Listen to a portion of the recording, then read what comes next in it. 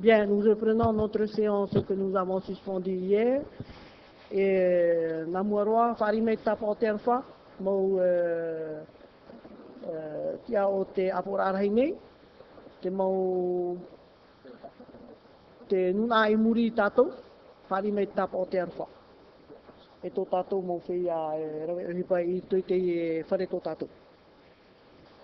Bien. Alors, donc, nous allons reprendre euh, notre séance par euh, le troisième rapport, rapport numéro 120-2006, relatif à une proposition de délibération portant modification numéro 2 du budget de l'Assemblée de la Polynésie française pour l'exercice 2006. Donc, les rapporteurs sont euh, M. Ruben Teremate et Mme euh, Rosina Chinfou. Je demande donc au au rapporteur, M. Ruben, euh, de faire la lecture de notre rapport. Yorana, Madame la Présidente et Marou, Mesdames, Messieurs les représentants, chers publics, Yorana, à la suite des plaintes répétées des membres du gouvernement à l'occasion des séances de l'Assemblée et à la demande des représentants de la majorité et du président de l'Assemblée, le fonctionnement de la sonorisation de la salle des séances doit être amélioré dans les meilleurs délais. Après étude des besoins et des solutions techniques possibles, il est envisagé de mettre en place une sonorisation sans fil pour un montant d'environ 30 millions de francs CFP.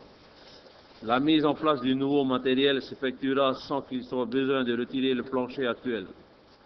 En conséquence, il nous est proposé une modification du budget de l'Assemblée au fin de financer cette acquisition par prélèvement sur les résultats de fonctionnement reportés.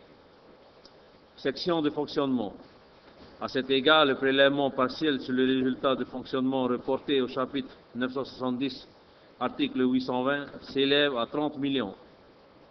Ce prélèvement permet d'inscrire en dépense au chapitre 970, article 831, prélèvement sur recettes de fonctionnement, une somme de 30 millions.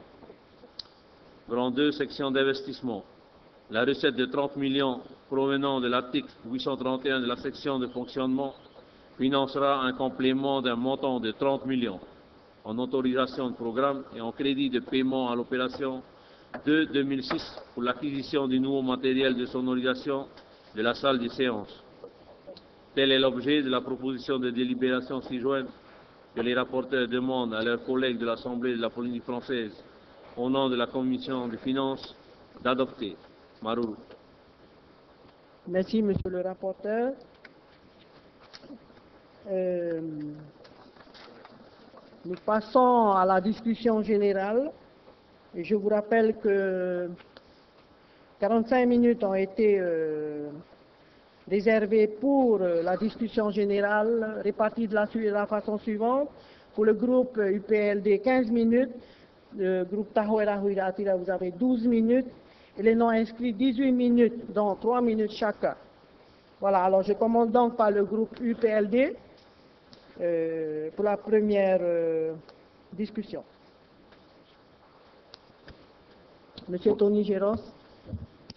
Yorana Pretiteni, Mono Pretiteni, Yorana Toa Tmohua, o te awi mai te epepei, Narira Toa Tweet Atira, o te tapapa mai te ru atatatou. O ia mau, i e te e tumu peru mata mua, e te opua nei, i te pretiteni no tō tātou nei apor arhei, i te ani ei tātou, i aturu tātou i te tei mau tau i uira, tāna e rawe nei, i e mō numera o te tapurahia e te tapura fofa, e aratohi ara tātou i te mateiti piti tau tini e ono. Te mea tā tātou e tape anei, mō tira te e tino moni toru ahuru milioni, te manaohi ara e, e ti mai, mai roto i te moni e puera.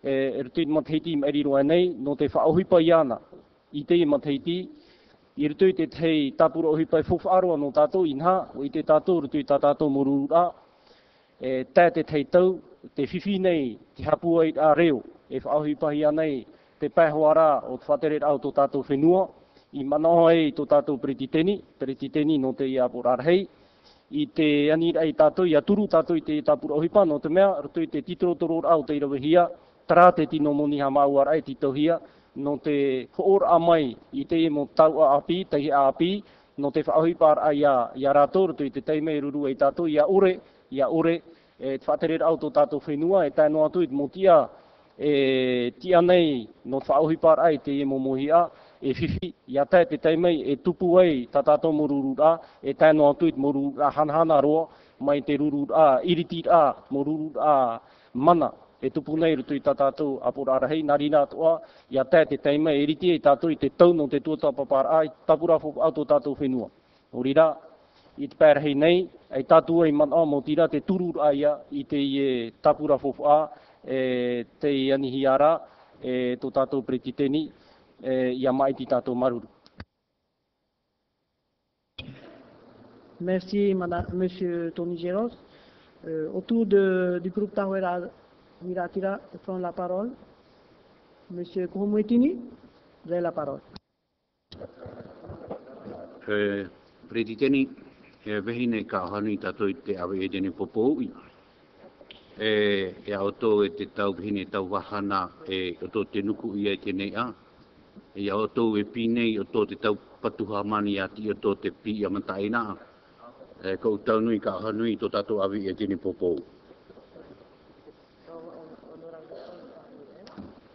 suis obligé de vous adresser après en français par respect. Eh bien, Madame la Présidente, euh, messieurs et, dames, les représentants, mes salutations ce matin à tous ceux de la presse et également à tout ce beau monde euh, du public. Mes salutations pour ce matin.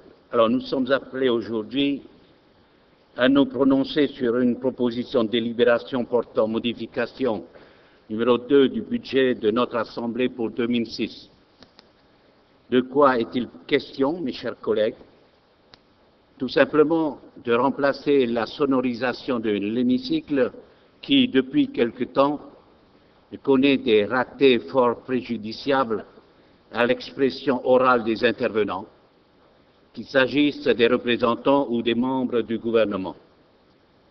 Je me souviens effectivement qu'à plusieurs reprises, le vice-président, M. Jacques Drolet, notamment, a eu à souffrir de ces dysfonctionnements. Mais plutôt que de le prendre avec philosophie, celui-ci n'a pas caché son profond agacement. C'est normal, me direz-vous, puisque lorsqu'il parle dans cette enceinte, nous sommes théoriquement censés l'écouter religieusement. Dans un excès d'exaspération, le vice-président, dans sa grande générosité, avait même proposé, si ma mémoire est exacte, qu'une rallonge budgétaire soit accordée à notre institution pour qu'enfin nous puissions entendre sa divine parole.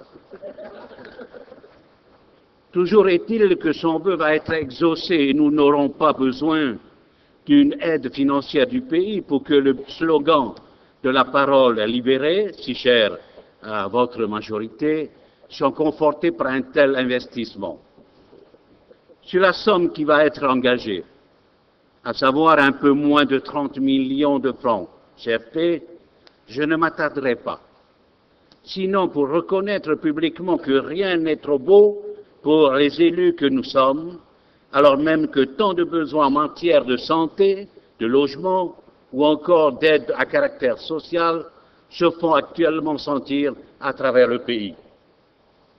Rassurez-vous, mes chers collègues, il n'est pas dans mon intention ici de cracher dans la soupe, mais force est de constater que nous jouissons d'une situation privilégiée au regard de l'autonomie budgétaire conférés à notre Assemblée et des moyens importants qui lui sont alloués. Quant à l'initiative, somme toute justifiée, prise par nos deux rapporteurs de l'UPLD, que sont M. Ruben Télémate et Mme Rosina Chinfo, il convient, à mon sens, de la replacer dans son contexte. À ma connaissance, en effet, ce sont les services administratifs compétents qui ont préconisé de remplacer la, sonorisation. Conformément à la règle en vigueur, un devis a été demandé parmi les trois sociétés qui ont été contactées en métropole Faute de candidat local, c'est finalement une solution allemande qui a été retenue.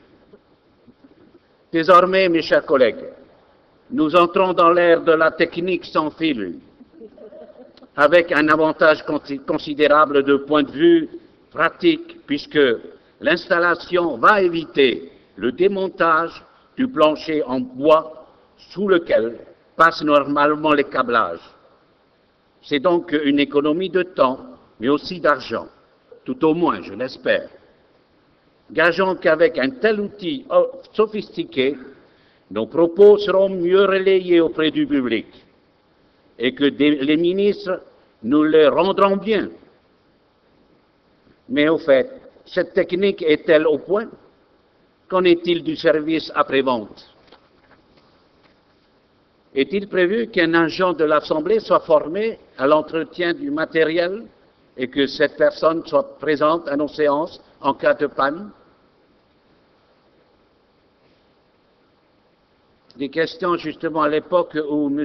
Géros était président de l'Assemblée, la, sonorisation suivie en permanence par un technicien prestataire, c'est vrai qu'à cette époque ça existait, il y avait moins de pannes. Alors ne se laisse pas, n'est-ce pas là l'origine des dysfonctionnements que nous avons eu à subir depuis Indépendamment de toutes ces interrogations que j'estime légitimes, il va de soi que le groupe Tahora Huratira votera en faveur de ce texte. Je vous remercie de votre attention. Merci, M. Koumoutini. Autour du, des non-inscrits, à prendre la parole, M. Bouissou. Merci, Madame la Présidente. Madame la Présidente, euh, Mesdames et Messieurs les représentants, euh, Mesdames et Messieurs, bonjour.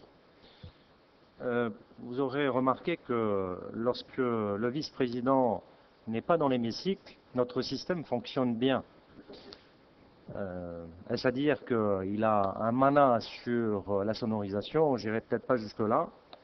Et évidemment, nous sommes, en ce qui nous concerne, également favorables à soutenir et voter euh, ce projet de modification euh, du budget 2006 de notre Assemblée, euh, tout en m'étonnant quand même du fait que n'apparaît pas à l'intérieur de ce projet une subvention accordée par le ministre des Finances tel qu'il s'y était engagé.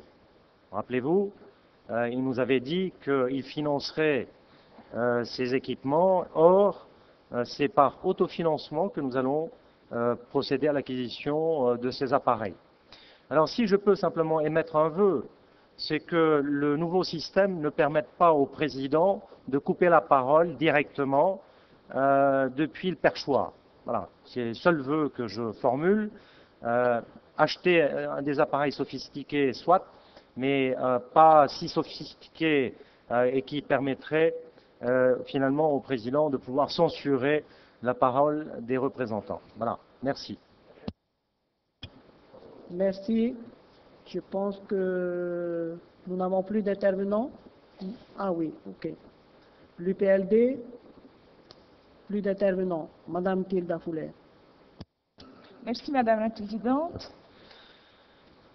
Euh, mesdames et Messieurs les représentants, Mesdames et Messieurs de la presse, Mesdames et Messieurs auditeurs et internautes, cher public et orana. Le FETIAPI ainsi que les autres groupes est favorable, bien sûr, avec cette proposition de délibération, car la mise en place d'une sonorisation sans fil, suite à tous les dysfonctionnements que nous avons connus dans cette salle, est nécessaire. C'est aussi dans l'intérêt des représentants de l'Assemblée de Polynésie, mais je m'étonne de l'appel à une société allemande euh, via un prestataire local. N'y aurait-il pas de prestataires locaux capables de fournir ce matériel? Merci. Madame, euh, au groupe Tawera, plus d'intervenants. Madame Rosina Chinfou. Merci, Madame la Présidente.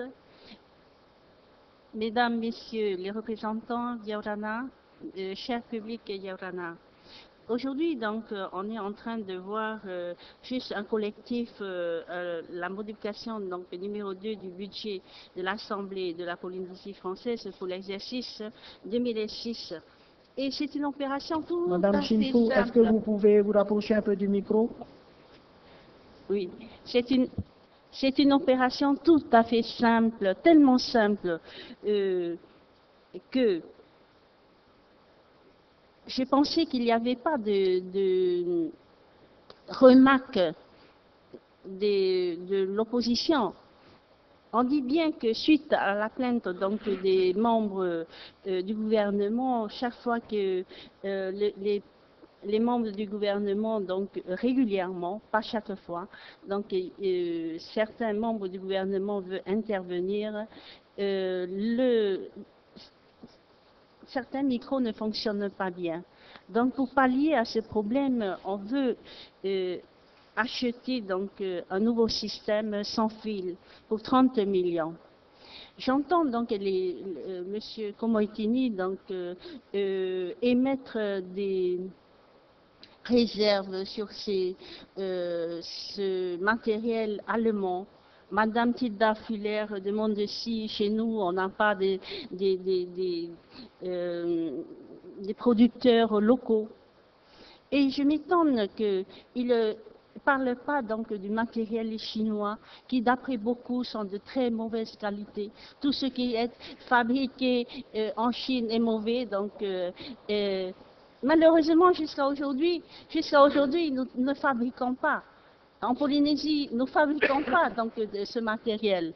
Donc, euh, euh, pour une opération aussi simple, on veut remédier à un problème de, de- de sonoris- euh, sonorisation.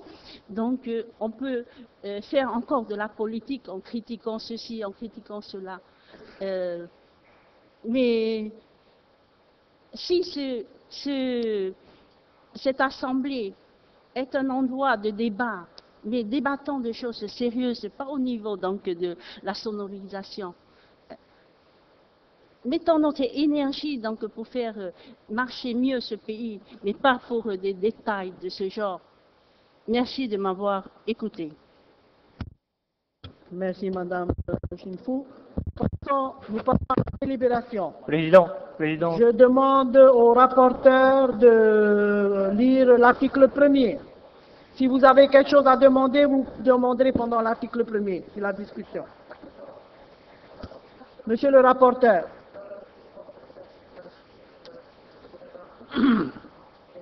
Article 1er. Le budget de fonctionnement de l'Assemblée de la Polynésie française pour l'exercice 2006 est modifié comme suit. En recette, total chapitre 970, 30 millions en plus. Alors voilà pour En l'article premier. dépenses, Madame la Présidente, j'avais total demandé la parole, s'il vous 970, plaît. 30 millions en plus. Total général, 30 millions.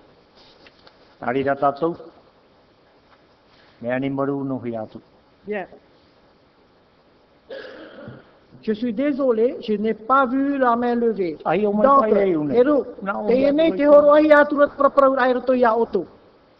o proprau buisu, o proprau tei, e tu era ia tei. Ui, alo, te tātara hapa me au tei hapeira mei ia, te horo hi atura te mana aru tei au tau. Te hoho ai tātara hapa e a horo no tātou, ai hui ori mai, te ara tu ai.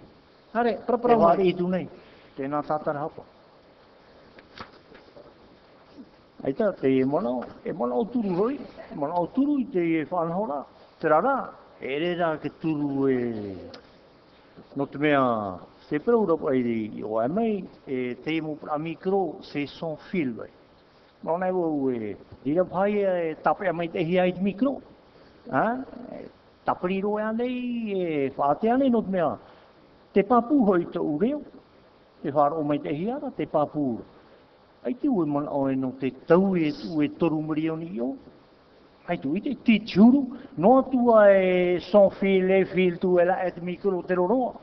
Ti tiuru mit me pro pro o e ti o te mikro. E ti e pro pro pai mi te. E mit me hinaro o e tape are, tape aroa. Eh. Oria, Trara, nā te anira tō tātou pere tēni tō. Ah. Trai e ti tei manao, manao pa e whao, e te turu tu nei tēnā manao, tēnā tabura hima. Maruru, maruru i te horo ora mai, nari da tātou. Maruru Emil. Parimea tap o te tatrahapa. Te nei te horohi ara mana ano nei te tauara aproi nei te e irewa matamua. Monsieur Bouissou. Bien, merci Madame la Présidente. Je voudrais poser une question au rapporteur euh, de ce projet, puisqu'il est prévu d'inscrire une somme globale de 30 millions de francs. 30 millions, c'est, à mon avis, euh, une enveloppe importante pour euh, de la sonorisation. Surtout lorsqu'il s'agit simplement d'avoir, je dirais, des haut-parleurs, des micros, et puis un appareil de sonorisation à l'arrière. Est-ce qu'on peut nous donner les caractéristiques techniques euh, de ces appareils pour qu'on ait une idée, savoir euh, euh, si c'est un Concorde, un Boeing 747 ou alors un petit avion de tourisme que nous sommes en train d'acheter Merci. Merci, M. Bouissou. M. Gérance. Maruru, e o ia mau, o rato te hohonur a o te opuara e man ohi ara e, e whaatupu i te ipupui. Tua tapapa e nā tātou i tau uh, whiwhira i te tei rurur a. E rutu pai ti ora ne me e no chu e tata e, e parhei nei twenua wharani i te teime, ma te tei nei i tā tātou rurur a, i te whāroot mō prau tā tātou, e apod mō prau tā tātou e, e whahiti nei, i rutu i tā tātou mururu rā, i tātou i unei, o te ruru nei te te mei, te wharo rātu, e te tamatar ai te nono, te mō prau, nā rato mai te whatere rāu tō tātou whenu. A. Te piti, ho e atoa e te emana, i te turura i te teimhar a e amuhi ara te periki tēni e whaatere nei tā tātou apur arhei. Ia te, te teimei e tarara, eh? Tēnā ora pedre abisu e vule corriger l'effet de l'arsen. Te aura e tarara pa i te i e taua. No rira, wa imihi e tara e waharama i mo whee arauhi mo eiwan a. E tamata, e tawiri mō mea no tō aforor ai tatatou e whē, de larsen, ai te rau e aforor ai. Ai tatu ai rau ea, mō rā, i te rau ea ai te mea i whahitihi e te awhai e prau, i te tūr ai te e tapur ohi pāru tui tataura, e wā tia mai mō te i e te norātou, te i e toroa, norātou te i e imira, no te horoa, i mua i a tātou i te mora e vai nei rutu i tō rātou rima, no te tatarar ai tau a whiwhira. Whātataro, rutu i te rurura o te tupu, no te tuatapapara ai te tumu pro, rutu i te komisio. Whātataro, i te momero, i te tauiv ahau, i te arata i au te i e tapura ohi ma te ani a e whaatei mai pā, no te teimhā o te opo ia inha, toru o huru mirioni o ia maua, e tupu te mēre roto i tātou, e tupu te uira roto i te tei e te tei, e hare ei ni te tanora o te manoa bisu, e Mercedes anei te i tātou he onei, aurera aita. A te mea i tatarahi a mai mātou roto i te komisio, mi tūrura te whiwhi e i te hiara i te e mohea, e, mautira, e, te tatarar aia i te i e taua tātou, no te me pauroa i te mau niu niu taratou i pu ai hare, ia, ia nene tātou e, e wharo tātou, mō man o ia tēte teimei teima i e paparo ai tātou, e, ai te ro a, aho i te tata i te rira, mō tira i tatararo, tatararo ma te tatararo i te taua. A numerahi atura e hie moni no te tatarara i te taua, a irie e taua whaitora i te ahia e, me hau e wapa, e ho no atua pa e Mercedes. Me hau e e i o, i te tatararoa ai tatatou e, taua, e, a taumaro atua i e chamauara, ni whaitu hanere toru ahuru mirioni pa. No rira, te pāturu tu te e mana, ia wai no tātou i, i trawhai tō moni toru ahuru mirioni maruru. Merci, Monsieur Tony Géros. Monsieur Kourmoutini. Merci, Madame la Présidente. Je voudrais euh, répondre un peu à Madame euh, Rosina Chinfo. C'est vrai qu'à chaque fois que j'inter- j'interviens, euh, Madame Chinfo commence toujours à s'exciter, surtout à 9h50 du matin, et que ça soit dans la salle de la commission. Et puis là, j'ai une remarque également, et elle s'excite. Et je ne sais pas pourquoi je me pose des questions, mais je n'ai pas le droit de m'exprimer dans cette enceinte, et puis rare que je m'exprime, croyez-moi. Alors à peine que je m'exprime et dire un peu ce que je pense, tout de suite, euh, elle cherche à, me contrer. Bon, c'est normal, on est dans la démocratie et puis des échanges comme pour euh, euh, la liberté d'expression. Mais justement sur ce point-là, tel que ça a été dit par Madame Shinfo, bon, cela a été fait. Elle dit que c'est une toute simple opération et qui mériterait même pas un débat. C'est ce que je crois bien euh, comprendre ce qu'elle voulait dire. Mais une toute simple opération qui coûte 30 millions. Ça coûte bien 30 millions, c'est pour ça qu'il est nécessaire que nous puissions débattre et dire un peu ce que nous pensons.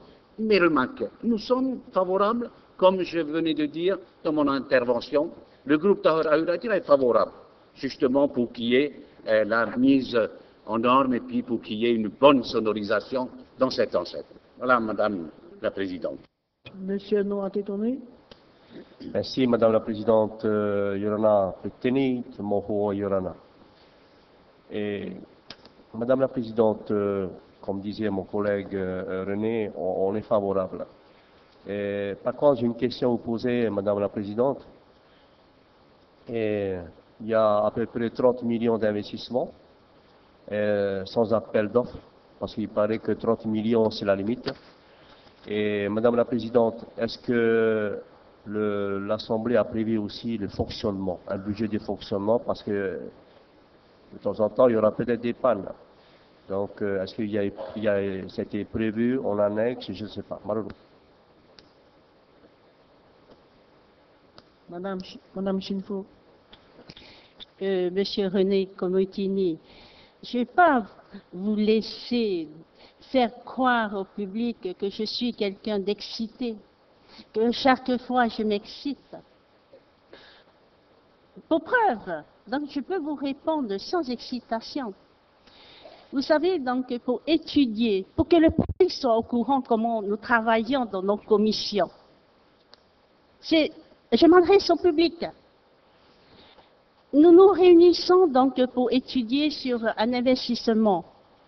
Alors, les gens qui doivent être dans la commission arrivent à n'importe quel moment. Je cite personne. Et des commissions, donc pour euh, une, euh, un investissement peut durer des jours et des jours, parce qu'il y a des gens qui ne sont pas présents, arrive un, un- tel, il redemande donc de quoi il s'agit, et ainsi de suite, et ainsi de suite. Et c'est pour cela que je dis c'est lassant. Et avec le sourire, monsieur euh, René Coimoitini, hein, je ne suis pas excitée. Et ne, laissez pas croire à tout le monde que je suis quelqu'un d'exalté et de- d'excité. Je dis simplement donc euh, que quand nous travaillons dans nos commissions, si les gens assistaient et devenaient sérieux donc dans ces commissions, euh, en ce qui concerne donc euh, cet investissement, on en a débattu pendant des heures. à la commission des finances avec Monsieur le Président. Donc, ah, peut-être vous n'avez pas été au courant. Donc, c'est ce que je venais de dire. Les gens n'assistent pas aux commissions et donc après ils, ils- ils- ils- regardent. Donc, ils ne savent pas donc quand on en a débattu. Je vous dis que ça a été débattu pendant des heures sur cet investissement. Donc, maintenant, vous me dites, Monsieur Buisseau, que vous n'êtes pas au courant. Je, suis, je ne suis pas membre, hein, Madame Shinfo. Je ne suis pas membre. Vous n'êtes pas membre, mais tous les représentants peuvent assister à n'importe quelle commission. Merci Madame Chinfo, Madame Tilda Poulet. Merci Madame la Présidente. Madame Chinfo, je suis désolée. S'il faut adopter les, les dossiers sans même en débattre, il faut le dire tout de suite. hein. Pourtant, on vous a dit qu'on était pour. Et je suis désolée, moi aussi, je ne suis pas membre de cette commission. Et à ce moment-là, je n'ai pas pu assister à, à cette commission.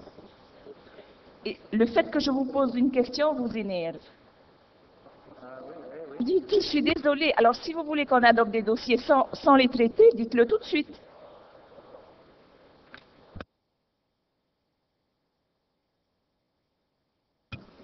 Euh, Madame euh, Emma Algon. Merci Madame la Présidente, Mesdames et Messieurs les représentants, le public Yorana. Euh, non, je voulais juste euh, apporter, euh, rétablir ce que vous venez de dire, Madame euh, Chinfo. Là, c'est vrai, nous n'étions pas à ce moment-là pour la discussion de ce dossier en, en commission. D'abord, on n'est pas membre. Et lorsque l'on peut venir, en général, euh, on vient. Je crois qu'on est, les- on est très assidus euh, aux commissions de- des finances. Mais lorsque vous dites que ce dossier a été débattu en commission pendant des heures et des heures, c'est faux, c'est faux, Madame Chinfo. J'ai le PV là sous les yeux. Voilà ce que ça contient, le débat. Voilà. C'est la moitié d'une page A4, le contenu du débat. Donc arrêtez, arrêtez de, de dire n'importe quoi.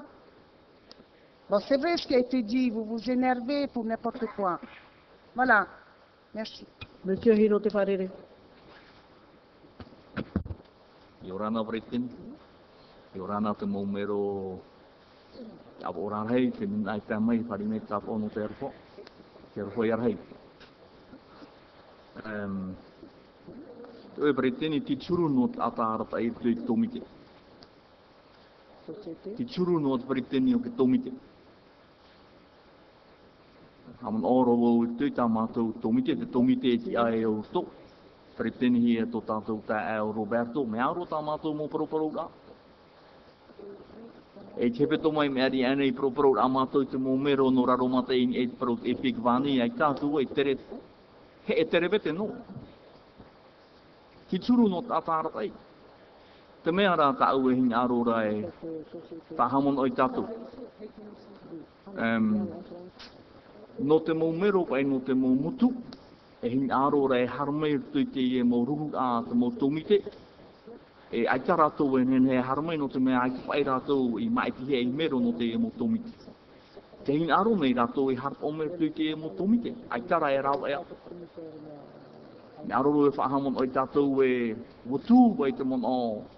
O ke tātou rai te teimi kua tapo a te ture roto awhi a imihi e te mō rau e ane ne hoa te mō me e hi ai rei harmer te te mō rūra atu mō tomi te roto ato, i anen he rato e tāmai.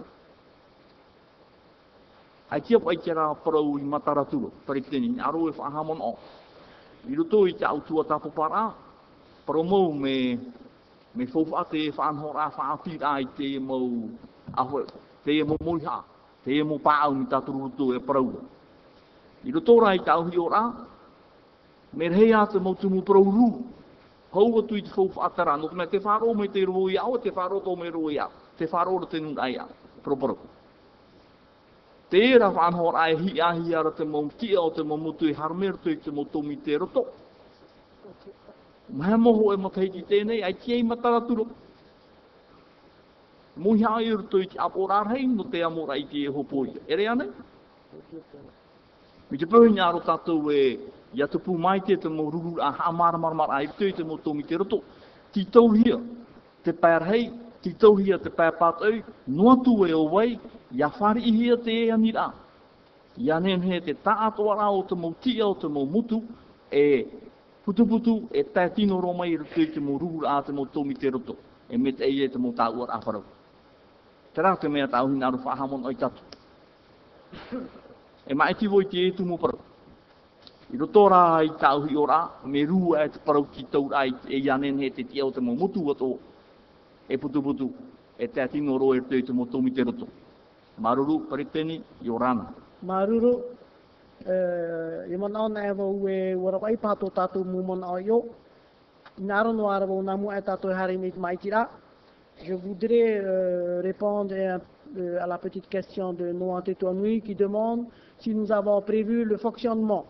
Alors, euh, tout le monde sait que lorsque nous achetons quelque chose de neuf, il y a une garantie, même pour euh, la télé, donc euh, pour notre Vini. Donc, euh, il y a une garantie d'un an. Et pour la société qui nous a livré ce matériel, nous fait une formation ici de- des personnes qui vont s'occuper à l'intérieur de notre assemblée de ce matériel. Également, euh, cette euh, société euh, qui s'appelle Tahiti Home Cinema a déjà installé le même matériel à la CPS et leur fournisseur qui est Audiopol en France a installé également le même matériel à, l'Assemblée nationale. Ceci pour répondre à la question de M. Noir Tétonui. Nous passons au vote du- d'abord du chapitre 970 concernant le- les recettes. Alors, qui sont pour? L'unanimité À l'unanimité. Maruru Maitei. Nous passons, comme nous avons lu les deux, le, le chapitre 970 en recettes et en dépenses, nous votons également dans la foulée le, le chapitre 970 concernant les dépenses, qui sont pour. Même vote, même vote. Merci beaucoup. Euh, nous passons à l'article euh, 2. Monsieur le rapporteur, mais lisez simplement la partie recettes, s'il vous plaît. Article 2. Le budget d'investissement de l'Assemblée de la Polynésie française pour l'exercice 2006 est modifié comme suit. En recette totale générale, 0 en moins, 30 millions en plus, solde 30 millions. Merci, monsieur le rapporteur. La discussion est ouverte sur le chapitre 925, partie recettes. Pas d'intervention. Nous passons au vote. Qui sont, euh, même vote, même vote. Merci. Euh, en autorisation de programme, monsieur le rapporteur. En autorisation de programme, total chapitre 900, 30 millions en plus, total général 30 millions en plus, 0 en moins, solde 30 millions en plus. Merci. Nous passons au vote. Même vote. Merci. Euh, en crédit de paiement, monsieur le En rapporteur. crédit de paiement, total chapitre 900, 0 en moins, 30 millions en plus, solde 30 millions. Discussion sur euh, la partie crédit de paiement. Pas de discussion. Nous passons au vote. Même vote. Même vote. Merci beaucoup. Article 3, monsieur le rapporteur. Article 3. Le président de l'Assemblée de la Polynésie française est chargé de l'exécution de la présente délibération qui sera publiée au journal officiel de la Polynésie française. Merci. La discussion est ouverte sur l'article 3. Pas de discussion. Nous passons au vote. Même vote. Même vote. Merci beaucoup. Toute la délibération. Nous passons au vote. euh, toute la délibération. Même vote. Même vote. Donc euh, la délibération est adoptée. Alors, pour me permettre d'aller, euh, de faire le rapport, le, rapport numéro 119-2006, qui, euh, dont je suis rapporteur, je demande au troisième euh, vice-président qui n'est pas là.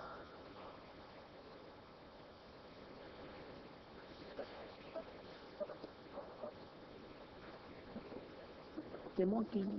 Madame la Présidente, en attendant que M.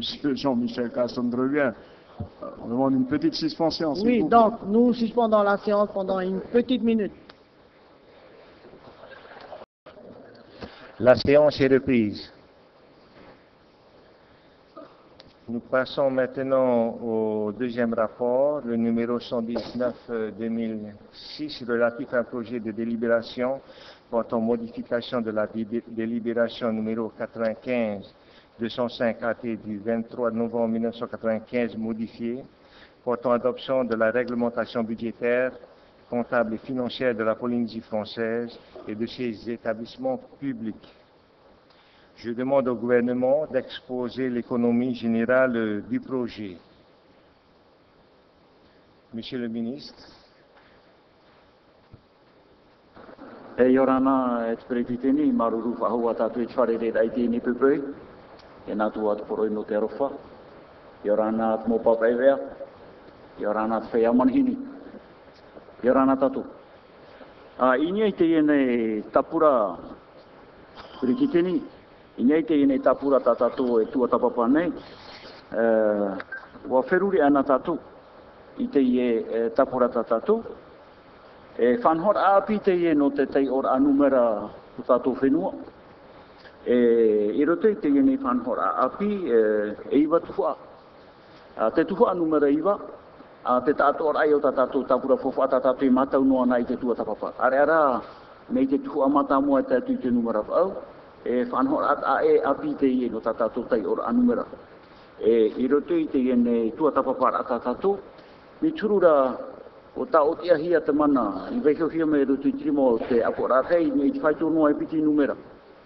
A te o tira tata tō mai kira o ta mai te te mō anira me ruto mai a oto e fa aanori i a te i nei mana. tamato i e wha turara. E te mhana i a me mei mua i oto o wha te, te, te mana o te momero te apo e rea tura e piti numera wha aanohia i te toru numera te aura. Aia, rei atua te mana e vei hohi ara rotu i mo te mero apora. O tau e te aturi nei, e maruru te ta ara, e ai tata tata e propro e roa roa, whahohi ara te mana rotu o mana. Tarari inoa te te mana o e umuara o tata to propro ra, maruru mai te. Maruru mono prekiteni. Euh, je demande à Madame Tamara Bobdupont Madame le rapporteur, de bien vouloir lire son rapport.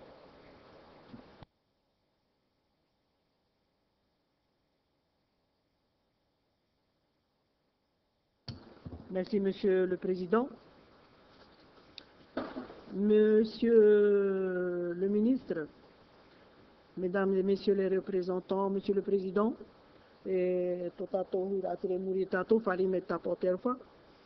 donc, par lettre numéro 294 PR du 25 octobre 2006, le président de la Polynésie française a transmis aux fins d'examen par l'Assemblée de la Polynésie française un projet de délibération portant modification de la délibération numéro 95-205 AT du 23 novembre 95 modifié portant adoption de la réglementation budgétaire, comptable et financière de la Polynésie française et de ses établissements. Le, le présent projet de délibération vise à modifier les règles relatives à l'adoption et au fonctionnement de la nomenclature budgétaire et comptable de la Polynésie française. Le plan comptable de la Polynésie française est composé des classes 1 à 9. Dans le cadre de la migration de ce plan comptable, l'Assemblée de la Polynésie française a, au terme de l'article 1er de la délibération numéro 2006-42 APF du 27 juillet 2006, entendu confier la compétence de la fixation de la totalité du nouveau plan comptable au Conseil des ministres, alors que depuis 1995, en application de la délibération numéro 95-205 AT du 23 novembre 1995, c'était le président de la Polynésie française qui détenait ce pouvoir. À l'issue des séances de présentation de la nouvelle nomenclature faite aux représentants à l'Assemblée de la Polynésie française et aux membres du Conseil économique, social et culturel de la Polynésie française, il est apparu préférable et plus conforme au statut de ne déléguer au Conseil des ministres que le pouvoir de modifier la liste des comptes techniques des classes 1 à 8 qui indique la nature des opérations.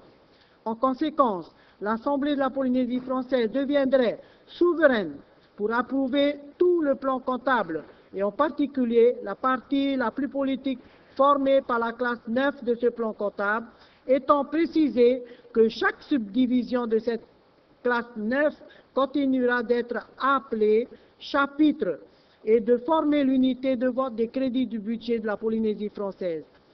Le budget étant voté chapitre par chapitre et un chapitre équivalent à une mission, cela reviendrait à débattre du projet du budget présentées par le gouvernement mission par mission.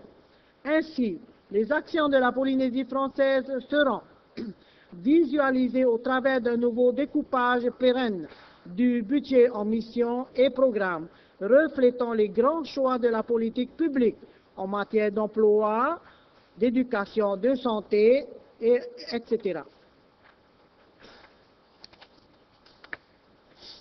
Un tel redéploiement permettra pour chaque mission identifiée de suivre le détail de toutes les ressources employées pour en assurer la bonne mise en œuvre. La mesure analytique du coût des programmes favorisera, dans le cadre du contrôle de gestion effectué par les responsables de programme, le pilotage action des actions correspondantes. Quatre catégories de missions ont été retenues. 1. Les pouvoirs publics et les moyens internes. 2. Les missions de portée interministérielle qui, de par leur nature, impliquent l'intervention concertée sous la coordination d'une seule autorité de plusieurs départements ministériels pour être correctement appréhendés. L'affichage au niveau budgétaire et comptable du caractère interministériel de ces dernières devrait permettre de consolider, de consolider la cohérence gouvernementale. Troisièmement, les missions à caractère sectoriel, dont chaque programme est développé de manière indépendante par un seul département ministériel. Quatrièmement, les opérations non ventilées qui correspondent à la gestion fiscale et financière du pays. Alors, 18 missions, dont deux interministérielles, sont proposées. Au sein de ces missions, 70 programmes ont été identifiés à partir de, premièrement, du découpage actuel des portefeuilles ministériels, deuxièmement, des attributions des services, troisièmement, de la réforme française du budget de l'État, loi organique relative aux lois des finances.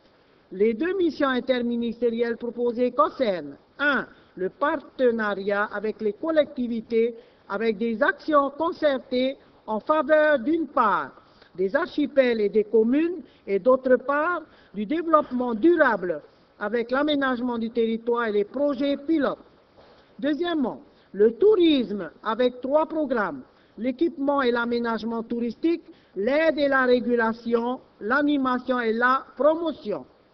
L'efficience de ces missions interministérielles est subordonnée à l'identification pour chacune d'entre elles d'une entité responsable du pilotage et de la coordination de l'action de tous les intervenants. La présentation ainsi modernisée de la classe 9 du plan comptable permettra, premièrement, pour tous de visualiser et de comprendre les actions de la puissance publique. Deuxièmement, pour les décideurs de concevoir une organisation optimale des services et établissements publics. Troisièmement, pour les agents du pays d'avoir une meilleure vision de leur contribution aux missions du pays.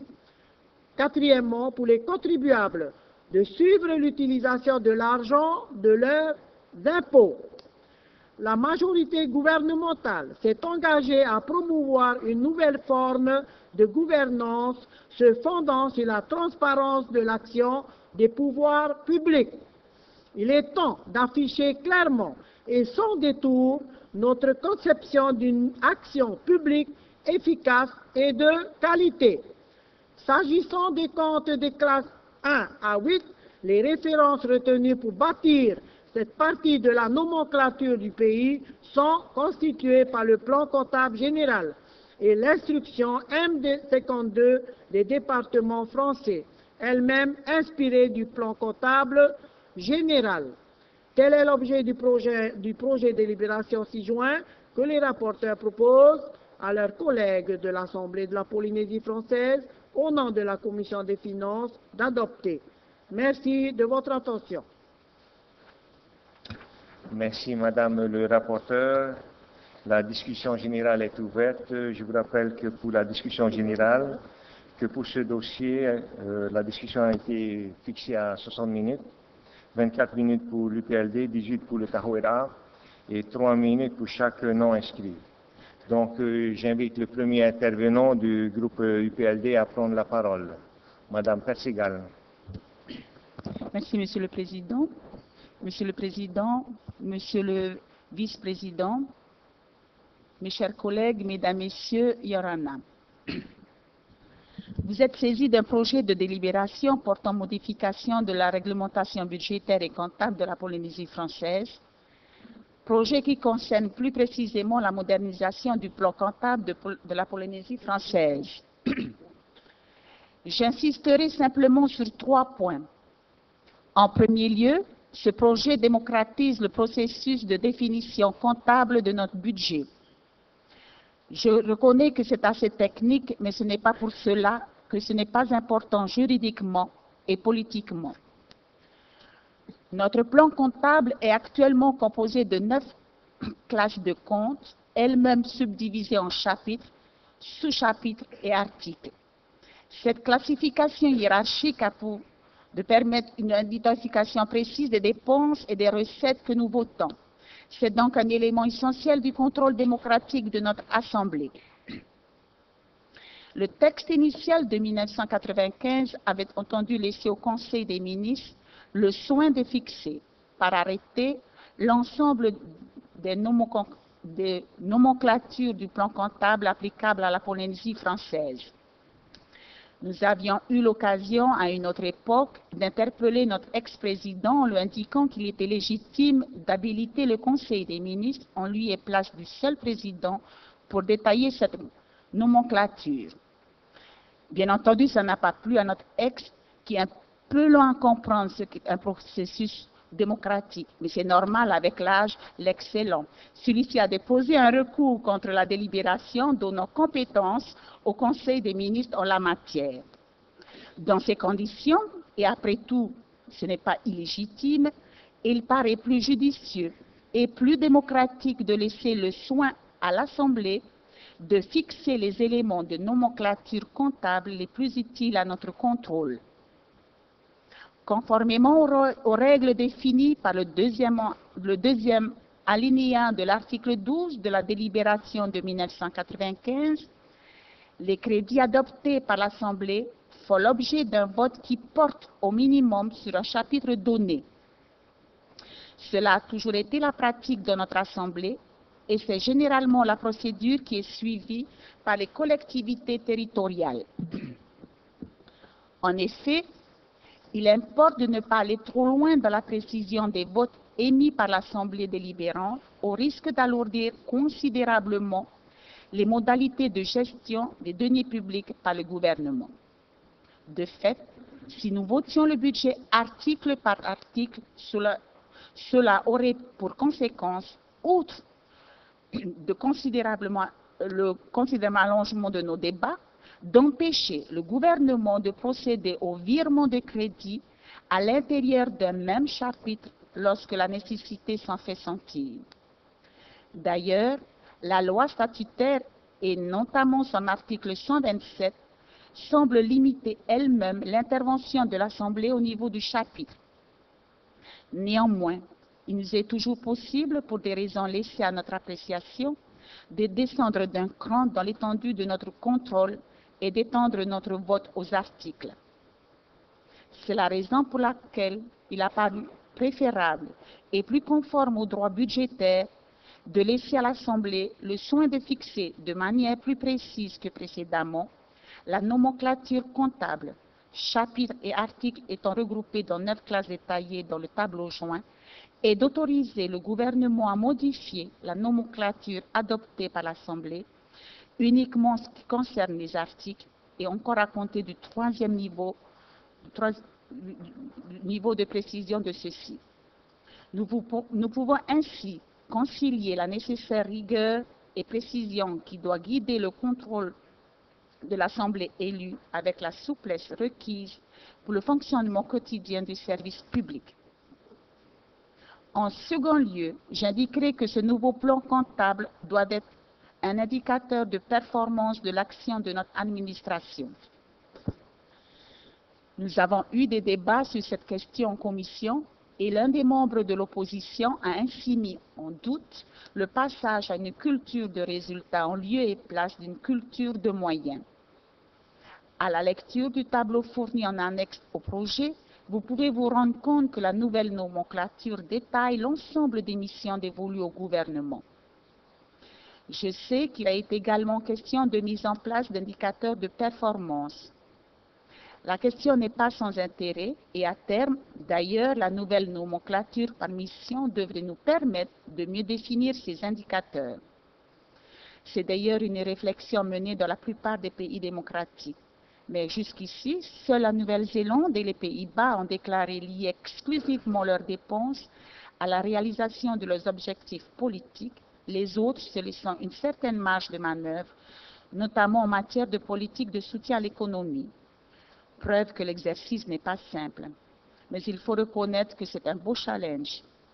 Il reviendra donc à chacun des ministères de traduire chacune de leurs missions en programme, puis leur programme en objectifs, avec ensuite la mise en place d'indicateurs de suivi, de réalisation et pourquoi pas de qualité. C'est un chantier qui commence et notre président a chargé l'inspection générale de l'administration le soin de coordonner entre les ministères cet important chantier. Il revient donc à notre Assemblée de définir les missions et au gouvernement les programmes, les objectifs et les indicateurs. Sur ce dernier point d'ailleurs, je pense que nous avons aussi notre mot à dire, soit par une définition d'indicateurs dans une délibération, soit au moins au moment du vote du compte administratif, acte qui est à mon sens au moins aussi important pour le contrôle démocratique effectué par notre Assemblée que le vote du budget. En dernier lieu, j'évoquerai le cas particulier des immobilisations corporelles répertoriées en classe 21 de la nouvelle nomenclature. C'est vrai que ce chantier est en devenir et que l'absence d'évaluation précise du domaine physique de la française n'est pas satisfaisante. Mais c'est un très gros chantier qui est très technique et nous ne pouvons pas le mener en deux temps, trois mouvements d'un simple claquement de doigts. Je signale d'ailleurs à l'opposition qu'elle ne s'est pas empressée pour réaliser cette évaluation. On peut constater que vous n'avez pas fait grand-chose dans ce domaine en 15 ans de pouvoir.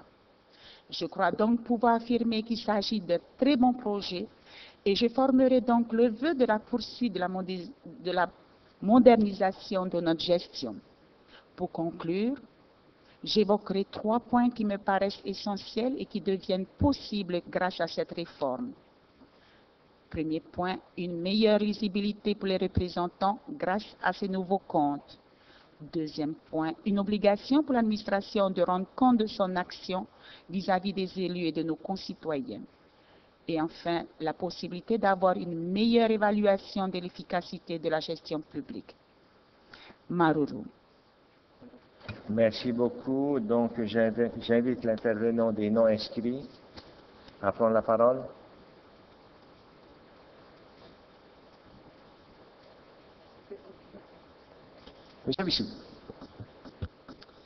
Merci, Monsieur le, Président. Je m'attendais à ce que vous donniez la parole au Tarouela, parce que c'était la règle, mais ce n'est pas un problème. Merci.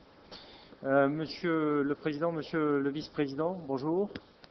Nous sommes contents de vous revoir dans notre hémicycle et de vous entendre à nouveau nous parler en langue tahitienne. Ça nous fait énormément plaisir. Et on espère que vous euh, prendrez la parole en français tout à l'heure également, puisque vous soutenez également le trilinguisme à l'école. Vous nous parlerez en anglais, euh, évidemment, sur euh, le dossier qui nous intéresse. Voilà. Monsieur le Président, finalement, le gouvernement est dans l'obligation de revenir nous, nous voir à l'Assemblée, tel que nous l'avions dit lors de nos travaux du mois d'octobre. Rappelez-vous, euh, Monsieur le Vice-président, on vous l'avait pourtant dit. On vous avait dit que c'était à notre Assemblée d'arrêter la nomenclature comptable, et plus particulièrement sur l'émission, et euh, tout en gardant une certaine souplesse quand même au niveau du gouvernement, euh, parce qu'il est bien évident qu'on ne peut pas tout prévoir dans la nomenclature comptable initiale. Et en cela, je rejoins l'avis du chef du service euh, des finances, euh, qui, euh, lors de la commission des finances à l'Assemblée, avait indiqué qu'il était quand même nécessaire que le gouvernement ait une certaine souplesse dans la gestion de ses comptes. Donc nous sommes vraiment favorables à cela. monsieur le vice-président, puisque nous sommes aussi en période d'étude du budget pour 2007, et après avoir consulté le dossier que nous avons tous reçu ce matin, euh, je me suis aperçu que, euh, à contrario de ce qui se passe en métropole, dans les euh, régions, dans les conseils généraux et au niveau de l'État, où les budgets sont présentés par ministère, nous n'avons pas, dans les dossiers qui nous ont été transmis, cette formule de présentation. Et et je le regrette. Nous le regrettons parce que ça aurait permis de montrer également euh, comment le gouvernement entend soutenir l'action de tel ou tel ministère euh, pour montrer également l'évolution euh, de ces actions et le règlement des problèmes dans le temps. vous avez établi et nous, avons, nous allons soutenir votre projet. vous avez établi la nomenclature des missions de la, du, de la classe 9 euh, d'une manière donc euh, analytique, c'est une bonne chose, mais je pense aussi qu'il aurait fallu aller jusqu'à présenter donc le budget et suivre l'exécution du budget selon une formule ministère par ministère, et ce qui aurait permis d'ailleurs à chaque ministre de pouvoir présenter sa politique au nom du gouvernement et obtenir un vote même, à la limite, par ministère. Voilà quelques suggestions que je souhaitais faire au gouvernement euh, d'une manière constructive. Merci, Monsieur le Président. Merci, Monsieur Buissou. pour le groupe Tahuera, Monsieur Fritsch. Merci, Monsieur le Président, Monsieur le Vice-président, mes chers collègues, euh, les journalistes, le public, bonjour.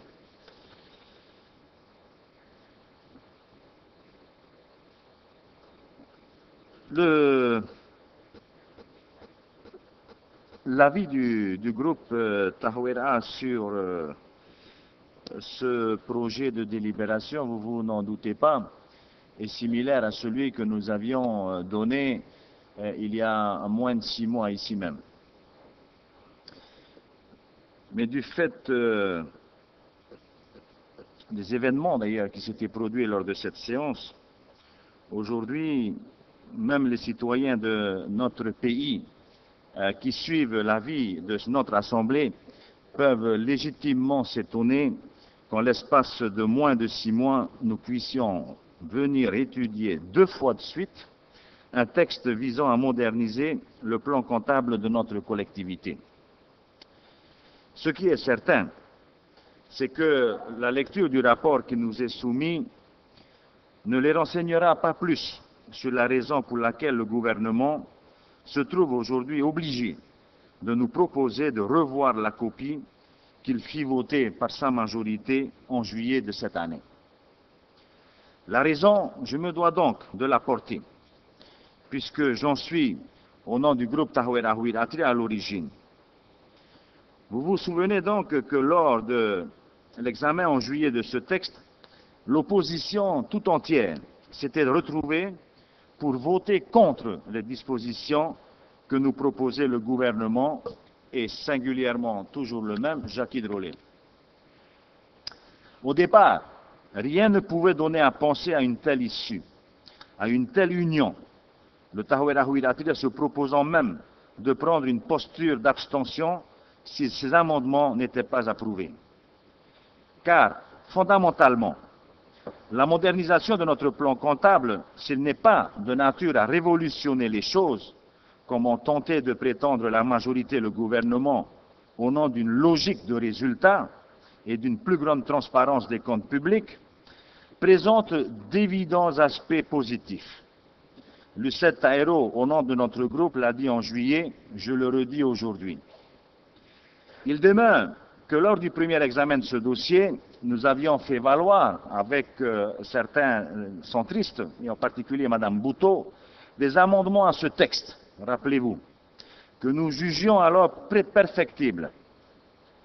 Face à nous, nous avons eu toute la hargne et toute la suffisance de M. Drolet et Géros pour tenter de nous convaincre que nous faisions un usage détourné des règles de notre règlement intérieur et abusions de notre droit de proposer en séance des amendements.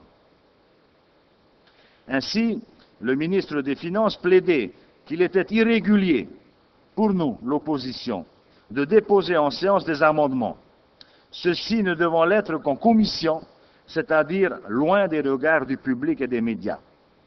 Bel exemple de transparence. Notre collègue Géros, lui, inventait la règle selon laquelle il n'était pas dans l'ordre de notre règlement intérieur de pouvoir déposer des amendements sur des articles du texte proposé à la modification autres que ceux mis en discussion. Il s'agissait évidemment d'une volonté de leur part de restreindre les prérogatives données à l'opposition et de tordre la, démocratie et la lettre même de notre règlement intérieur. Ceci ne pouvait être accepté alors même que la majorité faisait le choix de se rassembler sur la proposition du gouvernement, proposition juridiquement contestable sur un certain nombre de points. C'est donc la raison pour laquelle, au nom du groupe politique que je représente, j'ai eu à saisir le 28 août 2006 le tribunal administratif d'une demande tendant à l'annulation de la délibération numéro 2006-42, puis le 7 septembre 2006 d'une demande tendant à la, à la même fin s'agissant de l'arrêté numéro 888 CM du 23 août 2006 qui approuve la nouvelle nomenclature des comptes. Pour résumer mon argumentaire, je dirais simplement, à l'instar de ce qui prévaut au plan des comptes de la nation, que la détermination de la nomenclature des comptes, c'est-à-dire la liste même des comptes, et les règles présidant à leur fonctionnement relèvent des seules prérogatives de notre Assemblée. En effet, ces questions se rattachent évidemment aux affaires budgétaires, qui sont la prérogative exclusive de notre Assemblée le Conseil des ministres n'ayant de pouvoir que de prendre des mesures restreintes d'application de nos propres choix. Avec ces explications que le gouvernement et le rapporteur se sont évertués à cacher, vous comprenez, mes chers collègues, que nos intentions n'ont été que de protéger les pouvoirs de notre Assemblée en matière de finances publiques, pouvoirs que la majorité était prête, que vous étiez prête à abandonner, sans sourcier et l'abandonner au gouvernement. Pourquoi, dans ces conditions, ne pas imaginer que demain, cette euh, majorité Godillot n'abandonne aussi ses prérogatives en matière de contrôle de l'activité du gouvernement On y reviendra, on en reparlera dans les jours à venir. Évidemment, vous pourriez vous étonner, mes chers collègues, de la diligence qu'a prise le gouvernement pour nous proposer de revoir sa copie dans un sens plus conforme à la règle de droit. C'est vrai que les services techniques sont à la source de cette démarche, car ils ont pris conscience de la nécessité impérieuse de disposer d'un droit positif non critiquable sur cette question. Imaginez en effet le fait que le tribunal administratif en pleine période d'exécution du budget, viennent à annuler le texte que vous avez voté en juillet 2006, voire même le présent texte. Avec la disparition de cet édifice juridique, c'est l'enregistrement même des opérations de recettes et de dépenses qui se trouverait mis à mal. À l'orée donc de la présentation du document budgétaire pour 2007, qui intègre par anticipation ce nouveau plan comptable. Il apparaît pour le moins vital que la majorité et le gouvernement doivent avaler une grosse couleuvre en reniant le premier texte sans toutefois aller jusqu'à oser le dire ni l'écrire. Question de fierté sans doute. Souhaitons, souhaitons en tous les cas que la majorité et le gouvernement tiennent compte de la leçon reçue et considèrent un peu mieux l'opposition et ses amendements à l'avenir. Voilà donc ce que nous pouvions dire sur les aspects historiques cachés de ce dossier. Pour autant, pouvons-nous voter en toute confiance le nouveau texte que nous proposent le gouvernement et la majorité? Le premier aspect positif de ce dossier est qu'il revient dorénavant à notre Assemblée de fixer la liste exhaustive des comptes de base, donc des classes 1 à 8 d'une part, s'agissant des comptes d'opération. Et d'autre part, de la classe 9, qui énonce les missions groupant, je cite là, les opérations concourant à la réalisation d'une politique publique définie. Bien sûr, je ne m'offusquerai pas que nous donnions expressément mandat au Conseil des ministres pour pouvoir opérer des ajustements à partir du troisième chiffre des comptes de classe 1 à 8 de la nomenclature. Je reprends là ce qui est écrit par ailleurs. Les principes demeurant de nos prérogatives, il y a là une mesure de souplesse que la logique et le droit me semblent permettre d'autoriser. À l'inverse, il est bien logique que la partie très politique, constituée par les éléments de la classe 9, demeure de notre seule prérogative. La seconde avancée du texte proposé est que nous fixons par nous-mêmes le référentiel de fonctionnement des comptes dont nous venons de fixer la nomenclature. Ces référentiels sont donc les principes définis par le plan comptable général en vigueur et ceux relevant de l'instruction M52 comme il a été rappelé. Bien évidemment, le point négatif qui doit être souligné à ce stade est qu'il est procédé ici par simple renvoi à des textes dont nous n'avons ni vous ni moi connaissance, car ils ne sont pas annexés à la délibération et qu'ils ne sont même pas définis dans les visas du projet de délibération par la référence du texte juridique les ayant étendus dans le droit positif polynésien. Seuls nos techniciens et ceux du Trésor public en connaissent précisément les termes. La proposition du gouvernement est donc de nous en remettre à eux, ce qui n'est pas nécessairement satisfaisant en droit, notamment au regard des prérogatives de notre Assemblée. Ceci apparaît d'autant moins satisfaisant que la rédaction nouvelle de l'article 159 qui nous est proposée propose de donner au Conseil des ministres le pouvoir d'adapter par arrêté les référentiels qui ne sont pas connus de nous dans un domaine où, de surcroît, l'Assemblée nous semble, à nous en tous les cas, seule souveraine.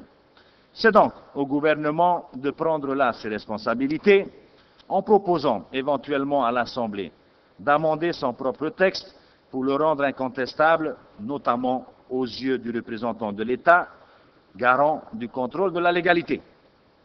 Il dépendra donc essentiellement de sa volonté de rassemblement sur son texte, de la qualité des réponses et des propositions du gouvernement, que nous votions pour ce texte ou qu'à défaut nous devions nous abstenir. Je vous remercie de votre attention. Merci. J'invite euh, l'intervenant des non-inscrits.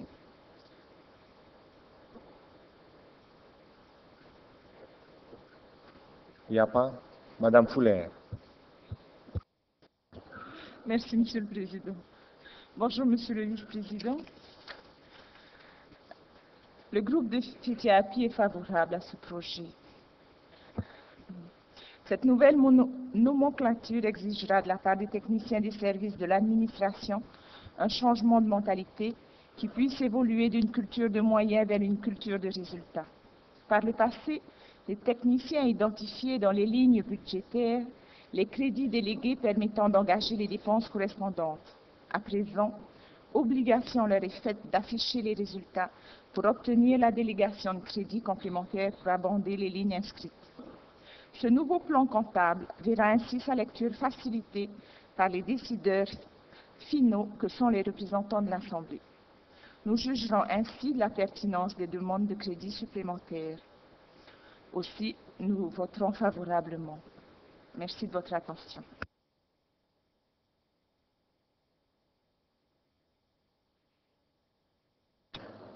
Merci beaucoup. pour le groupe UPLD. Oui, c'est Madame Auxilia pour le groupe UPLD. Madame Auxilia Hareraro.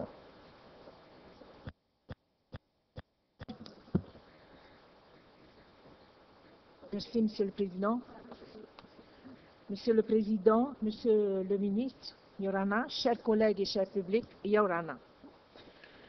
Alors, par lettre numéro 295 PR du 25 octobre 2006, le président du pays a transmis, aux fins d'examen par notre Assemblée, un projet de délibération portant modification de la délibération numéro 95-105-AT du 23 novembre 1995, modifiée portant adoption de la réglementation budgétaire, comptable et financière de la Polynésie française et de ses établissements publics. Que dire de ce projet de délibération qui vise à modifier les règles relatives à l'adoption et au fonctionnement de la nomenclature budgétaire et comptable du pays, si ce n'est qu'il détient une portée éminemment politique malgré une apparence très technique. En effet, je constate que, suite à l'adoption de ce projet de délibération, notre Assemblée deviendrait pleinement souveraine pour approuver tout le plan comptable et plus particulièrement sa partie la plus politique, en l'occurrence la classe numéro 9. En toute logique de ces nouvelles dispositions qui confient à notre Assemblée davantage de compétences en matière budgétaire, comment s'opposer à un projet de délibération qui offre aux élus de l'Assemblée un droit de regard plus important sur le budget, un pouvoir de censure accru, une meilleure transparence sur l'action gouvernementale, en somme, une amélioration de l'exercice de la démocratie dans notre Fénois. Cette nouvelle présentation de la classe 9 du plan comptable permettra aux politiques, à l'administration, mais surtout au public, de mieux visualiser et comprendre plus facilement les actions de la puissance publique. De même que cette nouvelle nomenclature permettra aux décideurs d'optimiser leur conception de l'organisation des services et des établissements publics. Quant aux agents du pays, leur contribution aux missions du pays sera beaucoup plus visible. Pour ce qui est du contribuable, il se verra en mesure de réellement suivre l'utilisation de l'argent de ses impôts. En résumé, cela s'appelle jouer le jeu de la transparence et de la démocratie. Et c'est ce que notre population souhaite. Ce sont en effet, et j'insiste, les principes et les valeurs qui animent notre majorité et que nous proposons de concrétiser au travers du vote de ce projet de délibération que je vous propose de voter à l'unanimité. Maruru Faror Amay, Yaorana. Merci pour les non-inscrits. Non-inscrits. Monsieur do. Maruru, ere te mana oro oro. O whari ana hia te e whaangaura, me mei dei. Hiro roto i a tāua e o mau hiro roto i whātere o te whenua i te rā teimi. Te vai ho skili o rāna te rea i roto ko. Te rea nā tātou o i e hi o te rea araua, tei tona tei tau no ni rei tatou. Ia te amano tu pai te i whenu. Te rātou o te plong kong tam. Rira e wheruri a te atu o tatou. Maruru. Maruru. Pule tahura, Madame Messeron. Monsieur le Président, bonjour. Mesdames et Messieurs, Monsieur le Ministre, bonjour. Euh, ce que nous avons entendu à l'instant euh, fait, penser que nous avons là une réforme de poids. Moi, je voudrais euh, nuancer et relativiser cette délibération. D'abord, je voudrais dire qu'elle me situe, qu'elle se situe, me semble-t-il, dans la foulée des actions de, réforme et de rénovation de l'administration que nous avions entrepris. Euh, et je, situerai par exemple le- l'existence aujourd'hui du DIOG qui est utilisé par euh, les services et les établissements publics. Euh, cette demande de modernisation du plan comptable, si j'ai bien compris, émane des, euh, essentiellement des techniciens. Donc nous l'approuvons, mais je voudrais euh, la, relativi- la relativiser. Du reste, le chef du service des finances lui-même disait les règles budgétaires, comptables et financières n'ont pas été changées, seul le plan de classement a été modernisé. C'est bien, mais tout comptable, toute personne qui connaît un peu le plan comptable sait, sait très bien que c'est un changement infime. Ce qui est intéressant, par contre, c'est effectivement l'exploitation que l'on peut faire des comptes de la classe 9, que, que l'on peut faire. C'est-à-dire que pour le moment, il y a une liste de missions qui correspondent à des champs politiques, mais il manque ce qui n'a pas encore été réalisé et qu'on nous annonce. Et je dis que si, les indicateurs de résultats, les indicateurs de performance ne sont pas rapidement euh, fixés, mais aussi rendus publics, mais aussi partagés par les techniciens des services, les dirigeants des établissements publics, les conseils d'ad- d'administration, les élus et d'abord, d'abord les ministres et les cabinets ministériels, tout cela restera une mini, mini réforme. Alors, ma question est la suivante. Quand pourra-t-on avoir ces indicateurs de performance pour chacune des missions Et évidemment, cela suppose que l'on ait également des objectifs politiques. J'ai très rapidement regardé le projet de budget qui nous est arrivé, je n'ai pas trouvé ces objectifs politiques. Et aujourd'hui, je pense que je n'étonnerai personne en disant que certains ministères, eh n'ont aucune orientation, n'ont aucun objectif connu, n'ont aucune action connue. C'est zéro performance parce qu'il n'y a pas d'objectif connu. Donc, cette culture de l'évaluation, c'est ça la vraie réforme c'est celle qui doit absolument aller au-delà du plan comptable que nous adoptons aujourd'hui, parce que sinon cela ne servira à rien du tout. Et c'est une culture à faire partager. C'est une réforme des mentalités. Ça a été dit, mais j'insiste. Et je voudrais, Monsieur le ministre, Monsieur le vice-président, puisque vous êtes là, vous dire que quand nous avons créé l'EPAP, il n'y a pas longtemps, il est jeune, il a encore, il a encore des progrès à faire. Eh bien, c'est cette approche globale de la prévention qui, qui est plus large qu'un simple ministère et qui tourne autour de la personne humaine. C'est cette approche globale, cette orientation que nous avions choisie et nous avons donné des consignes aux dirigeants de cet établissement. Nous avons travaillé avec eux pour voir comment, dans chaque programme qui déclinait cet objectif général de prévention, comment on pouvait bâtir des, des indicateurs de, résultats de manière à ce que dans chaque programme, il y ait un retour pour connaître les taux de performance. C'est très difficile à réaliser parce qu'en Polynésie, nous n'avons pas cette culture d'évaluation qui a avancé, et je crois qu'un des intervenants le disait tout à l'heure, cette culture d'évaluation qui passe par des outils à bâtir.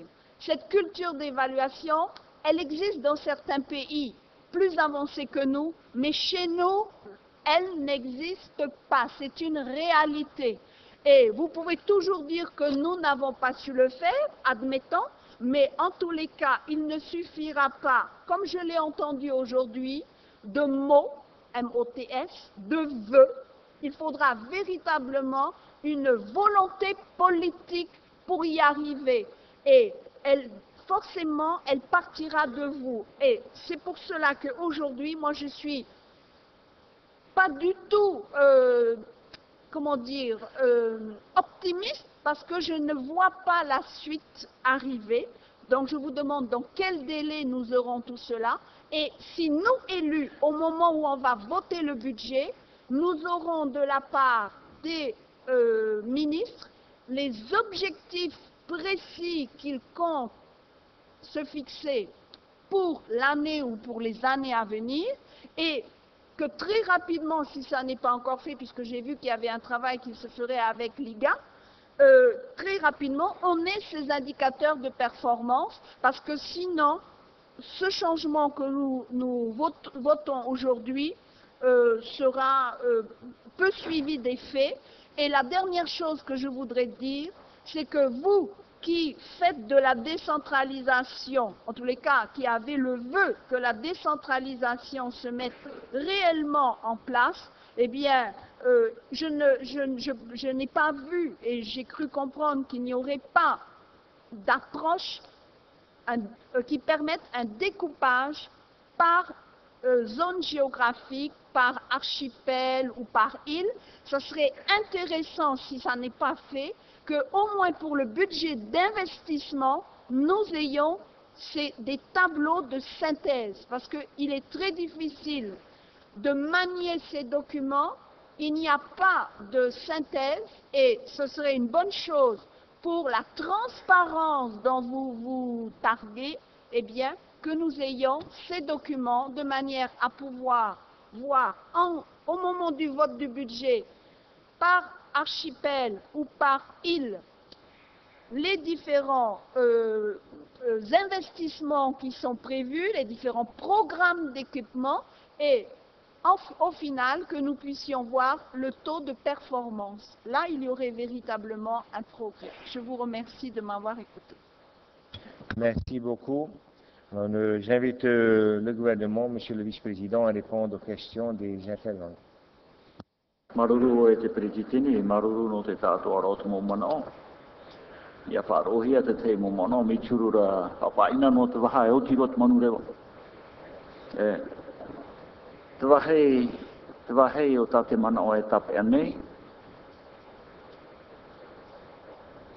I te mateiti ho e tau atini e iwahanere e, e iwahuru e mapae. I te piti e horu e matoru no te, no te awa e novema. O ma iti te aporar hei. Era te hea re te taho e rahui rakira. O ma iti o ia i te te ture no te huri te taat ora o te mana no te iene i hupata tātu i te mhana i rutu i trimot priti teri o te whaterera o te whenua. Tāpia mai te me o tui te mano. I te matahiti wa huru e mapa, wa huri o te tātoara o te mana, meiro tō mai te aporar hei, Tara ka auto e au anō rei te mhana, i rote tiri mō preti tini. E e hatu hupa, matahiti wa huru e mapa, e hatu hupa tā te whaterera o tō tātou whenua i te mhana i whiruri, whahau te e mana, ho e tuha roto i te apora ahau, e ere e ho e tāta, e te tuha arhei, whahaura tui tiri mō te apora hei. Te ie e rawe hi arei te mana. Te mare ne iau te ie mō paripari tā o tō, Wa te aturi e i te huru wha a e apu mai o tō, no te mea ua tua tito o tō mana. O tilda no tai whaaro e turu me o nei ta tātou tāpura. Maruru mai te e tilda. Ai tu he e pro o en ait me maramarama, me maramarama o te hepa. E ana tātou e arat ei noa i te tei whiruri a pāe putita i te mea tiroto o te pāe ira, ai te o tenen he whari. Te hupata mātou e rawere i te mhana i Brititini e whahu mei te ienei nei ai i rotu i tō o tō rima. A whea o te pato i te ie manao. A whea o te pato i te ie manao. I te mata moara, i roto no i te rima tō e tata, te piriti tere o te whatere rau tō tātou whenua. I te mhana, te tuho arhei, i roto i tō o tō rima, e te te tuho aiti, i roto i tiri rima te whatere rao te whenua. Kia tuai, i e wharahei propreo. Tō manao, whari ane o tō, e aurera aita. Te ani rao te whatere rā, whari, hari a tatu i te whahui rei te mana roto i tō tōrima. Te roa tu ia oe Edua Fish, te whahui atu nei roto i tō irima. Ia ia oe parau aita. Tēnei, oe te au. Ua horo tō o tō i te i nei whanhora, tā i i te ture. Wai shopa ia tātou i te ture, ia rawai tāna hupa. Te wahai tāu e man on on nei. Te ie ture tā o tui te mata hiki wahuru e mapai, ua piri rua i te piti hanere irawa. E te whanho api rā tātou i tā tātou uh, puta tei or a numera api. Ua rawe no tātou i te te irawa no te tau i aiana. Are ara o tō, ina aro o tō ia tau i wahuia te tātoa rao mo mo rawa e tapirira. No rira te pēhei i prau e i a tātou, e re no te whaahapara i o tō. Tua tapapa tātou i te e tauihi ara. I a tātou i tua tapapa te tātoa rao mo mo rawa. Tēnei ai tō o tō whari, wa horo o tui mua i tāwara. A ti aia, ki e pa i a tātou i te whaotira o tāwa. Whaotira a tāwa, tā tātou e whaatura. No te mhana, tēnei anō tātou i tēnei, a whari nei o tō, tu momero hei, A mai rutu i tō tōrima, te pūpuhi atu rutu i tiri maut periti tini e te taho e rahu i atira i te mate tiu auru e mawha. Me ohi e roa ia wheruri, e me ohi e roa ia pahono. Maruru Presidente, Yorana. Merci beaucoup. Alors nous passons à la délibération. Je demande, je demande à Madame le rapporteur de bien vouloir lire euh, euh, la délibération. Merci, Monsieur le Président. Article 1er, l'alinéa 3 de l'article 11 de la délibération numéro 95-205 AT du 23 novembre 1995, modifié, portant adoption de la réglementation budgétaire, comptable et financière de la Polynésie française et de ses établissements publics, est remplacé par ce qui suit. Il est présenté suivant la nomenclature des comptes adoptés par l'Assemblée de la Polynésie française. Cette nomenclature comprend neuf classes. La classe 9 correspond au chapitre, chaque chapitre équivalent à une mission qui groupe les opérations concourant euh, à la réalisation d'une politique publique définie. Les classes 1 à 8 correspondent aux articles, chaque article indiquant la nature d'une opération.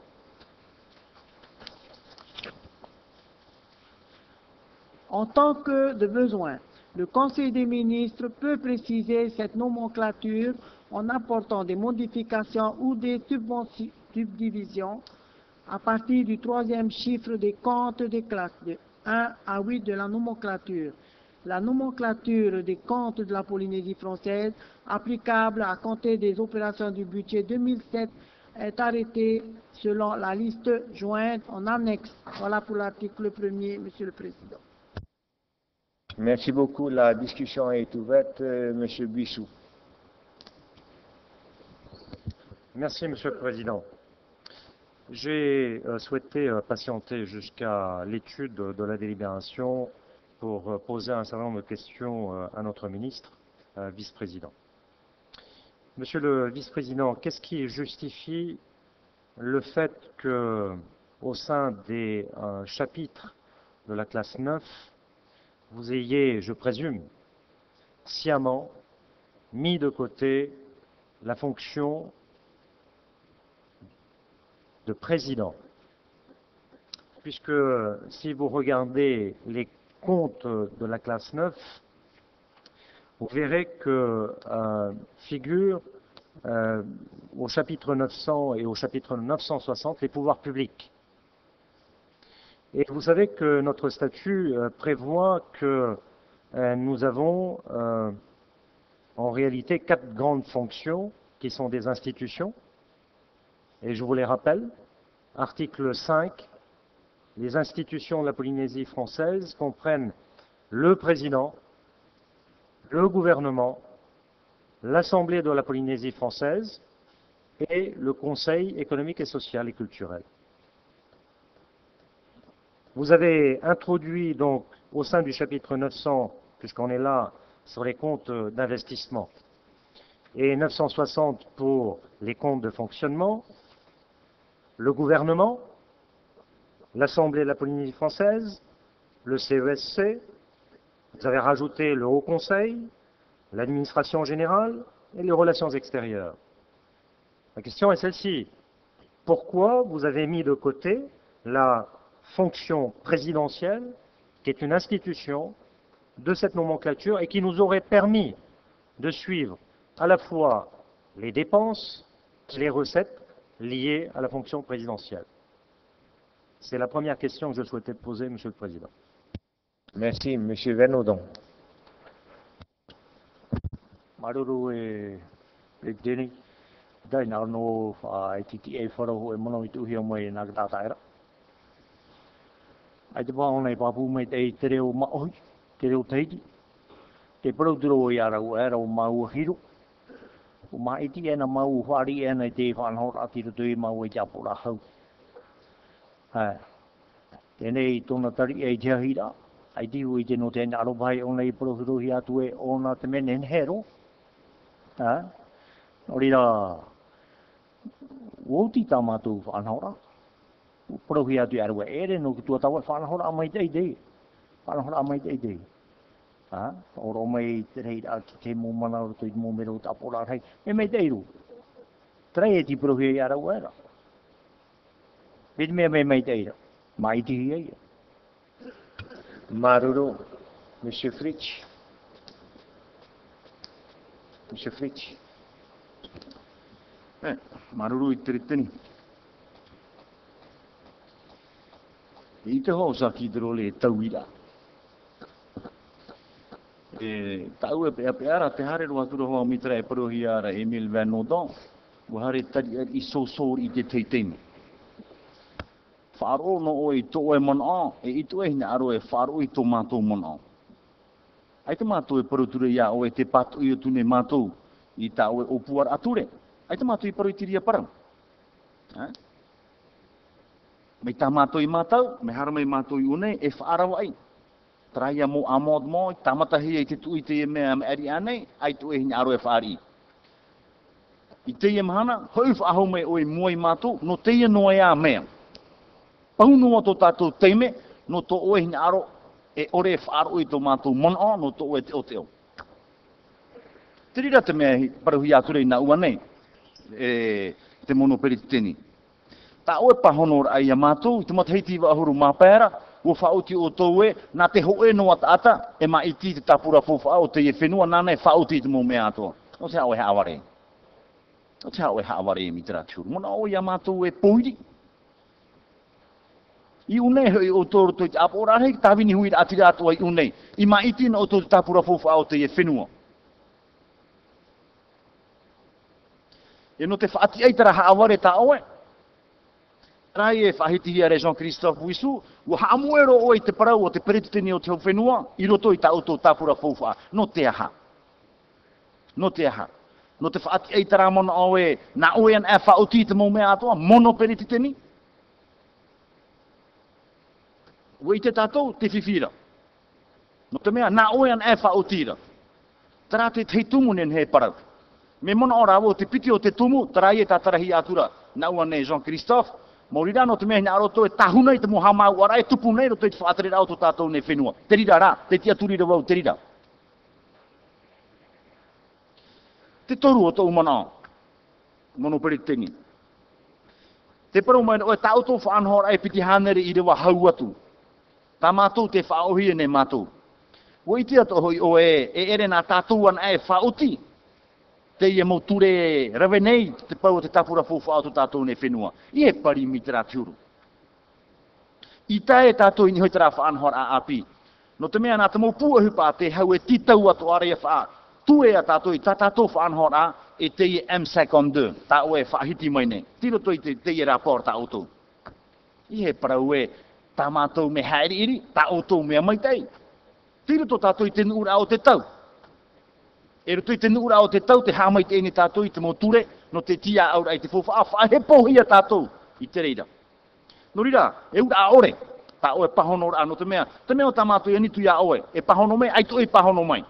Hapa ono oe, to oe ete eta ini hoi, to oe whiruri rā, tā oe arata i rā, e to oe mana. Ai te mātou e paro te pātou i atune mātou, tia turi mai oe, ere o tilda fuleran atra e paraura e nana e turu. Mātou paurua te hina aro tōne mātou ia wha apihia te mōrawa ea mai te tei no te tia aura ai te tāpura fufa. Tarara, āra tō i oto, mi te peo mitrano o tō i te pahono i tā mātou mōwira, e narira no o tō i te whaino i mātou, Ia ia te fofu amato harame e turu tau tomo tapuro hepo. Maruru. Madame. Voilà. Madame Esseron. Madame Esseron. Merci. Euh, monsieur le vice-président, je pense que vous comprenez le français et peut-être que vous avez oublié mes questions, donc je vais les reposer. hein. Je vous ai demandé euh, dans quel délai nous pourrions avoir les euh, connaissances de ces indicateurs de performance, dans quel délai ils seront présentés aux services et aux établissements publics utilisateurs, évidemment au ministre bien, avant, sachant, pour vous reprendre euh, au mot, dans le rapport, il est dit, et c'est le même rapport qui a été transmis du Conseil des ministres et consigné les deux rapporteurs, hein, donc c'est la même chose, il est temps d'afficher clairement et sans détour notre conception d'une action publique efficace et de qualité. La majorité gouvernementale s'est engagée à promou- à promouvoir une nouvelle forme de gouvernance en se fondant sur la transparence de l'action des pouvoirs publics. Eh bien ça, ça s'appelle du blabla s'il n'y a pas ce que je vous demande. Donc quand est-ce que nous aurons des objectifs politiques par mission précis et d'autre part, quand est-ce que ces indicateurs de performance pourront être euh, rendus publics?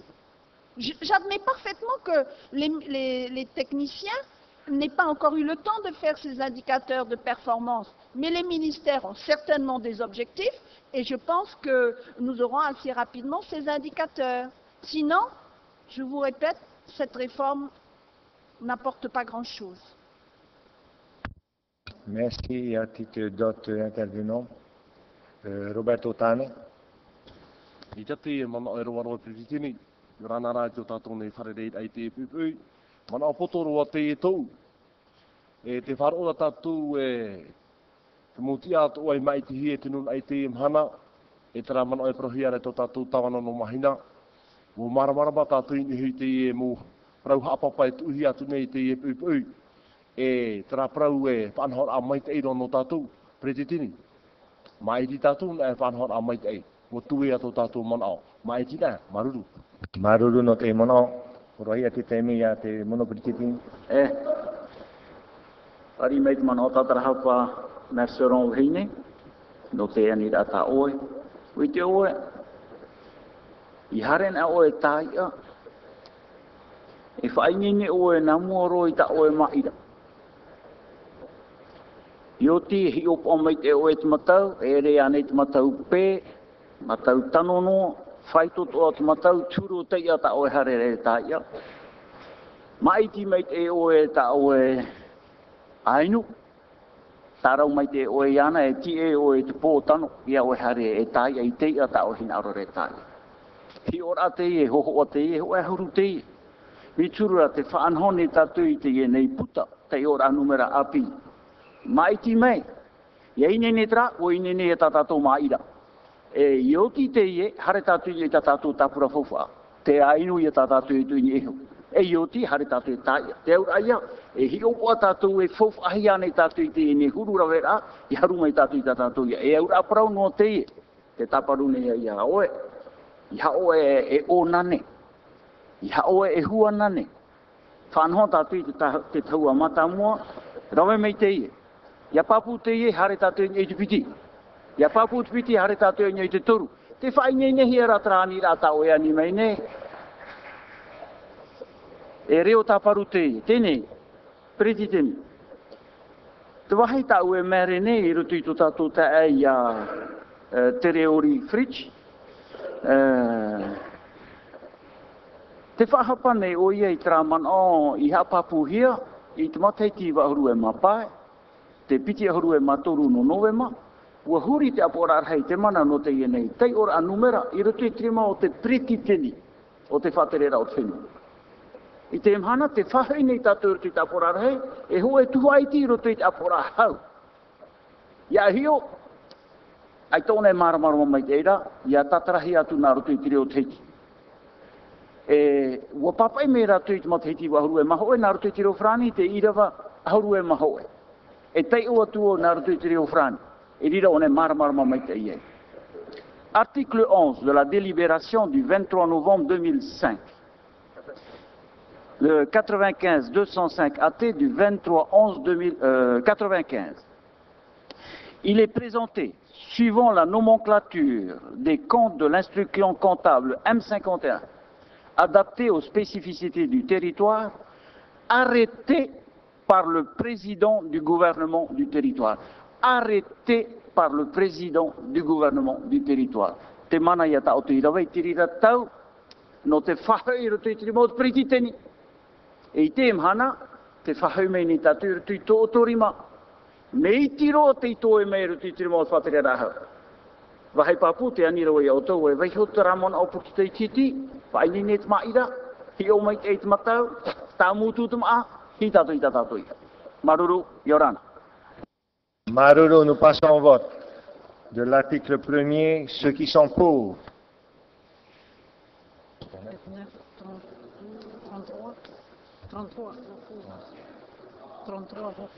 33 pour. On se fout de notre gueule ici, on ne peut pas voter pour. Ceux qui sont contre.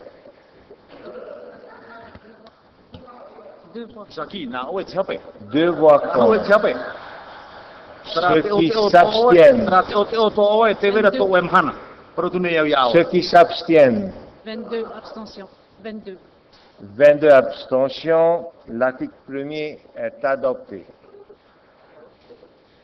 Je demande au rapporteur de lire l'article 2, s'il vous plaît. Article 2, le premier alinéa de l'article 12 de la délibération numéro 95-205 AT du 23 novembre 1995 modifié portant adoption de la réglementation budgétaire, comptable et financière de la Polynésie française et de ses établissements publics est modifié comme suit. Les crédits sont spécialisés par chapitre, puis divisés en sous-cha- sous-chapitres et articles. Voilà l'article 2. Merci. Monsieur Bissou.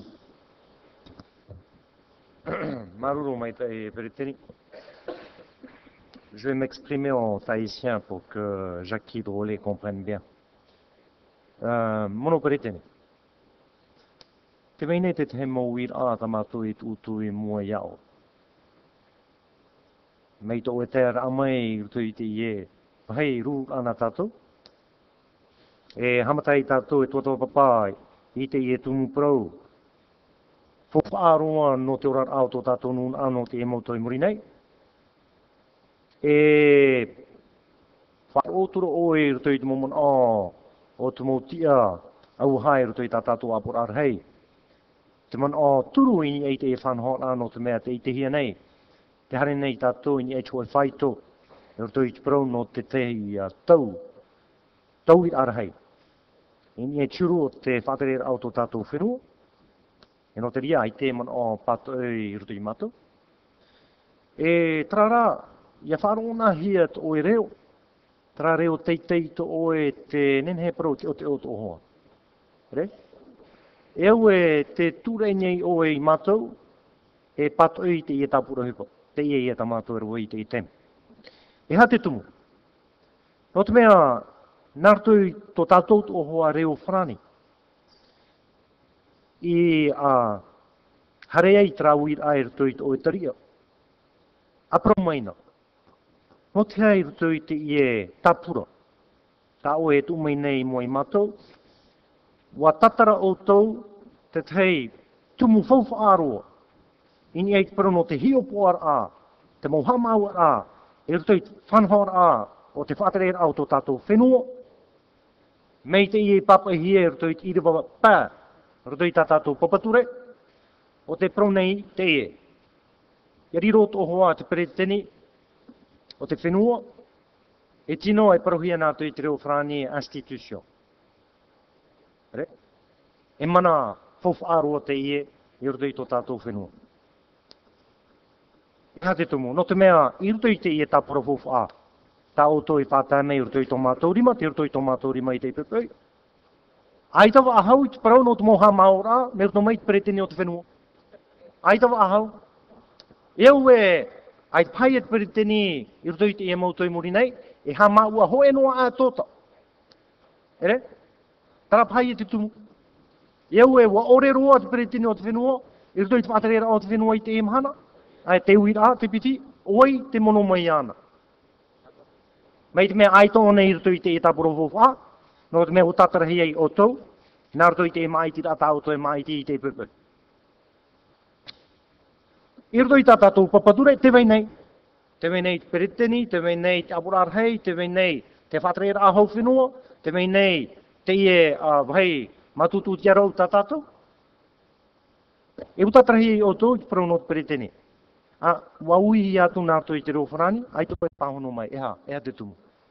E re te ie uira ai uira afo Ai tato tātou nun ai nen he whār o tau tō tātarar ai ni te i tumu parau. Tito o e mātou i hare rua tātou i te i e whaito. I roto i tātou tua tō papara a, iria o e pahono mai ai. E tara pahono rā tā o e horo mai. Iha, nā roto i mona o iria. O te ria, ai tō e tā mai te nei e tā auto ar te a, tiuru tō tō whiruri a. O tu puta tātou tāpura hipa nā roto i tau. hau. Wauhi atu nā roto i te ai tō e tiara. Tara, i roto i ta oe mō pahono rā, e oe te whawhawha ore nei o i mātou, i nei tō mātou te ara, mai te hie te nura. Tara te tei tumu mātou e whai ki tō hoa e a oe, mai te mea nari anō tātou, e pātou i rua tāru atu i chopea. Re, tāru atu i chopea, mai te mea te e hoa tā auto hina anō nei. Mai te mea aita, a pahono mai e i tamātou i rā. Tara pereteni, maruru mai. Iriti, Yorana i maruru pretini, munu pretini yorana. Tatou te moti au apor are yorana, tatou pa atoa yorana. Munu pretini. Maruru me teno te hu o ta o hur o mei trai hu tamato hin arora. Te hu o atarava ai. Tena ora to ere oe, atarava ai, tana fa, e ru au mai te ia. E te mumu i a, trai te maira, te matau, e te ma. O ta armel mersoro e ia nia tu ia oe, ia nia tu ia oe. E ha te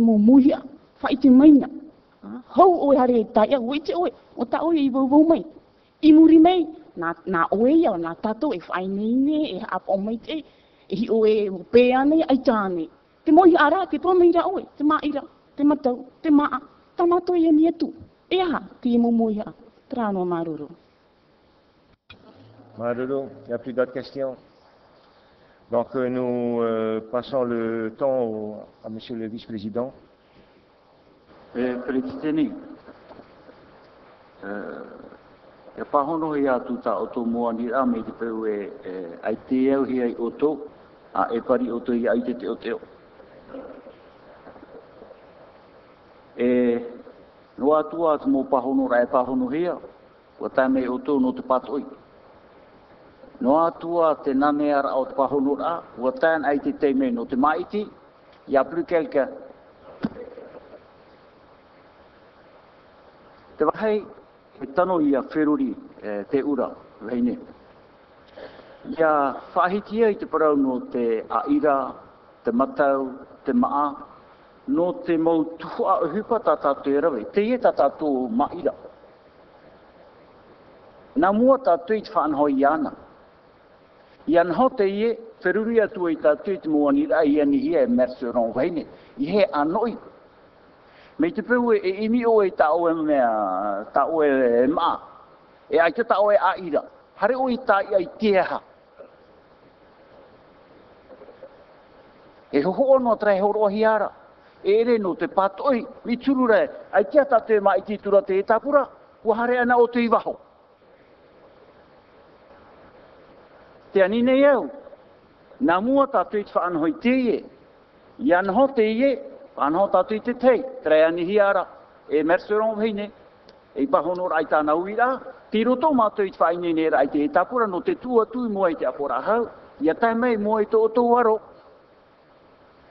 Te wahi papura o tā mātou i naro nei, e ere te i reo teo reo teo teo, nā mua i te mai ti teie, pa i te mei tō tō mana o patoi, tō tō mana o whaari, e te pērhei, tata tū e uraro, a te ani mei nei, o bui sutane i te parau no te perititeni.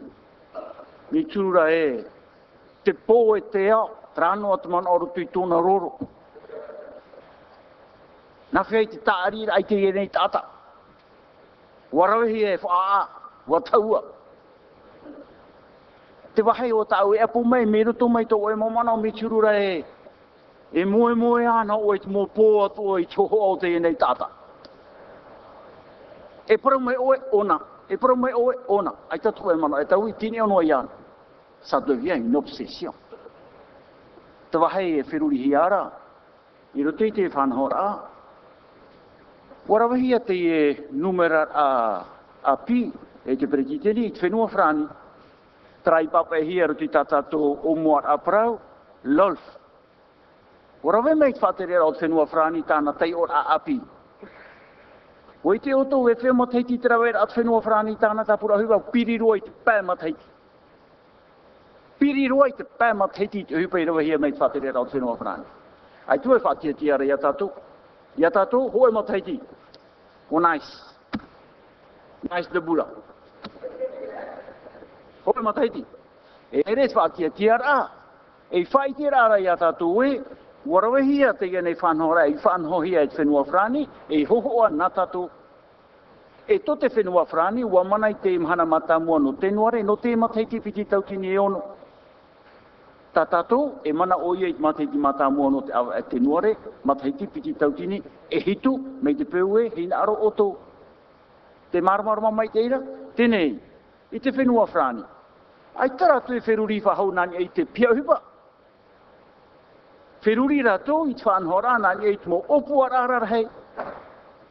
E te e tapura te ora anumara api tā tātou, te hare tō ane tātou nā e te mo opu ararar hei. E pahono ai ai te uira ai a mui sutane, te nia tātou i te mo opu ararar hei, ai te tu atira ai ai te papature tāne te ora.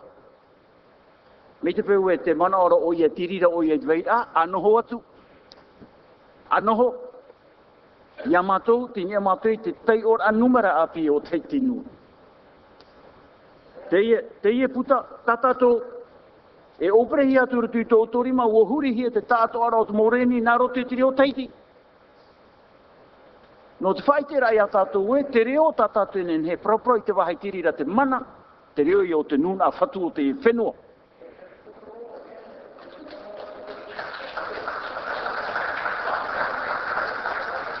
Maruru, el président.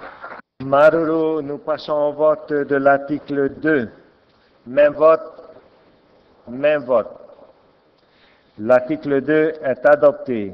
Je demande au rapporteur de lire l'article 3. Article 3. L'article 159 de la délibération 95-205, acté du 23 novembre 1995, modifié, portant adoption de la réglementation budgétaire, comptable et financière de la Polynésie française et de ses établissements publics est modifié comme suit. La comptabilité des opérations est effectuée, la comptabilisation des opérations est effectuée dans le respect des dispositions de la présente délibération et conformément aux règles de fonctionnement des comptes du plan comptable général et de l'instruction M52 adaptée à la Polynésie française par arrêté pris au Conseil des ministres. Voilà pour l'article 3. Merci, Madame le rapporteur. Monsieur Bissou. Merci, Monsieur le Président.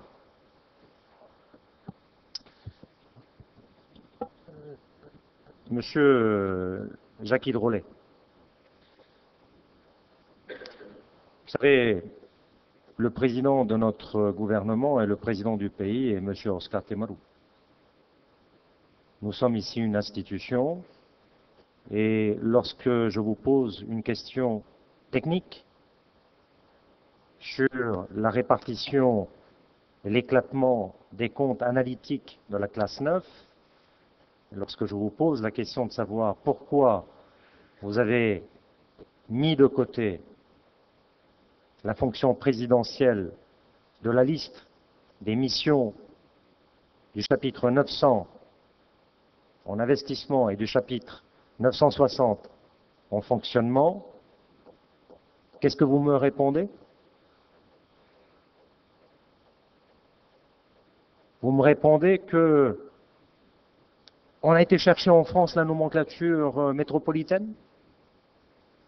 C'est la, nomenclature métropolitaine que nous avons ici. Dans le budget du gouvernement, euh, ils ont ouvert des comptes de la classe 9 de la même manière que vous. Ils ont un haut conseil en métropole.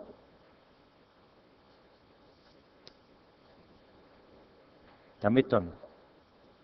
Euh, monsieur le vice-président ministre euh, des Finances, c'est parce que vous êtes gêné sur la réponse que vous nous devez finalement On vous pose une question simple. Pourquoi la fonction présidentielle a été, qui est une institution, au même titre que le gouvernement, au même titre que l'Assemblée, au même titre que le CESC, e a été gommée de la liste?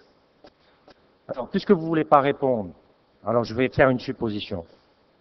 C'est parce que vous ne voulez pas jouer la transparence sur les fonds publics gérés par le président.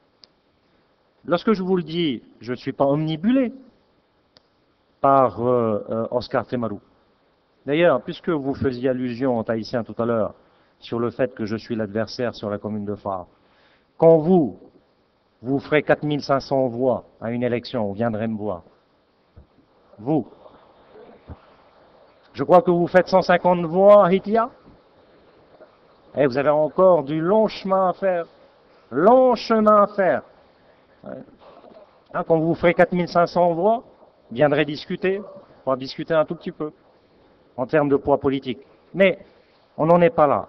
On le verra par la suite. Hein. Mais je reviens sur la question. Je vous repose la même question. Répondez.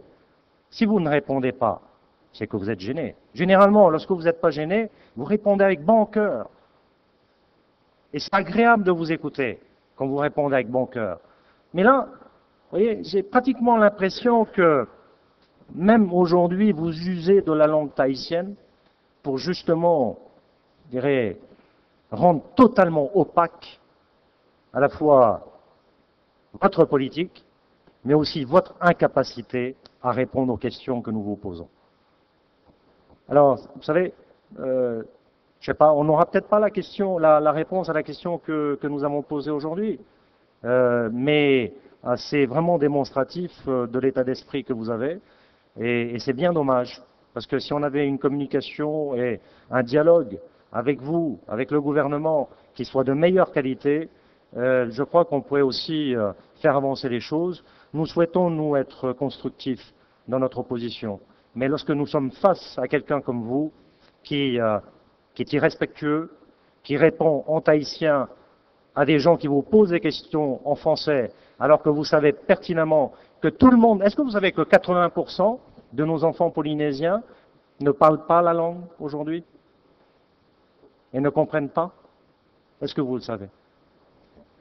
Lorsque vous parlez là, vous parlez à 20% des Polynésiens et vous croyez que par votre attitude, vous allez y arriver? Monsieur Bissou, alors, s'il vous plaît. Oui, mais on aimerait bien qu'on réponde. Alors, je, je, repose la question. Voilà. Et s'il peut nous répondre à cette question en français, et puis en nous respectant, si possible. Monsieur Noah.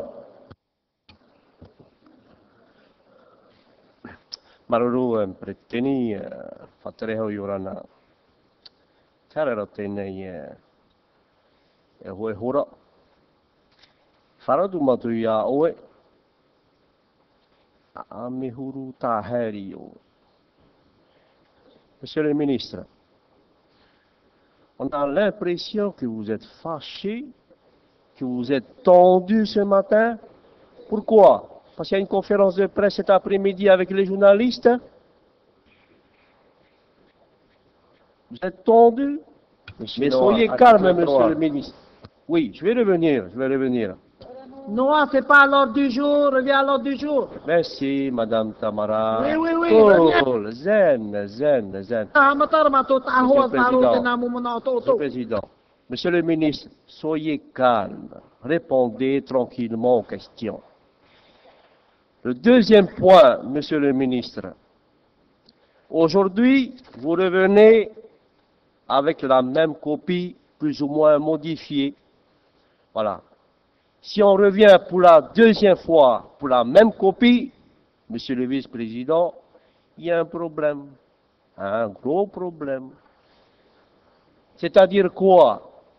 C'est-à-dire que la première copie, en tahitien, vous avez dit tout à l'heure, la canne à pêche en tahitien,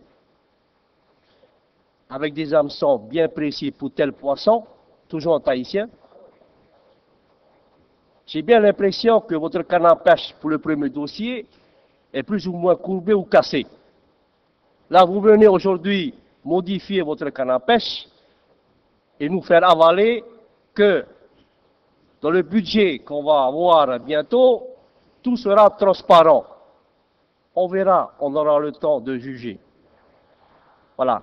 Mais votre canne à pêche que vous venez aujourd'hui avec les hameçons bien précis, il faut annoncer ça à la population, que vous allez taxer plus de 4 milliards à la population l'année prochaine, 4 milliards, plus les emprunts de 23 milliards. Jamais on a pu avoir un tel niveau. Voilà, vous plaît. Voilà, voilà votre, euh, vos hameçons. Monsieur le vice-président, il faut annoncer à la population que vous serez taxé l'année prochaine. Voilà. Voilà votre appât, Eh, votre hameçon eh, et votre canne à pêche. Maruru, on aura le temps de discuter d'ici peu.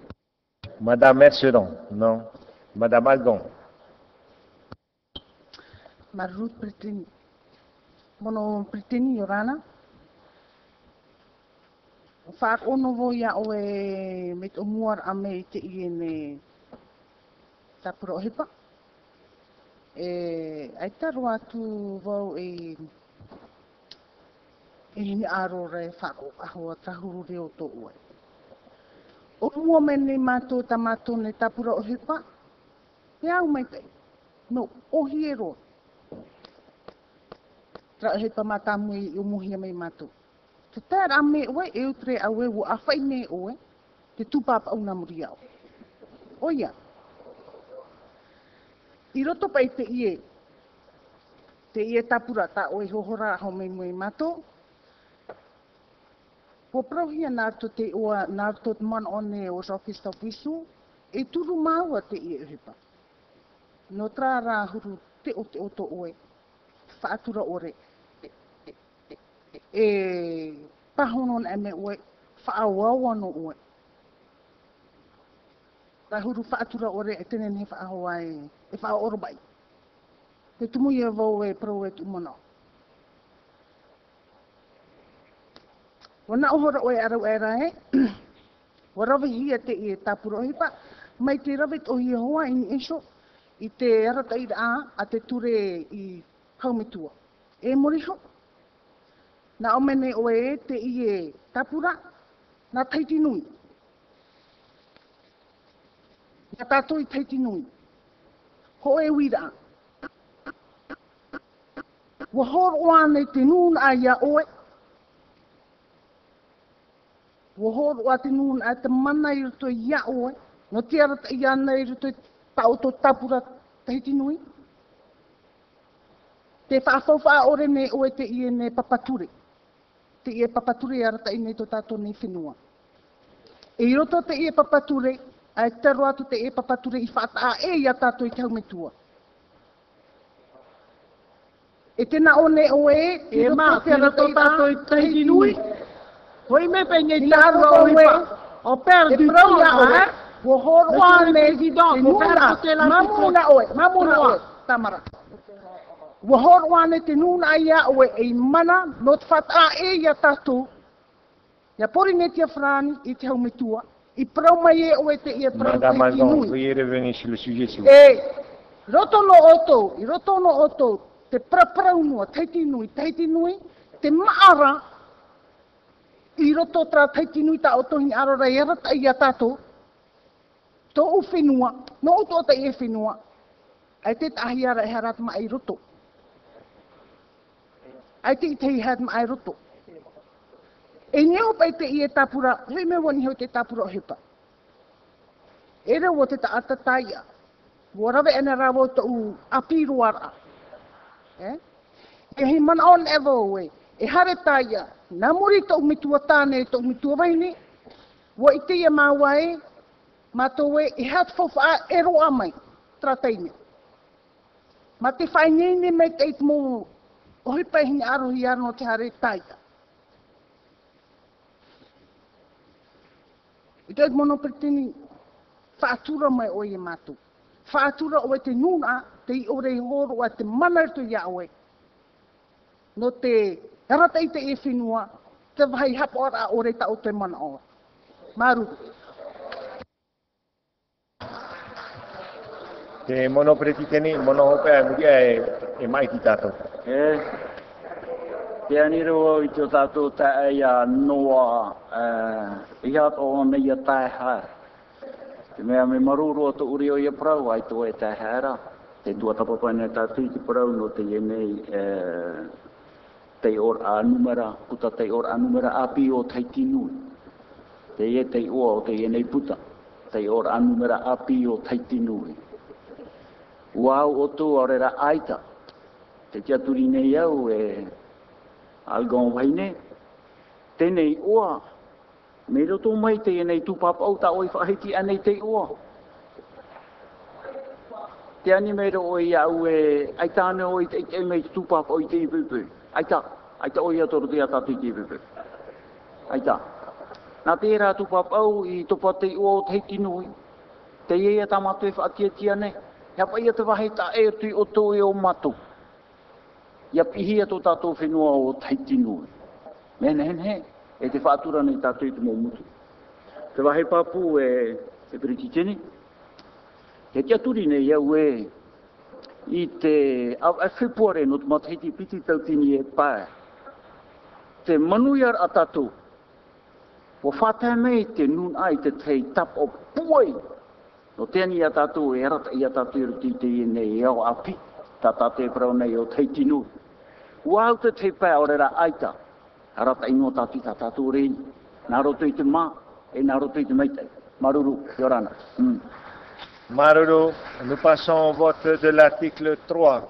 Même vote. Même vote. Merci. Madame le rapporteur. Article 4. Le président de la Polynésie française est chargé de l'exécution de la présente délibération qui sera publiée au journal officiel de la Polynésie française. Rapport Mais- article 4. Merci, Madame le rapporteur. Madame Iriti. Merci, Monsieur le Président. Vous m'avez oublié avant de passer la parole au, au vice-président. Monopretitani. Monopretitani te ura te ie. Io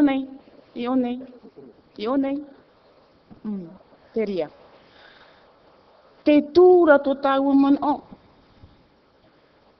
Te tūra tō tāua man o, in, a- in ei o ta ihuru atu. In ha i e. Rawe raunu atu mau o a. Ia rawe oe oe opuar a. Whiruri hoa oe, nā hea oe, ia ahare, ia manuia, te ie o a. O tā o tau te aturi rae, ua whiruri mai oe. Te ie mhana here mei ei oe, mo te wha ohi pai. Traia, ma ira ta e paraura te ie i ma ira, anan he tu, matau, tratu e maa. Ta ura ia ni atu, i roto pe tera whiruri ato o tau. Hau tu me i te mhana i mui mātou. Wa whiruru me o tau e e aha ka momoi a. Ni nea nei tā mātou e ite. Mātou e e ere roto i te hua hua au te parau. Wa whiruri me ra o tau. Nā roto te man o e e manuia te tau tei.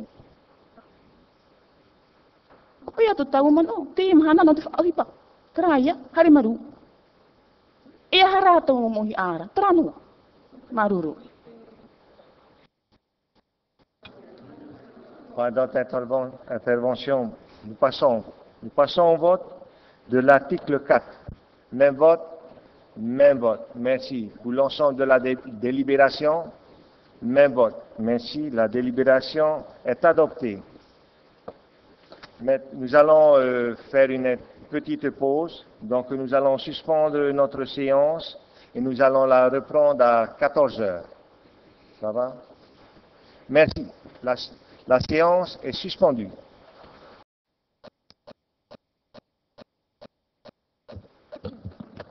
Bien, nous allons reprendre. J'espère que vous avez bien mangé et que vous avez, euh, vous êtes calmés parce que ce matin c'était assez houleux. Alors, nous allons commencer par euh, la délibération numéro 118-2006 portant modification de la délibération numéro 95-205 AT du 23 novembre 1995 portant adoption de la réglementation budgétaire, comptable et financière de la Polynésie française et de ses établissements publics, instauration d'un dividende concernant les EPIC. Les rapporteurs sont M. Carlson et Ruben Télémoté. Je demande donc euh, au premier rapporteur, M. Jean-Michel Carlson, de faire la lecture de la de- du rapport. Te pretiteni, te monopretiteni, te mohoa yorana. Vous êtes saisi d'un projet de délibération portant modification à la réglementation budgétaire et comptable de la Polynésie française. Modification qui introduit en droit polynésien une réforme déjà opérée au niveau national, à savoir la possibilité pour le pays de prélever un dividende sur les résultats excédentaires des EPIC, établissements publics à caractère industriel et commercial. Je vous propose de vous référer à mon rapport écrit pour apprécier l'économie de cette réforme qui, être vraiment épique, va dans le sens d'une gestion rationnelle, des deniers publics. Je vous proposerai, donc de l'approuver. J'ajouterai à titre comment- commentaire que pour apprécier pleinement le bien fondé de ce texte, il nous faut dégager de la vision un peu trop comptable, je dirais même sans que je n'ai dans mon esprit un sens péjoratif, un peu épicière, qui avait cours jusqu'ici lorsqu'il s'agissait d'apprécier la gestion des établissements autonomes de la Polynésie française. Vous pourrez en effet noter que dans les différents rapports qui nous sont présentés s'agissant de l'approbation des comptes des établissements, ceux-ci sont tout heureux lorsqu'ils annoncent que leur fonds de roulement a augmenté. Or, ce n'est pas forcément un critère de bonne gestion. Cela veut ainsi parfois dire que l'établissement en question n'a pas effectué les missions qui lui étaient dévolues. Cela veut parfois aussi dire que les dotations de la puissance publique, quelles qu'elles soient, sous forme de taxes affectées ou de subventions, ont été trop importantes. Cela peut vouloir également dire qu'un établissement fixe des prix de ses prestations publiques à un niveau trop élevé. En tout état de cause, l'existence d'excédents qui ne sont pas réinvestis dans les missions d'intérêt général n'est pas justifiable. Il est donc normal que la puissance publique exerce alors un droit de retour pour le bien commun afin que ces excédents ne soient pas stérilisés. J'ajouterai d'ailleurs, à titre personnel, que le même rais- raisonnement est valable, peut-être encore plus, s'agissant des personnes privées qui reçoivent des fonds publics. Je vous remercie. Merci, monsieur le rapporteur. Euh, nous allons passer à la discussion générale, à moins que monsieur le ministre a- veut faire une petite intervention. Bien, nous allons passer à la discussion générale. Alors, je vous rappelle que pour ce, ce projet de loi, cette délibération, euh, nous avons réservé 60 minutes pour la discussion générale répartie de la façon suivante. UPLD 24 minutes, Tahwera Huiratra 18 minutes et les non-inscrits 18 minutes, dans 3 minutes chacun. Voilà, alors je demande donc euh, au premier intervenant du groupe UPLD de prendre la parole. Alors, euh, pour le premier intervenant du groupe UPLD, c'est euh, M. Ruben Trématé. Monsieur Ruben Télématé, vous avez la parole. Marou, Madame la Présidente, la loi 2001-1276 du 29 décembre 2001, en son article 79, modifié par la loi 2003-1312 du 30 décembre 2003, stipule dans ses quatre alinéas Premièrement, l'État peut percevoir un dividende sur les résultats des établissements publics placés sous sa tutelle. Deuxièmement, le dividende est prélevé par priorité sur le bénéfice distribuable de l'exercice au sens de l'article L232-11 du Code de commerce. Il peut être prélevé sur les réserves disponibles. Les dotations au capital reçues par les, établissements publics ne donnent pas lieu à rémunération. Dans 3, après examen de la situation financière de l'établissement public et constatation de l'existence de sommes distribuables sur le rapport du conseil de l'administration, du conseil de surveillance ou de l'organe délibérant, le ministre chargé de l'économie détermine par arrêté le montant du dividende versé à l'État. Quatrièmement, les comptes annuels de l'établissement public qui verse un dividende comportent une annexe financière détaillée relative à la politique de distribution de dividendes par l'établissement. Cette loi, applicable depuis quelques années sur le plan national, se concrétise aujourd'hui à travers cette proposition d'Itaoui. C'est de cette véritable avancée dont je me ferai l'instrument pour vous convaincre et que je l'espère recueillera votre adhésion. Bien sûr, les chauvins se démarqueront de ce projet en invoquant leur droit de garant de la légalité et leur devoir protectionniste envers la collectivité. D'autre part, ce chauvinisme exacerbé tendant à incriminer le gestionnaire du pays de cette opportunité à régenter et débiter les réserves de ces, établissements relève d'un schéma d'intox dangereux, car ce raccourci, à la limite de la décence, est exploité démesurément, ce qui, à mon sens, équivaut à des propos tendancieux caricaturant l'exécutif et le législatif national à des mafieux notoires depuis l'application de cette loi en fin 2001. Ne vous en offusquez point, chers collègues de l'opposition. Le gouvernement, comme le groupe UPLD, n'a inventé ni la méthode ni la forme dont vous nous accablez. Nous avons naturellement et scrupuleusement reproduit la formule issue du sommet de la hiérarchie nationale. Cette approche communément désignée par les accros du clavier et du copier-coller vous invite à plus de modération et de sagesse dans vos propos.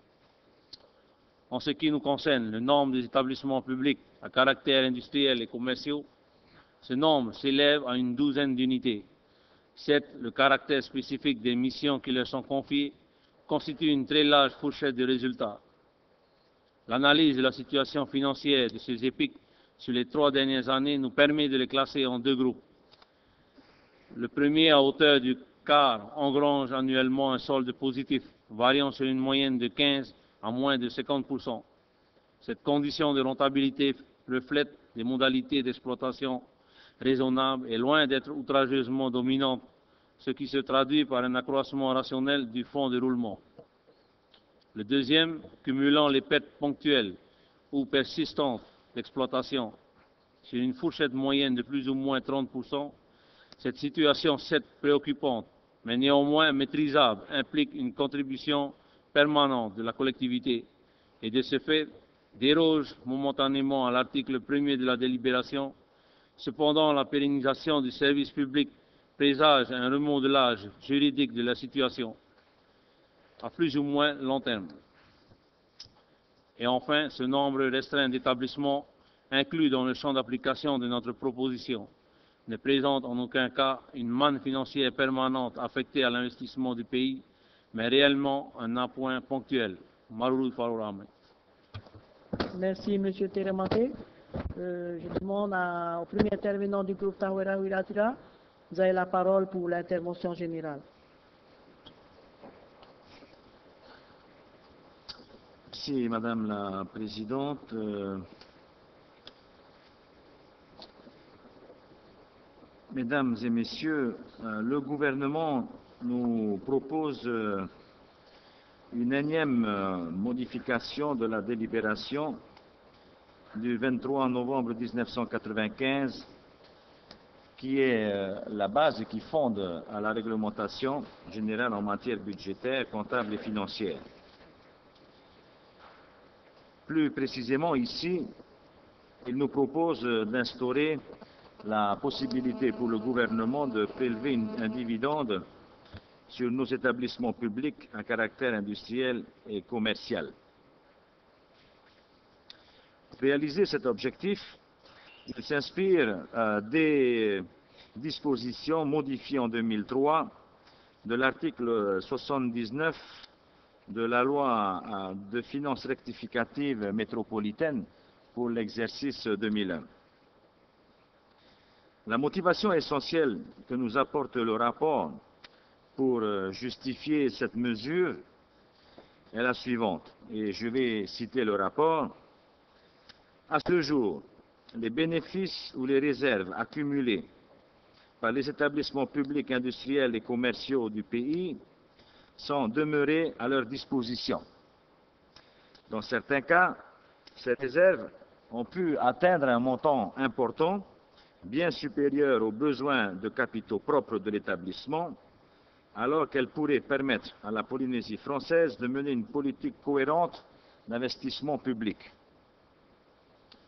À ce stade, mesdames et messieurs, chers collègues, vous voudrez bien conserver à l'esprit ces derniers mots, une politique cohérente d'investissement public, car ils auront de l'importance pour la compréhension de la suite de mon propos.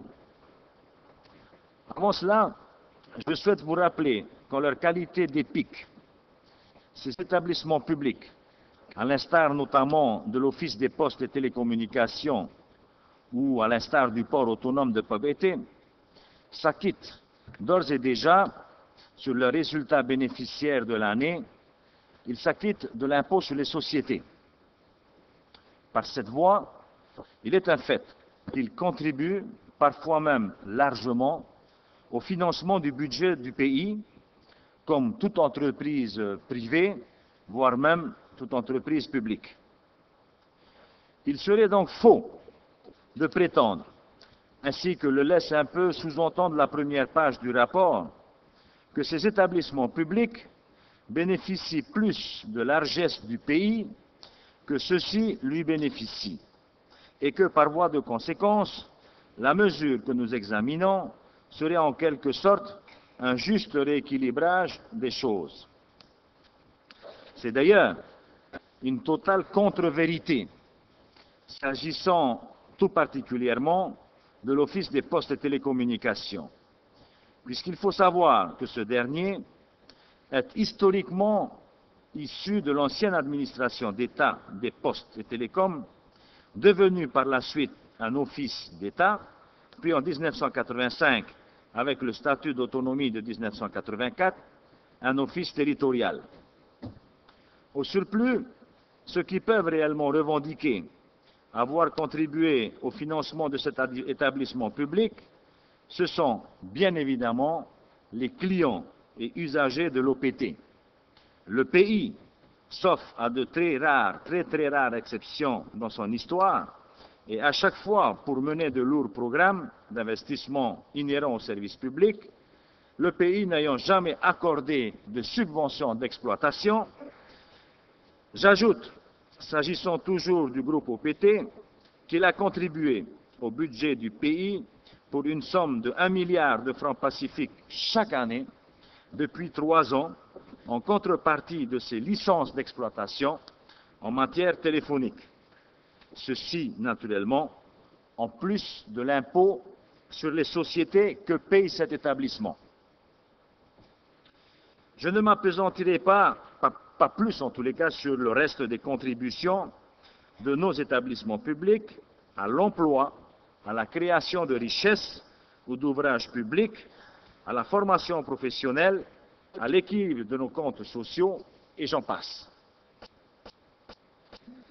La question intéressante à se poser, mes chers collègues, est en réalité celle qui vise à savoir comment il se fait que depuis que le Taoui est au pouvoir, certains établissements publics sont amenés à dégager autant de marges bénéficiaires et à thésauriser, voire à faire du placement de fonds et à récolter des produits financiers importants. C'est notamment le cas de l'établissement public des grands travaux qui, en 2005, a placé plus de 6,2 milliards de francs pacifiques et perçu pour plus de 85 millions de francs pacifiques d'intérêts. Avec l'étude hier des comptes financiers pour l'exercice 2005 de cet établissement, de l'établissement public des grands travaux, ou encore du Fonds du développement des archipels, la réponse à ma question apparaît d'une grande simplicité et d'une parfaite limpidité. Vous êtes totalement incompétent et incapable de gérer ces établissements publics pour qu'ils consomment dans de bons programmes pour la population et notre économie, et nous en avons parlé hier. Donc ils sont totalement incapables de consommer les fonds qui leur sont alloués chaque année ou qu'ils récoltent au travers de leur activité. De surcroît, si demain, vous venez à retirer ces fonds de nos établissements publics, alors, pour du coup, ils se montreront totalement incapables d'être utiles à notre population et à notre économie, car ils n'auront plus les moyens suffisants pour investir. Le paradoxe, c'est qu'alors ils seront tentés de demander, au budget local de leur restituer les fonds que vous leur aurez volés, euh, ponctionnés, pardon, les rendant plus dépendants que jamais du budget local. Là où il y a peu, ils ne lui demandaient rien, ce qui, de surcroît, est un peu le sens propre d'un établissement public autonome à caractère industriel et commercial. Mes chers collègues, à notre sens, en tous les cas, nous devons tout faire pour sauvegarder les capacités d'investissement de nos établissements publics. Pourquoi? Car ils contribuent à la réalisation de la mission de développement qui incombe plus globalement au pays. Or, les risques que je dénonce fortement d'un pillage en pure perte de leurs réserves les plus utiles à construire notre futur ne sont en aucune façon théoriques. Ainsi, nous savons, au moins en parole, l'attachement de votre président d'engager l'OPT dans un programme de construction d'un câble téléphonique sous-marin pour accroître, fiabiliser et diminuer le coût de nos liaisons avec l'extérieur. Tous ici, nous savons le coût très élevé de ce projet et la nécessité corrélative pour l'OPT de mobiliser une part importante de ses réserves. Avec votre projet de ponctionner ces dernières, c'est à l'évidence la ruine définitive de ce projet, et ce pour une longue durée. Ceci doit être évité et il nous faut protéger nos établissements par rapport à ces dérives. Il demeure qu'en procédant comme vous l'avez envisagé, après avoir mis à sec en 2006 les réserves de notre pays et accru sensiblement notre endettement, vous passez donc en 2007 à la deuxième phase de l'anéantissement de nos finances publiques, celle visant à l'épuisement des capacités financières de nos établissements publics au seul profit de l'équilibre de la section de fonctionnement du budget du pays. Et c'est là, mes chers collègues, que je vous demande de noter le mensonge caractérisé des intentions du gouvernement. En vous remémorant la phrase du rapport selon laquelle toute cette manœuvre ne viserait qu'une seule chose louable, à savoir, et là je cite, permettre à la Polynésie française de mener une politique cohérente d'investissement public. Or, rien dans le texte du projet de délibération ne nous garantit que les fonds prélevés sur les bénéfices et les réserves de nos épiques viendront bien financer la section d'investissement du pays. Je vous rappelle la fameuse phrase permettre à la Polynésie française de mener une politique cohérente d'investissement public. Au contraire, toutes les indiscrétions qui nous sont venues aux oreilles accréditent l'idée que ces fonds sont destinés à couvrir une partie des dépenses de fonctionnement, la section d'investissement étant-elle équilibrée par un nouveau recours massif à l'endettement puisqu'il est près de 24 milliards de francs pacifiques Ce n'est un secret pour tout le monde au moment où je vous parle. Tout ceci caractérise bien la fuite en avant dans laquelle vous avez consciemment décidé de lancer le pays, avec à la clé l'épuisement total de toutes nos capacités financières, donc notre faillite potentielle. En trois années, vous aurez réduit à néant non seulement les réserves du budget du pays, mais aussi celles de ses démembrements. Et nous arriverons ainsi bientôt au paradoxe que nous emploierons des fonctionnaires incapables de travailler à construire la Polynésie des futures générations. J'ose dire qu'une telle attitude est irresponsable et même criminelle à certains égards, car c'est toute la Polynésie française que vous engagerez dans ce fâcheux processus. Votre approche ne présente certainement pas la vertu de nos actions passées, que nous revendiquons fièrement, d'avoir cédé au privé toute ou partie de nos parts dans les sociétés, et non, et non des établissements publics, qui, en raison même du cadre concurrentiel dans lequel elles évoluaient ou évoluent toujours, devaient être privatisées et gérées selon les principes de l'efficacité et du rendement. D'autant que, souvenez-vous, nous sortions de la gestion calamiteuse de l'époque Léontief, à laquelle d'ailleurs, M. Drolet, vous participiez. Il était alors nécessaire que nous retrouvions des ressources pour faire face aux déficits et aux impasses que vous nous aviez laissés. Or, quels étaient les déficits que nous vous avions laissés en 2004 Quels étaient ces déficits que nous vous avions laissés? Au contraire, nous vous avons laissé les caisses du pays pleines avant que vous ne les épuisiez en à peine deux ans. Aujourd'hui, ce sont les caisses pleines de nos épiques que vous cherchez à tarir. Qui aujourd'hui se plaint du fantastique développement que connaît sous l'égide de la brasserie de Tahiti la Société des jus de fruits de Montréal? Qui se plaint aujourd'hui des perspectives de développement et du caractère bénéficiaire de la SDAP par leurs actionnaires, ni leurs employés que je le sache, que je sache. Qui enfin parmi le personnel actionnaire de la SNA Touhapin ou les privés, les personnes privées actionnaires ou le ministre des Finances se plaint que cette société ne bénéficie plus de subventions d'équilibre depuis sa privatisation et sa remise en ordre. Personne.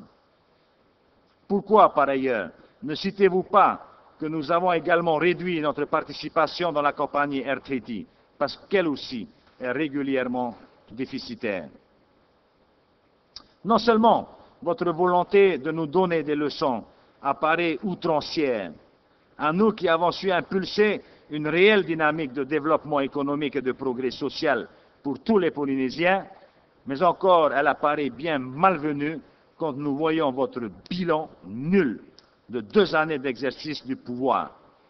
Toutes les sociétés que j'ai citées rendent encore des services, vendent des produits, assurent de l'emploi et de la valeur ajoutée locale, acquittent des cotisations sociales et des impôts, bref, font vivre la machine économique et sont la fierté de leur personnel, de leurs actionnaires et de leurs dirigeants. Les critiquer, c'est atteindre leur honorabilité et leur action quotidienne. Ce n'est pas les encourager à susciter la confiance en eux, la confiance en vous ou la confiance en nous. Non, décidément, votre malfaisance nous condamne à rejeter en l'état vos propositions. Merci. Merci, Monsieur Fritsch. Je demande au premier intervenant du groupe non inscrit des non inscrits de prendre la parole. Monsieur Verondon.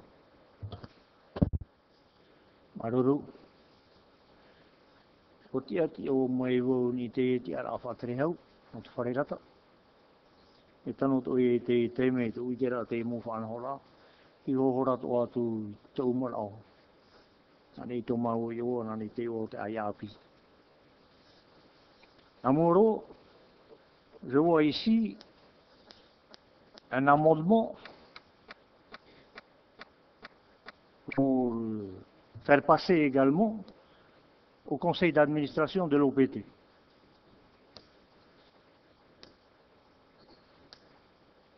On décide avant et on demande l'avis après du conseil d'administration de tout ce qui a été inscrit dans le budget.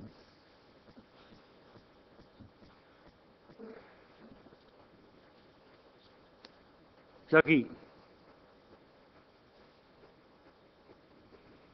tu nous as annoncé des ressources originales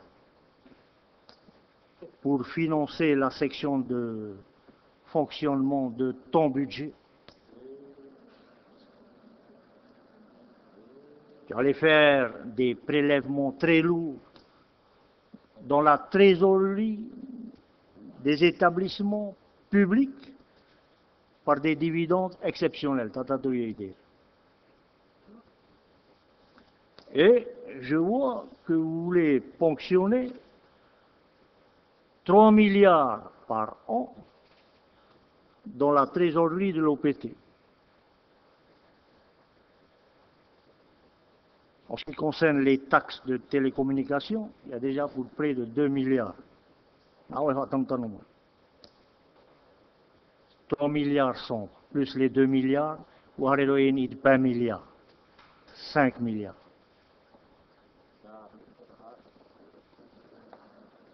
Or, en l'état des choses actuelles, l'OPT n'est rentable que grâce aux revenus des placements de cette trésorerie. De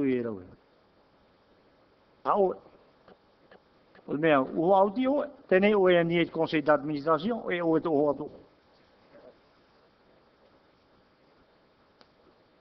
En plus, l'OPT a besoin de ces capitaux, notamment pour réaliser le câble sous-marin. Travail câble.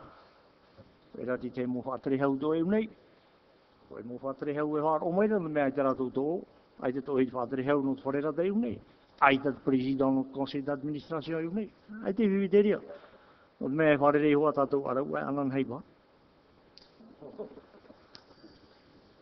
Le câble tūru pau tūtuhi a mai. Bau, te tūra i tera tāpura hui poroto no te area ho hanere man. Quand j'ai fait mon bilan, lorsque j'étais ministre, pour les 100 jours. Va le cap va l'appel d'offres De manan amai au Alcatel. Et il paraît, ah oui, parce que, était française, hier. Ah, cette modernisation là du plan comptable est copiée de France.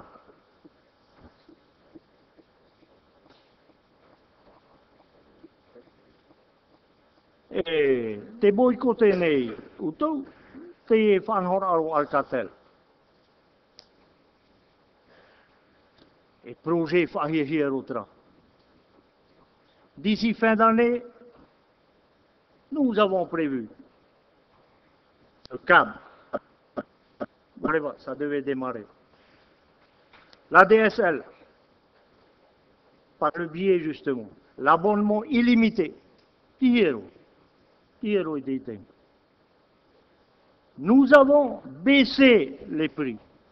Et là, Teinaroro est taxé un numéro qui va rapporter d'où l'OPT doit payer encore 2 milliards.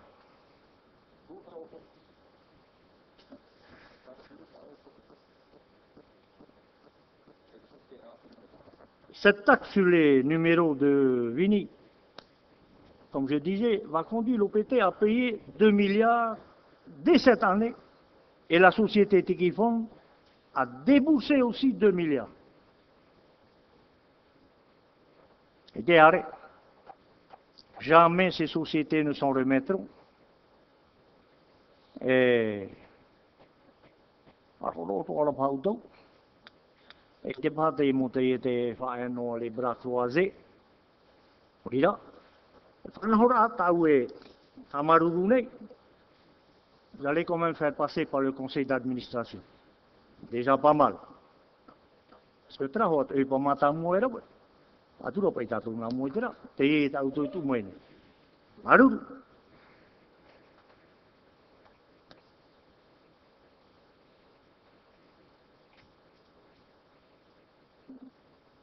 Te pro roe, tout va bien.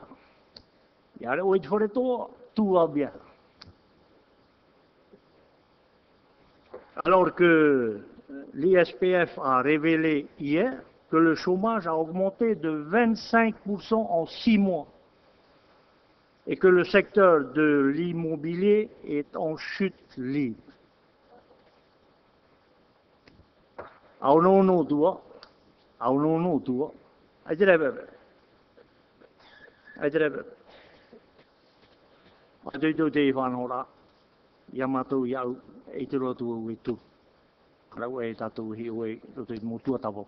Trabridin, Marut.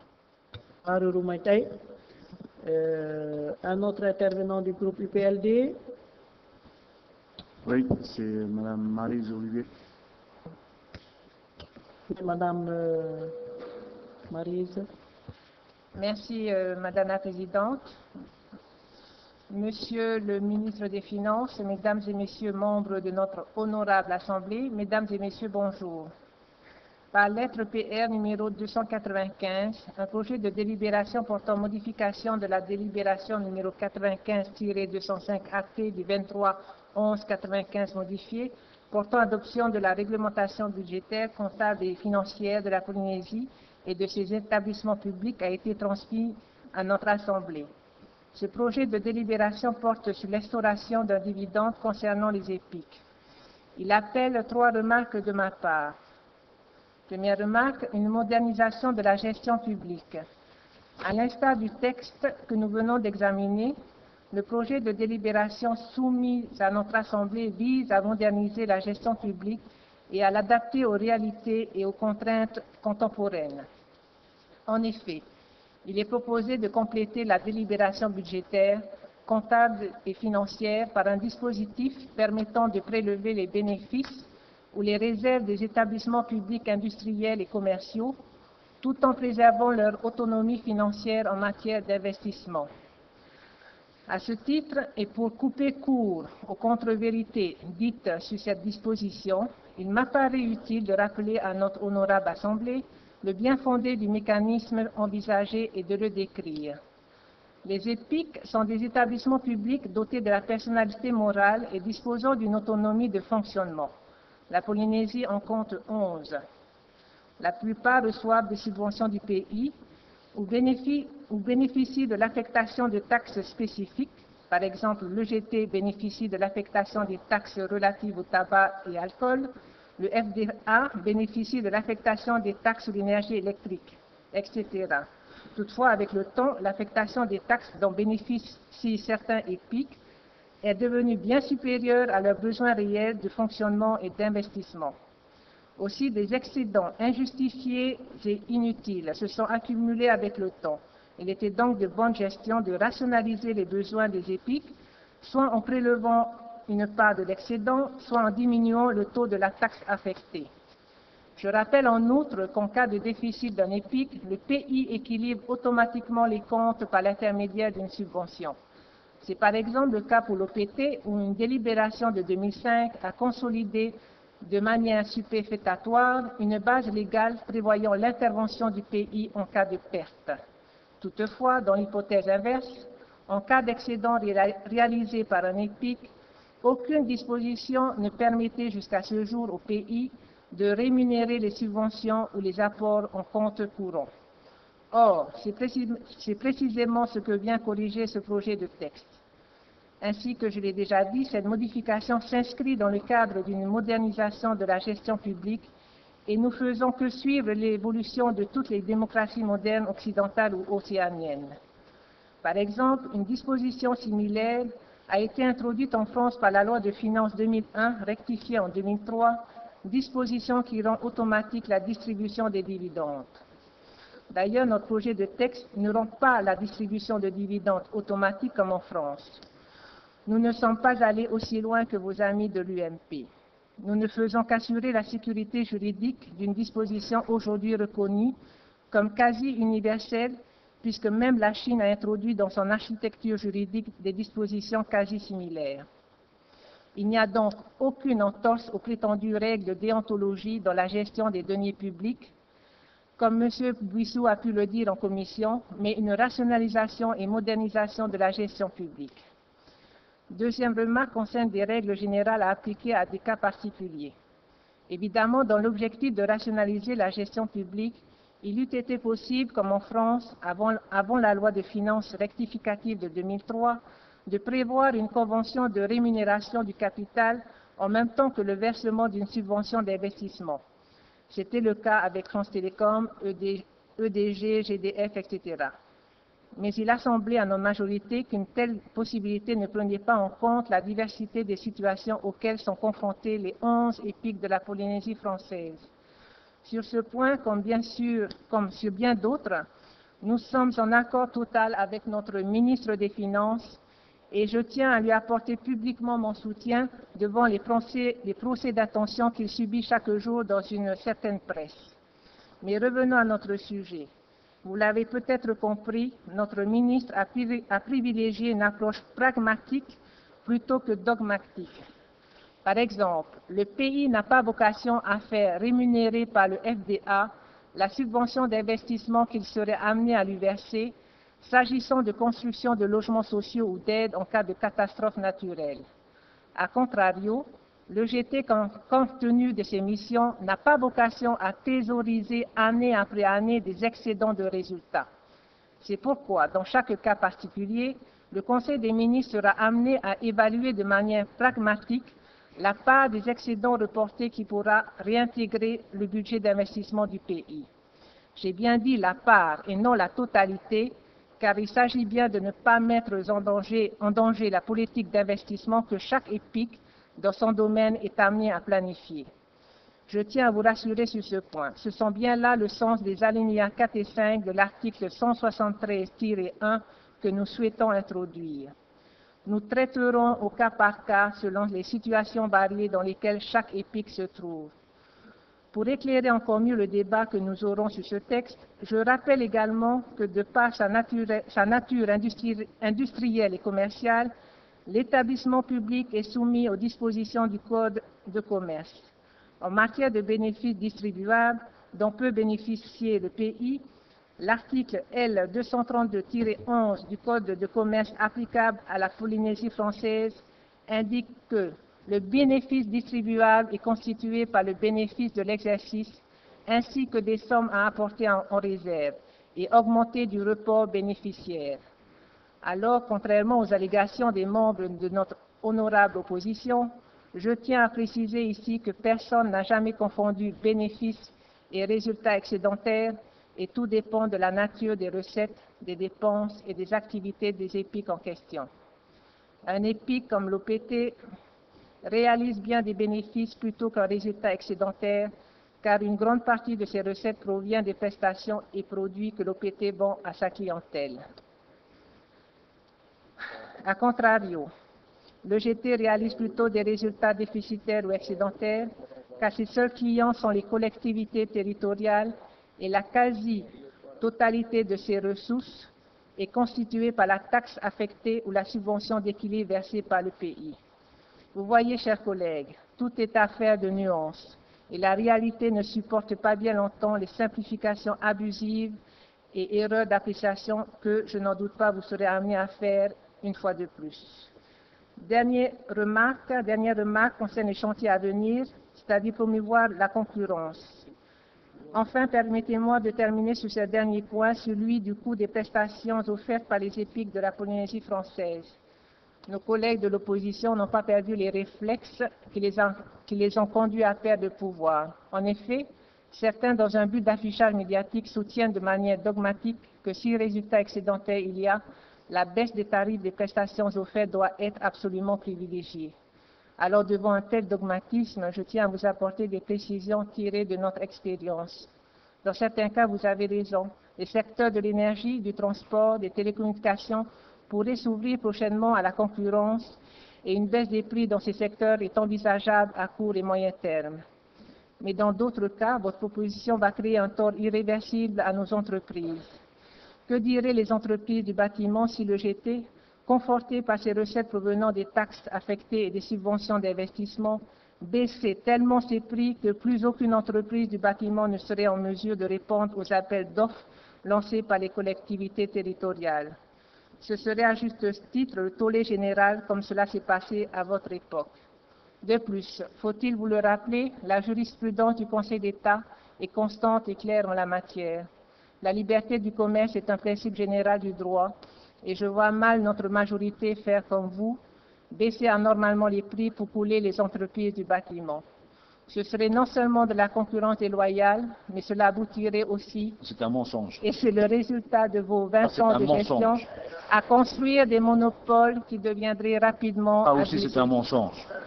Non seulement la, la jurisprudence ça. Hein? est claire de ce point de vue, mais cela ne fait pas partie des pratiques de notre majorité. Je ne vous cacherai pas que notre gouvernement a bien l'intention de libéraliser certains secteurs clés de l'économie, mais nous ne le ferons pas n'importe comment ni à n'importe quel rythme. En premier lieu, la mise en place de réglementations sur la concurrence apparaît indispensable avant toute libéralisation. C'est seulement après qu'une libéra- libéralisation quasi totale des prix dans certains secteurs seront possibles au grand bénéfice, des consommateurs. Ainsi, vous l'avez déjà compris, mesdames et messieurs du public, les propositions de notre opposition sont dogmatiques, les actions de notre majorité sont pragmatiques. C'est d'ailleurs tout le fossé qui nous sépare. C'est pourquoi j'invite tous ceux qui sont animés d'une volonté de, de construire avec pragmatisme l'avenir de notre pays à voter en faveur de ce texte. Merci. Merci, Madame. euh, Merci, Madame euh, Marie Olivier. Euh, un deuxième euh, intervenant au groupe Tahouera Ouidatira, Madame Armel Messuron. Le centre ne parle pas Il ne pas parler, oui. Non, c'est le Tahouera qui, qui commence. Madame Messuron, vous pouvez prendre la parole. On- a du mal à comprendre la logique des tourniquets là. hein. Bon. Je, vais donc commencer. J'ai écouté avec attention le discours de Madame Olivier. Ça ne lui ressemble pas. Mais pas du tout. Donc, euh, je suis persuadée que ça a été écrit. Il y a tel. euh, non, non, non, ça, j'en suis persuadée. euh, c'était écrit par les services du ministère et peut-être bien par le ministre lui-même.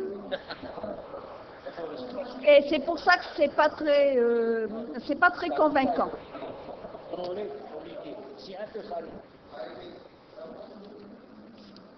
Euh. Alors, euh, voilà, je, je, je viens de, de jeter un coup d'œil au projet de budget. Je pense que, bien sûr, nous l'avons eu ce matin, donc euh, il était difficile de, de- de l'étudier en détail. Mais je vois que vous avez mis la charrue avant les bœufs. Parce que vous avez déjà prévu dans votre budget. Mais enfin, je n'ai rien dit pendant que vous parliez. Alors, s'il vous plaît, soyez polis et taisez-vous. Hein bon. J'ai vu que dans le projet de budget, il y a une ligne qui augmente fortement. Il y en a bien d'autres, hein, donc c'était déjà un mensonge de dire que les impôts n'augmenteraient pas. On le voit là déjà. En tous les cas, une autre façon d'amener des tuyaux euh, vers le budget général euh, se retrouve à la ligne 76, produits financiers, et l'on voit effectivement qu'en 2006, il y avait 151 millions de produits financiers qui allaient au budget général, et en 2007, on arrive à 3 milliards 94 millions. Donc, euh, on passe euh, à, une augmentation de pratiquement 3 milliards, et ces 3 milliards, vous allez les chercher à la Socredo et vous allez les chercher à l'OPT. À la Socredo, 950 millions, à l'OPT, 2 milliards. C'est écrit, donc on sait. Mais l'inconvénient, au-delà de ces deux chiffres, c'est qu'en fait, avec ce texte, vous ouvrez une porte au pillage, au siphonnage des recettes des, ressources qui, ont, été attribuées à des établissements publics pour aller, et c'est la principale critique que je ferai, dans le pot commun du budget général. Il n'y a pas de traçabilité. Ça irait à, à des investissements sûrs, ça serait déjà au moins un élément positif. Le deuxième point de mon intervention est de vous dire que vous jouez sur les mots, les mots dividendes et les mots réserve et bénéfices. Du reste, lorsque nous étudierons le texte, on verra qu'il est question essentiellement de dividendes et de bénéfices. Or,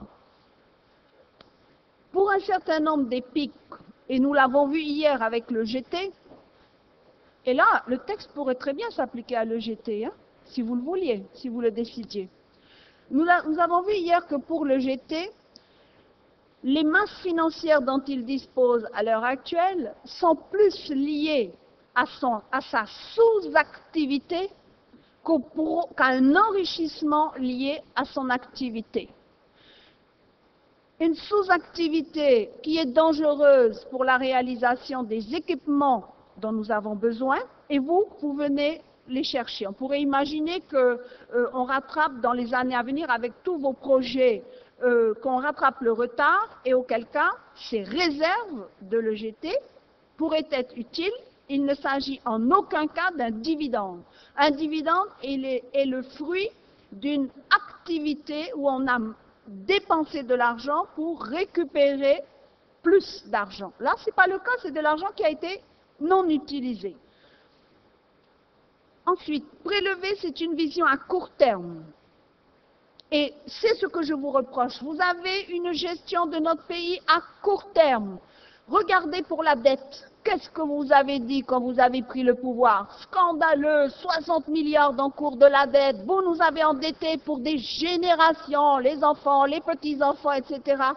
Et là, alors là, vous, vous crevez tous les plafonds avec votre projet. Là, c'est l'exemple typique d'une vision immédiate. Est-ce que c'est parce que vous craignez de ne pas durer? Je n'en sais rien. Mais je voudrais revenir sur des aspects économiques. Toute entreprise, y compris les EPIC, a besoin d'autofinancement.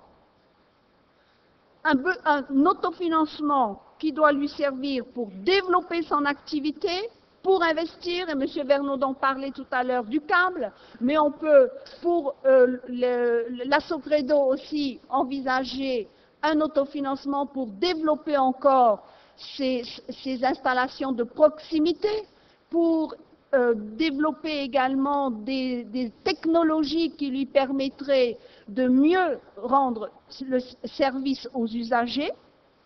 On pourrait aussi imaginer que les bénéfices réalisés soient utilisés pour être redistribués directement aux usagers. Là, ça leur servirait. Exemple, le coût prohibitif des commissions bancaires.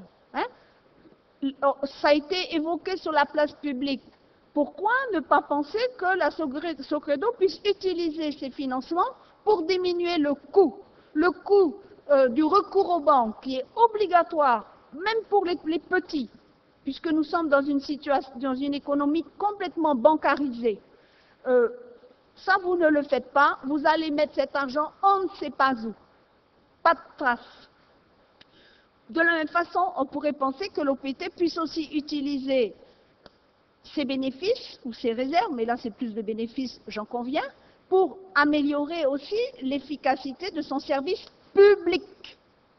Vous, vous préférez Madame cet veuillez conclure, vous avez dépassé votre temps de parole. Je vous remercie, mais j'espère que vous serez aussi exigeante avec vos collègues de l'UPNP. hein? Chacun a son temps de parole. D'accord. Donc je termine pour vous dire que effectivement, vous avez une vision qui est celle de gens qui gèrent notre pays à court terme. Vous maquillez vos besoins d'argent euh, avec des explications qui ne tiennent pas la route. Pour moi, c'est un rééquilibrage du budget à court terme et c'est surtout la porte ouverte à des dérapages puisqu'on va avoir maintenant un texte cadre, si vous le votez, qui permettra tous les abus. Je vous remercie de m'avoir donné 30 secondes de plus. Merci, Madame Messeron. Euh, un intervenant du groupe de- des non-inscrits. Madame Tilda Fouler, vous avez la parole. Merci Madame la Présidente. Ce projet de délibération comporte beaucoup de zones d'ombre qui ont d'ailleurs été invoquées en commission. Au-delà au-delà du fait que le Conseil des ministres s'octroie le droit de puiser dans les excédents dégagés par les EPIC afin de colmater les brèches du budget à venir, il semble plus que nécessaire de rappeler à chacun son rôle et ses responsabilités. En premier lieu, vous parlez de l'instauration d'un dispositif de prélèvement exceptionnel sur les bénéfices et les réserves des établissements publics.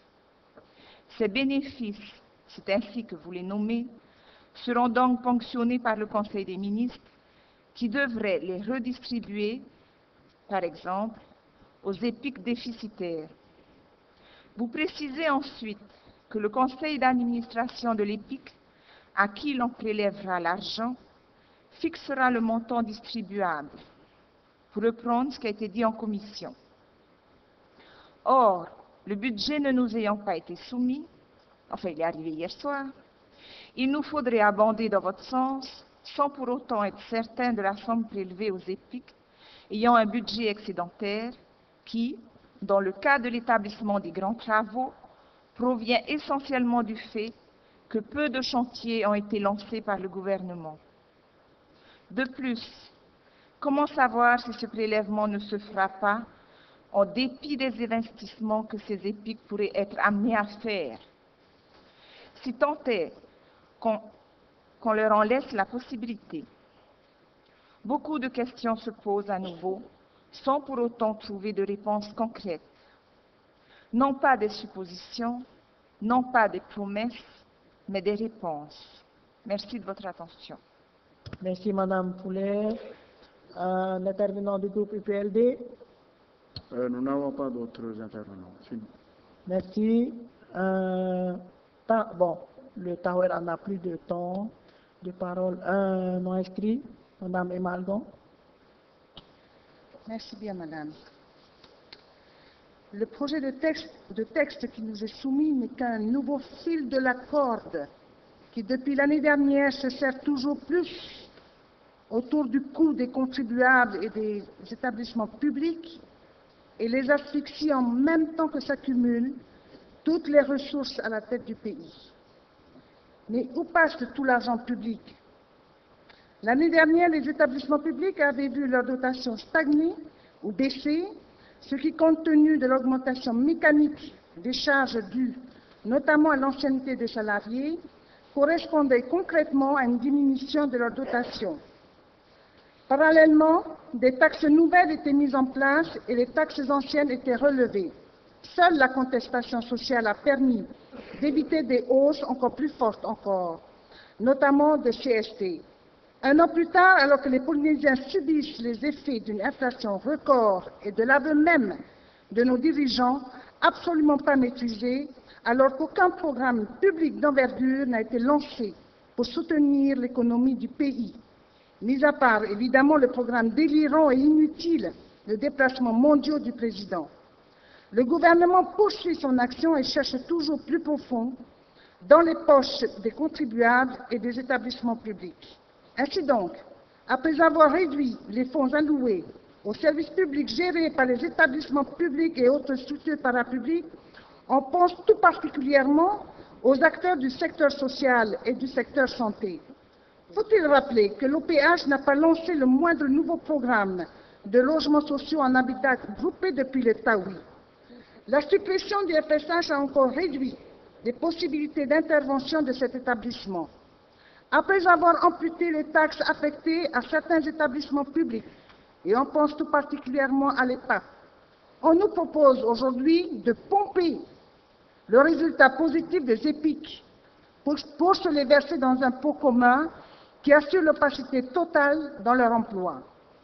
Certes, en métropole, le Parlement, après d'âpres discussions, a prévu cette possibilité. Il s'agit là-bas d'une démarche qui vise des établissements publics qui constatent des résultats d'exploitation tels que la Banque de France ou Aéroport de Paris. Les dividendes versés à l'État sont minimes et sans incidence sur la politique industrielle et commerciale de ces établissements, ni sur les politiques d'investissement de ces établissements, ni enfin sur la qualité des services publics rendus. Mais les masses financières en jeu en métropole rendent ces dividendes pertinents. Ici, seules des difficultés extrêmes de trésorerie et de budget pourraient expliquer l'obsession du pays à récupérer tout ce qui est possible, ne fût-ce que quelques millions par-ci, par-là.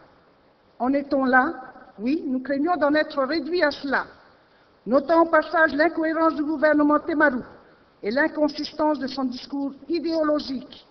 Il vilipende l'État. Il explique à longueur d'année que le Maori est tellement différent des autres Français qu'il doit se gouverner avec des lois complètement différentes. Il critique tout ce qui ressemble à du faux pas et il recopie servilement les textes métropolitains à la virgule près. Et quand il présente son texte, il tente de justifier sa proposition en disant on fait pareil que l'État. Mais quand on analyse avec un peu plus de recul la proposition du gouvernement, on remarque qu'elle est symptomatique de la gouvernance Temarou. En effet, on nous explique en substance que certains établissements publics ont des ressources pléthoriques et inutilisées. On est sommé de considérer incidemment que ces établissements n'ont absolument pas besoin de ces ressources. Il faut donc croire que tous leurs besoins prévisibles sont couverts et que tous leurs programmes d'investissement sont déjà financés. Bien sûr, c'est un monde fantasmagorique, mais il semble que c'est celui du président Temarou. Et c'est là où c'est intéressant.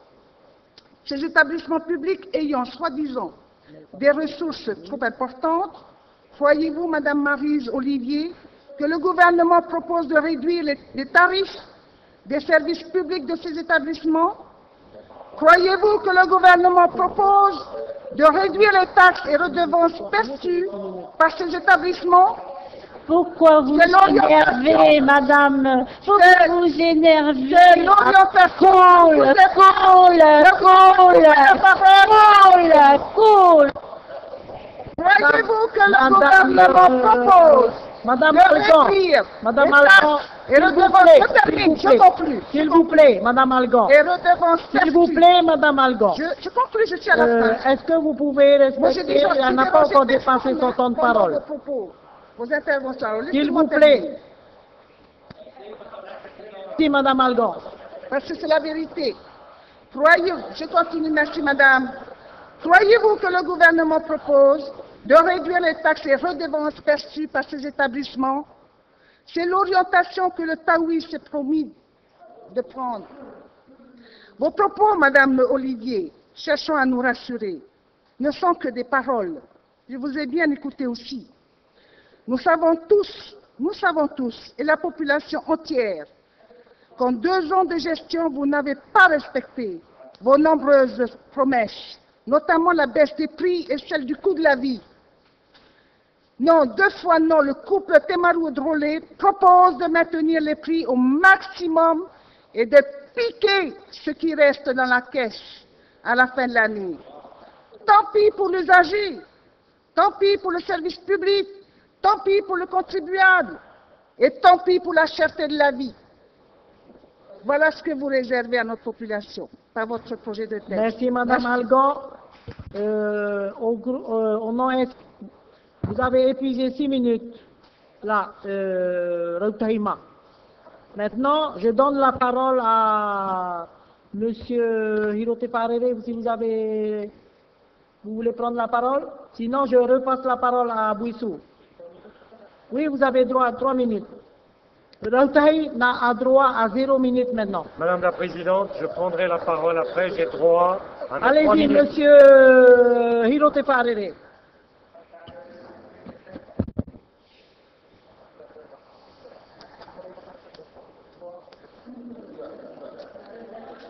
On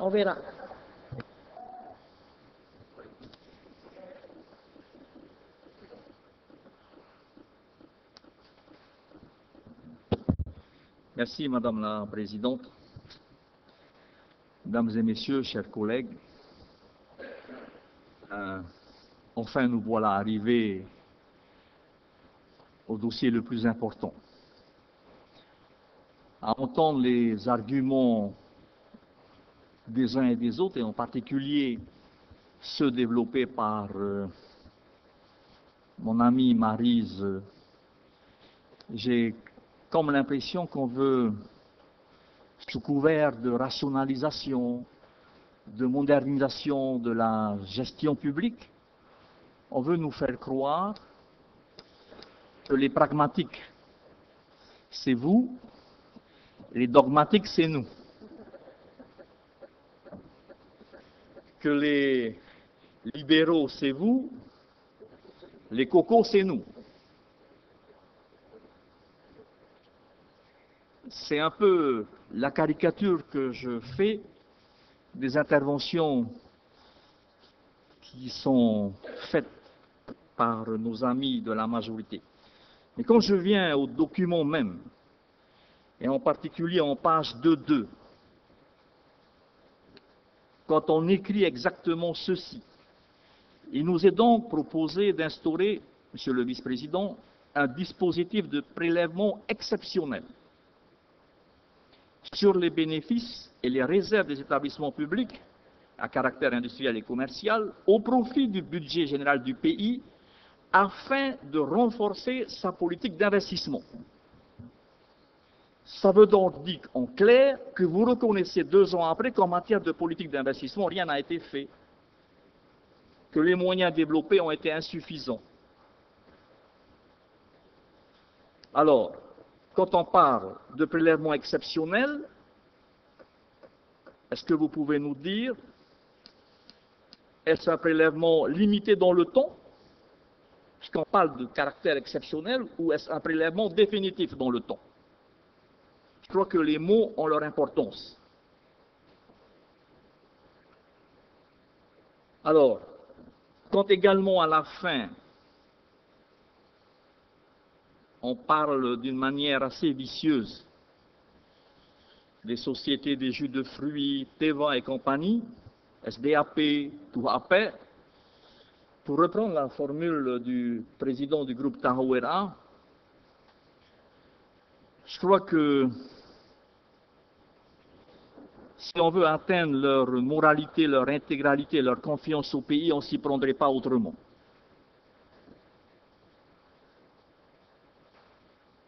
Je ne crois pas que c'est comme ça qu'il nous faut nous entendre. Si on veut bâtir au niveau fiscal et financier et économique une nouvelle démarche. Si vous voulez réellement aller dans le sens d'un prélèvement de fonds, allez jusqu'au bout de votre logique, Monsieur le Vice-président supprimer tous les établissements publics, administratifs et para-administratifs du pays et ramener tout au pot commun. Là, c'est plus important que de jouer sur les épiques. C'est plus là qu'il faut aller. Statutairement, ça pose moins de problèmes pour tout le monde. Voilà ce que je souhaitais rajouter en notre nom. M. Vernodon et moi-même, par rapport aux propos qui ont été tenus par euh, M. Vernodon. Pour terminer, Madame la Présidente, je suis effectivement d'accord avec euh, l'analyse faite par euh, Madame Merceron quand elle dit que c'est un problème de traçabilité et c'est la porte ouverte à tous les abus. Voilà, Madame la Présidente, Merci. ce que je souhaitais dire. Alors, je vous euh, remercie. Merci, Monsieur Hirote Farelli. Alors, je voudrais euh, faire une petite rectification. D'abord, euh, je vais donner la parole à, ma- Monsieur Bouissou, car lorsque Mme Emma Algon a pris la parole, elle n'avait pas dit qu'elle allait prendre euh, sur le temps de Monsieur Bouissou. Et pour éviter que Monsieur Bouissou aille euh, chercher une, un porte-voix, donc je vous donne trois minutes exactement. Monsieur Bouissou, vous avez la parole. e re rei tō uruo. Merci Madame la Présidente. Vous savez, j'ai un porte-voix effectivement dans la voiture, avec une sirène extraordinaire. Allez-y, ne perdez pas du temps parce que j'ai le... Je suis, je suis dans mon temps, je suis dans mon temps. Si, si vous vous taisez, euh, les trois minutes commencent.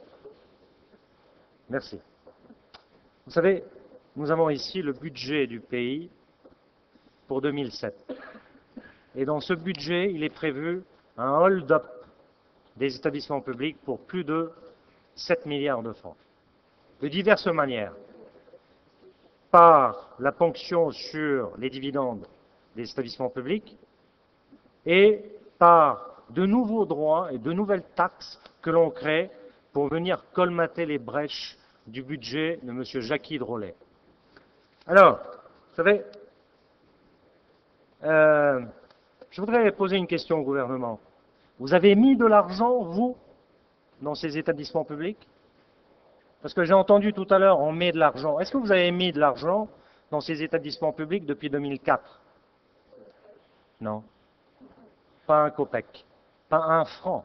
Par contre, vous allez être le premier gouvernement qui va prendre de l'argent dans les établissements publics. Alors, vous savez, ce budget, ce budget, il n'est même pas sincère, il n'est même pas équilibré. Vous savez pourquoi? Parce que les conseils d'administration n'ont jamais été consultés et il n'y a jamais eu de délibération de ces conseils d'administration. Voilà pourquoi vous venez aujourd'hui avec des amendements, nous proposer après coup que les conseils d'administration donnent euh, d'abord, après avoir été consultés, un avis conforme et que vous soyez dans l'obligation de suivre l'avis de l'OPT ou de la Socredo. Voilà, vous venez de démontrer aujourd'hui par vos amendements que votre budget n'est pas équilibré.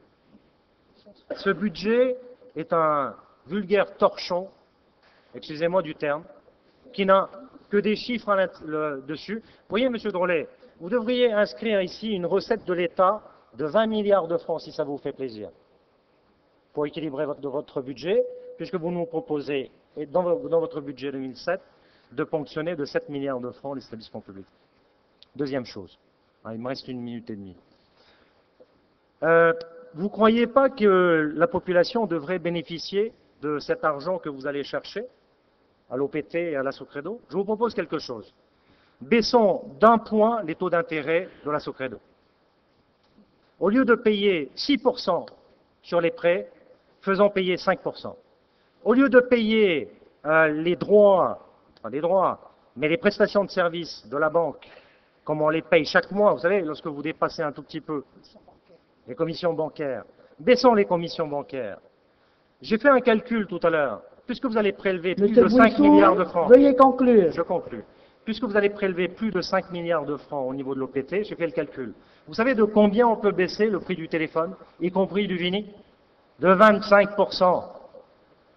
Alors baissez le Vini, baissez le téléphone de 25%. Au lieu de venir nous proposer une ponction euh, sur ces budgets pour simplement équilibrer un budget, euh, alors qu'on sait pertinemment que vous avez d'énormes problèmes, évidemment, sur le plan euh, de vos recettes par rapport à vos dépenses de fonctionnement du gouvernement. Voilà, vous voyez, trois minutes. Merci. Merci, Monsieur Bouissou. Je vous ai donné une minute en plus. Merci, Madame la Présidente.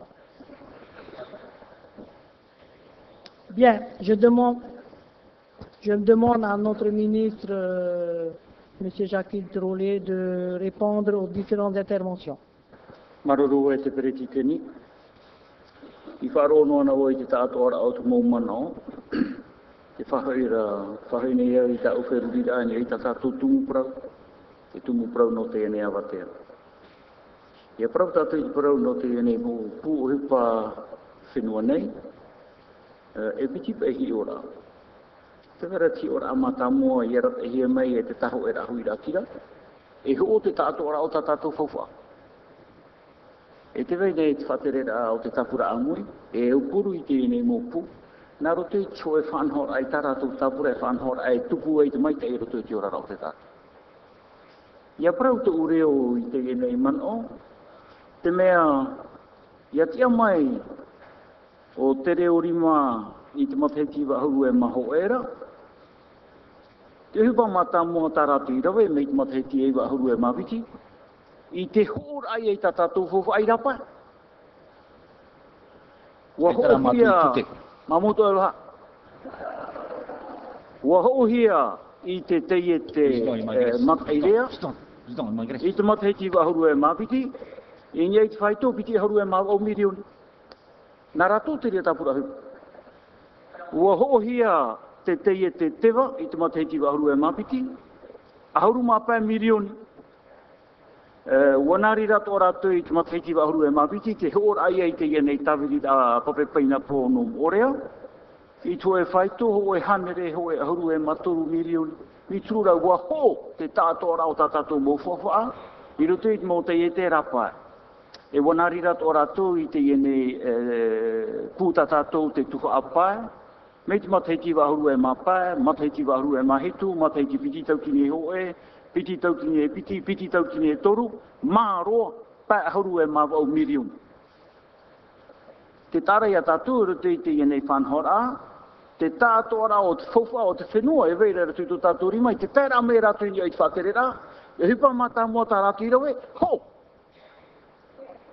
E hoi rapa te ani nei au i a tatou e te Brititeni, i hate e mohi a, i hate e mohi a, i a amohia, me roto mai terurira. Te whatere rā te tapura amui, e rei anō te hōra i ta tatou. E te hinaro nei au, e hapapua tu i te mō kia i whahiti mai tō rātou man o. Te e nei opua rā no te e mhana, mi turura e, ko e no te ine o puar a mui, reho hi atu ai. Me tau tui whahiti, reho hi atu ai te tia mar a, roto i te mo tongi te whaatere, no te e au purur ai tarato fofai, no te numerar ai e te fofa au tarato ine ne e tu, roto i ta tatu tapura fofa. Ai ta te tapura amui, mui, ai ta te tapura amui, e hapa nei, i te tia mar a e te mana, a te tongi te whaatere a te ine i mōpū aita e aita roatu. E no te whahiti rora i tō umana no te mea, Weke au te tei uh, prau, pia, ta tere ori whahere mei, no te apapu i te tei prau, e, nene au e prau ia o e e turu o i te ramana o tōna. No te mea, ti roto te tapura amu i te rira reini. I rawen ahia te inei muni meru tō mai te inei mo pua te hau, e ere no te wananear ai e tatatou fufu a whatere, no te whananea ara i te fofa a whaahotu. E i te mea ua hina aro te mero aporar hei o te reo fridge, i hapapuhi ana roto i te tei praumana, te parau atu nei au ia tātou i te mana, e turu tātou i tera parau, no twai te rā e, tera moni, e hare ona roto i te hotu. E whai te rā ia, te manao e vei nei roto i te whatere rā i te mana atei. me titau i hoa tātou, na e whanhoi te iene ture, i oti He opo atu e roto i te mo uh, pū a te hau, te mau pū, e nen he tau turu i a tato. Whahiti pine pine o tō i te parau no ta tato whare rata. E te whahiti hia rata parau no ta tato tapura fofua. Ai ta tato i te i teime, e te perititeni, e tua tapapara i ta tato tapura fofua. Ia tai tōna teime, i rira tato i maro. Ia pai tato e anoi noi. Hara mei hoa tātou i te tumu prau i whaatahia. Ha mātou tātou i te whae anō mei i tā tātou tumu e ia tātou i hare here here tue. Te wahe papu, i roto i te mau, i roto i te mau whanhora e pretiteni, wahina aro mātou e, e hio, e hapapu mai te e hou at, whatai mei ei mua i tō oto waro, i te tuatir ai ai te ienei praumana e te ture, e whātere nei tō tātou whenua e ua whaatea rua matu i te teimo papa i te teimo eivan ai whenua whrani no te apapu ne ne mau ane tatou e rau e tau tapura hupara e aurera aita. E te tātua rao te mau pahono i pahono hia mai, pahono rā no te whaari, hen he tatu e rau e tau tapura hupara. Tēnā ora te te reo ina naua nei, e hapetu e au, me roto mai i te waha o te mero apo rārhei o Emma Algon. Ah, promau, te tupura i whenua whrani. Me i tiro ora at moni arawa hiara, e ho. Iai hi o po mai, i roto i te whanhora e whanhora hiara, e te te i te opere wira a whrani. Te tino moni i rawahia e te whaterera o te whenua whrani, taru hauru mahitu tomo e pāngi e chanere. Me i ki te rira, me i ki te rira ia wheruri oe, taru hauru mahitu tomo e pāe. Inia i te pue opere nei te mahuahi. Tinia i te whaito, toru ahuru e mapae nia i tianere. Inia i te, te afatamoni CDC. I te matheiti mata mua te roer ahia te, te ia nei fufua, matheiti wa ahuru e mahitu, piti ahuru mapae nia i chanere. Harame tatu i te matheiti wa iwa ahuru e mahau, piti ahuru maiwa nia i chanere. Harame tatu i te matheiti piti taukini, toru ahuru ma toru nia i chanere. Nori rā, i rutu i tahi o rā e te mero aporar hei, e, tatatou, tiraroro a tatatou, ia whaahia e te ie e tapura upa e roe hia i te, i te whenua whrana. Te wahei o ta te manao e tap e nei, e tau e hina rore e ha maruru mei te eito tato tawana no mahina, i te whahiti ia i te hipatana i rawe i te wharerata. Ha papura o i ana, uh, iha o e hapa e to o o e tawana, ke mea i roto i te opua a, wahina aro te whaatere a, e veisho te tiamar a no te whaoti te rira prau roto i te mo tongi te whaatere Nā te mo tongi te whaatere e whaatere nei te mo pua te hau, e whaoti te mea, mar ai ara i te rawe. I o ti tata tu uh, opuat atu rei te mhana, e ia mai ti te tātou ara o te momero te apora rei te mhana. E hatu hipa tā e rawe. Hare mātou e titro tro te mana o te enei mo e nā te mo tomi te whatere a mo pu, e whaite, te wahei, e mara ai ara tu te mo rera aita o ta matu ia e whaature. Ah, vare. Te wahi papu, te wahi papu e opani rai tō umana o. Te ienei tua moni ta tato e prau nei. A tei nei tatu, a tapai e ei te ienei whaito no te ha. No te mea, te hina arora tatu, o i te paatua tatu, i hare tatu, e tarahau te moni roto i tua e whare moni, e titau hea hoa, e, e, e whiata fufu, a e tua tui moa i te ienei titau a tatatou. E ani me hoa te whare moni a tatou e, e hat whai tu moni ta o te nene e tū mai, i anene te whare moni e tāra. Te e tatatou, i roto i tatatou tapura tāpura whawhano te mate ki piti tau tini hitu, te te te e tūnei tatou e hitu miria. Te aur aia, te whai te rea tātou i te mo whare moni, me papu tatatou o hupa i aroe. E te prohi ara te parau no te mo opuar ararahei, no te ienei e, tipiti tau tini hitu, i ha, ai tata hupa i rawe he te mate tipiti tau tini ono e re rotu te rira. I te mera te hina aro hiara ha pua i mai te A titi ai tō tātou whenua, whenua rhei mei a Europa turu. Ha pua i mai te i te patura teramutu, teramutu e teramutu, me e e e moni, e moni, e moni au tā tātou ni ni au o ra, e tu nei i. Maruru. Maruru. Bien, nous allons passer à la délibération. Je demande au rapporteur de nous faire la lecture de l'article 1er. Article 1er. Il est ajouté à la délibération 95-205 AT du 23 novembre 1995 modifié un article 173-1 rédigé comme suit. Le pays peut recevoir un dividende sur le résultat de ses établissements publics à caractère industriel et commercial. Le dividende est prélevé sur le bénéfice distribuable constitué du bénéfice de l'exercice après dotation aux amortissements et provisions, diminué des pertes antérieures, ainsi que des sommes apportées en réserve et augmentées du report bénéficiaire. Le dividende constitue le mode exclusif de rémunération du pays actionnaire. Le Conseil des ministres fixe le montant du dividende versé au budget du pays et les modalités de versement après examen du rapport du conseil d'administration portant sur la situation financière de l'établissement et de l'existence des sommes distribuables. Les comptes annuels de l'établissement public qui verse un dividende comportent une annexe financière détaillée relative à la politique de distribution de dividendes par l'établissement. Voilà, Madame la Présidente. Merci, monsieur le rapporteur. Eh bien, nous avons reçu trois amendements concernant cet article premier. Alors, le premier amendement a été présenté par monsieur Fritsch. Alors, je demande donc euh, à l'auteur de l'amendement d'en faire la lecture. Monsieur Fritsch.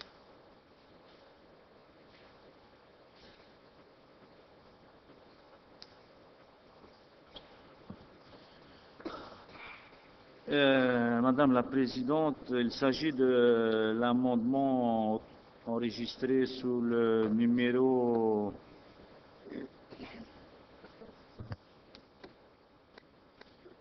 quatorze mille six cent soixante-huit, c'est celui-là? L'amendement est donc le suivant. Au troisième alinéa, il est ajouté à la suite des dispositions les dispositions suivantes. Il représente une recette venant financer la section d'investissement du budget de la Polynésie française.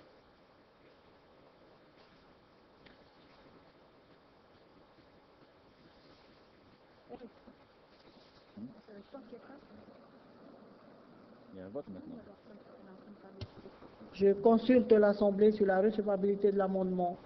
Ils sont pour à l'unanimité. Merci. Oui, Monsieur le ministre. E me tai whahiti ia oe priti tinina wene, te anine iau ia tatu, ia whaari tatu i te ene anidata te reo rifrich. Merci, Monsieur le ministre. Bien, alors nous passons à la discussion sur l'amendement. Vous, Madame Juliette Atahuatama, vous voulez prendre la parole sur l'amendement? Nous sommes sur l'amendement, Madame Juliette Taouatama. Non, Monsieur non. Madame la Présidente, s'il vous plaît. Non, je voulais juste euh, intervenir sur euh, des, des propos qui ont été cités par euh, Monsieur le Vice-président. Bon, on peut attendre la- tout à l'heure pendant la Tout discussion par article. Monsieur Bouissot Bien, moi je suis sur l'amendement.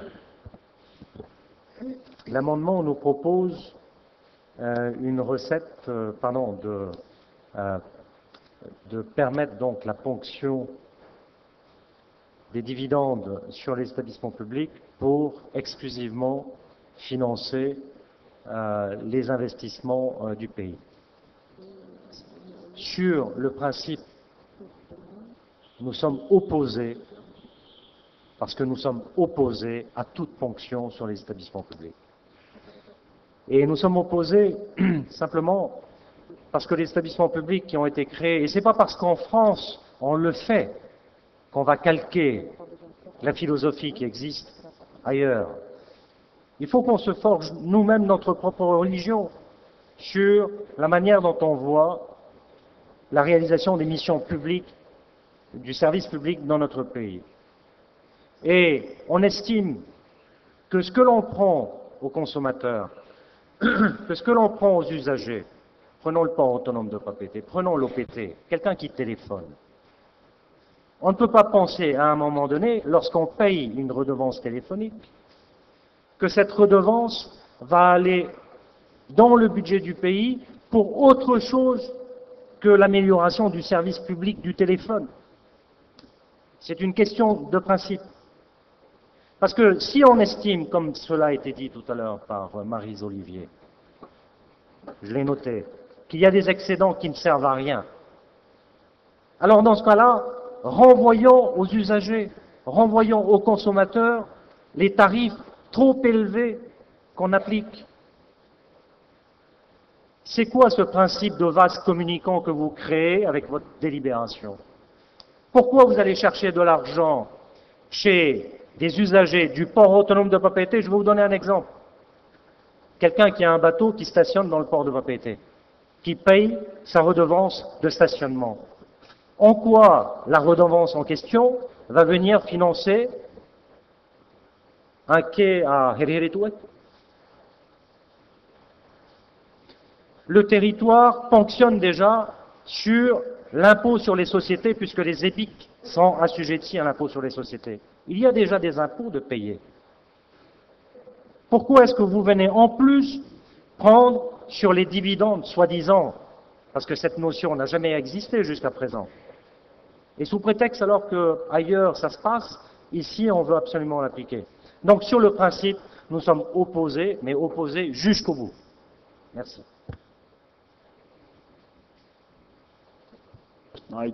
Bien, quelqu'un d'autre veut prendre la parole sur euh, l'amendement?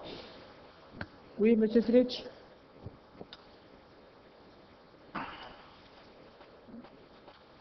Madame la Présidente,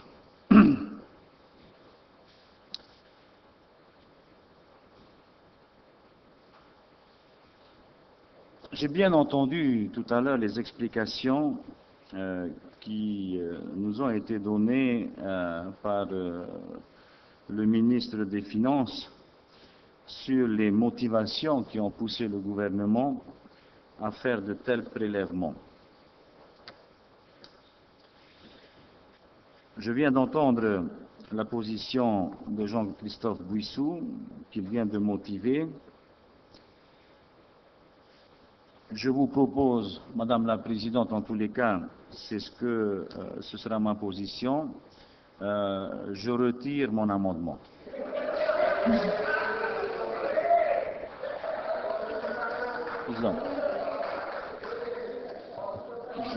Je, Naro, Naro est pro. Bon, euh, voulez-vous écouter l'explication? Te tana tatarara, ma ino ino i te wo te te tata o te ha? I te awa te anei, wo hina aro wau, e wha i o tō. Nihui tara o puar ata o tō e rawera, whaitehi ia mai au e te veinei mō tau i wira ta o tō e tu mai i mo i te apo ora o tō tātou nei whenua. Ho e tau i wira, ho e a mōd mō ta o tō i tu mai, pero mau, tra a mōd mō e whahe pōra e mea tano. Ia whawhahia te mō tomi te whaatere, a te mō pū e whaatere nei i taua uh, mō piatoroa, Conseil d'administration.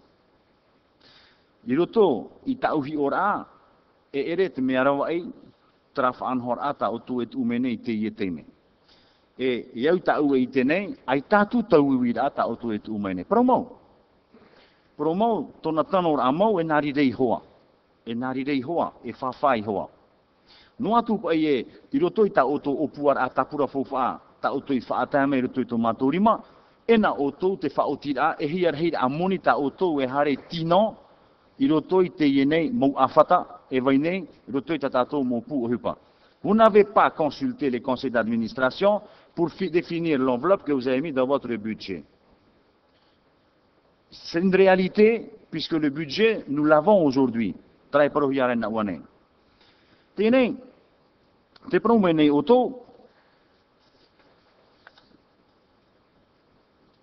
tamatou o puar a, i tratau tō mātou, maurira ia haamauhia uh, te ye uh, mo pia arawet a uhipa, mai te OPH, mai te FDA, e orera tewe atura, no te mea te hina aro nei tātou e horoa, i roto i taua mō tomi te whaaterea te teiti amar ano, tā rātou mo pu uhipara. Ia nene rātou e wha uhipa i te porititau te whaahotu rātou tātou nei whenua, aurera mi te FI, te FDA, no te tauturu rai tui rātira, i roto i tā rātou mo whaahotu rātou i te i e teime. Te mono periti te papura ia ue, te hia to ue mon o, e i whaoti e o tō, i te whaoti na rāmi te tūro. No te mea, mi te peo te whahapa mai nei ue i a mātou, te taho e rahu i rātira. I te whahoi rā i te mōpū, te teo te mōpū o hupa, o tā tātou i rewe mai, mi te i e jut free nom orea, mai ia er teiti, wo ho o tātou i te teituha. No te mea e paromau, i te mateiti i wāhoru maho era, ua puta te awhata o te whenua. E maa apo o huru mai tai, ta o toi vaiso mai. E wariro, tra rawea, e rawea no te whaatiti e wharo whaahur aita tatu awhata. Te mea papu mai te ira, aita te hau, i hamau ar hei te moni. Aorera, aita te hau, i whaatupu i te mo tute api, no te haramai e oroi tra apo o, o ta o toi vaiso mai. Tiri au hai, nā e ha papu mai te ia oe. Jackie Drole. Ai tua ue apera i te rira. No atu iro tui ta auto hi ora ai te imhana. Wa ho hi ani hoi te hoi whaitu ai te pairawa e mai te i te moni. Te mea pāpū mai te ira i te imhana. Ai ta tātou e o fōwha hau nei. I te ie uh, mau teie te anei, te ie mo pu hui ta tātou, no te wha hui par ai a rātou. Te mea pāpū mai te ira. Ta auto e rawe nei. Te tauturu nei o tō, i te ia mau awhata, mai te OPH. E te anu atu i te FDA. No te tauturu ai tuir atira. I te ia te iau e nei tiwira atira i te mea e, ai te e mai te tā rātou tauturu, no te amai te i tō rātou orara. E hā te tumu, no te mea aita te ia mō pū ohipa, e rewe nei tarato ohipa. Tara te fifi, te moni, te vai nei, te hi o nei au hoi te mō numera, te tua tapapahi e tātou roto i te tomite, hi opoa a te finance, in ia noi te FDA, ho e miria, e hia, ho e miria, ki a hapa moni o te ore wha uhipahia i te mataiti maari anei. No roto mai te e pū whi i tā tātou, ho e miri ai piti ahoru mapiti mirioni. E ha tōna ura, e ha tōna ura. Nen he o tau i te mo teime hope aro o te mataiti, e tātara e te ta atoara o te moni, ki tauhia no te tauturu i rātou, no te rawa i te rāmoni, e no te whaahupa i te rāmoni, te whiwhi nei taua mō puahupara. Ai te arawa i nei te teime, no te whaahupara ai taua monira. Rawa e ia nā o toi muri mai, no te tino mai taua a mō monira, e tō e mai toi te awhata. Tōna ura ara. Mea whiwhi roa tera whaanhor ata oe e whaite mai nei te imhane, ta oe hapāpū mai nei. Nen he o tō e imi te mō rawa e atoa. No te whaari i te mō mona, no roto mai i te mautia, o te apora arhei anei, o te whaatere o te whenua anei, e hia ta oe miria hina arono trapu, te ramai ta oe miria. I te teimera o fohia e, e horo hi e te moni no te whaatupu i te hipa, nen he oe tap e ai taua teimera, no te mea e mona oto oe muri mai, e rawe mai tara moni, e tina o mai tā moni, o te ore e whaahupa hia.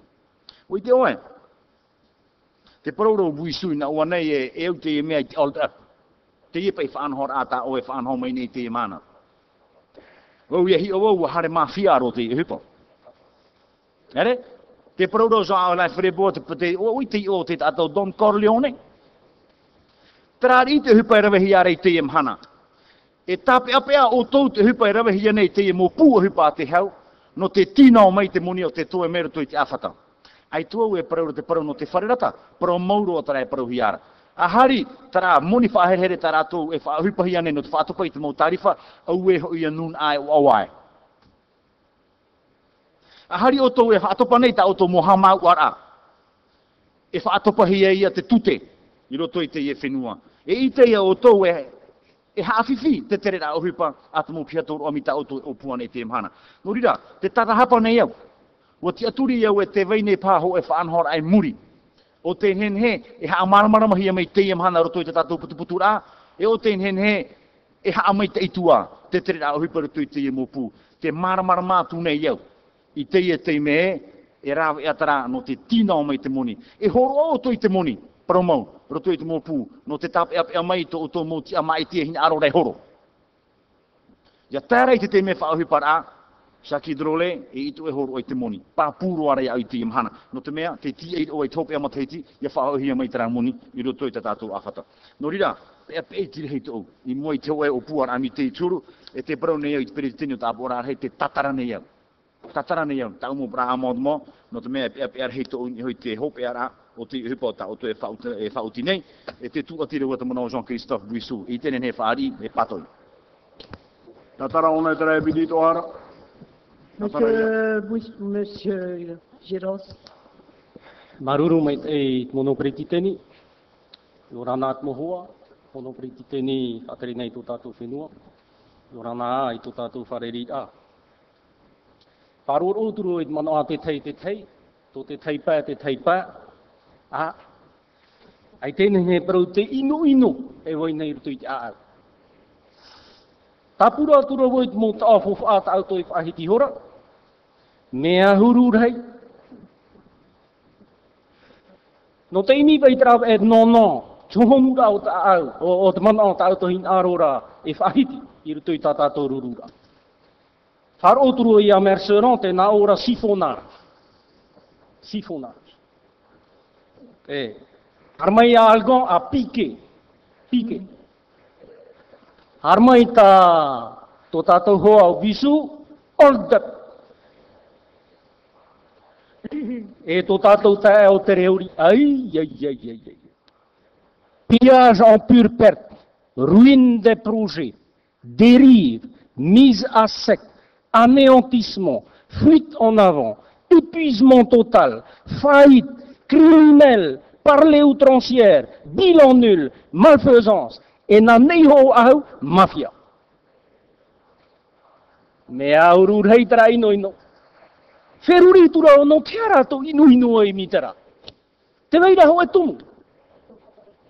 Artoi te taimai e tu ai tō tātou te e o hiro mana ho pea? Iri iria tau a mara mai te tair a mai rutu i tu nei po. Te o pai tra, tra whahi ora, nā wai patu. Nā o ia tātou i pahono nā rātou, e rea nei. Nā vai roi, nā rātou, e rea nei. Nā wai utaru, nā rātou, e rea nei. E tei e tei mai, nā wai o oti. Nā tātou, Tērā te tumu, tērā te tumu e poehe ino ino roa rātou i te i uhipa whawharoa, i manawa i o te reori, ia iriti, iriti te i a mon montana. Prahi a hei e te hinaro, te hinaro hi ara e patu amui tātou, tā tātou tapura whawha, i te raona e a te whiwhira, a iriti, iriti. Au e hei e. Te i e mopu, Nā opa i tātou e pū o hipa te i a teo, i e mo i tātou. E pū o hipa te i a teo. Tā te tūrera e whahepo, ia tatarahi aro tui tō e tūre tā e pro ia e pik. No te whauraro ai a rātou te teimhar a o te mō tei e te, au rera mo pū o hipa e re nā teo, o te iamone i te tūtei. O tui te teimei rātou e haai. O ia, te reori, o ia, i e hawari tō tātou nuna. E pū o hupa te i a teo. Te aura i a tā te taimai. E whiwhi te i e mō pū o hupa, te tau hi ei te hau i a mō. I te pau. Oia. E no te a ia. Ia whaahepo na hi e tātou i a mō i te pau. Te opani nei tātou i a tātou. Ia, ia, ia, ia, ia rawe tātou. I te moni o whaa. Aita? Te ia, te ia, te ia tau tau e patai nei te e teimai. A pe, nā mātou e oti, e te piti, te whatanora tātou te ture, i ni te mea i whatanohi e whenua wharani. O ia, whai te pai parau mo, ie a ware, norira, taparu tu nei te ie mana ia oe, pretiteni no te tomite, no te tahoera ahuira tira. Tape amai, tape mai tra mon mo ta oi mai te. No to tātou nun a e ta atu. No ta oi par ai te muni of a ta te. Fa te e mana e hare e ti no te fa mai ro i afata ya tamahana hana mai te hia. Maruru.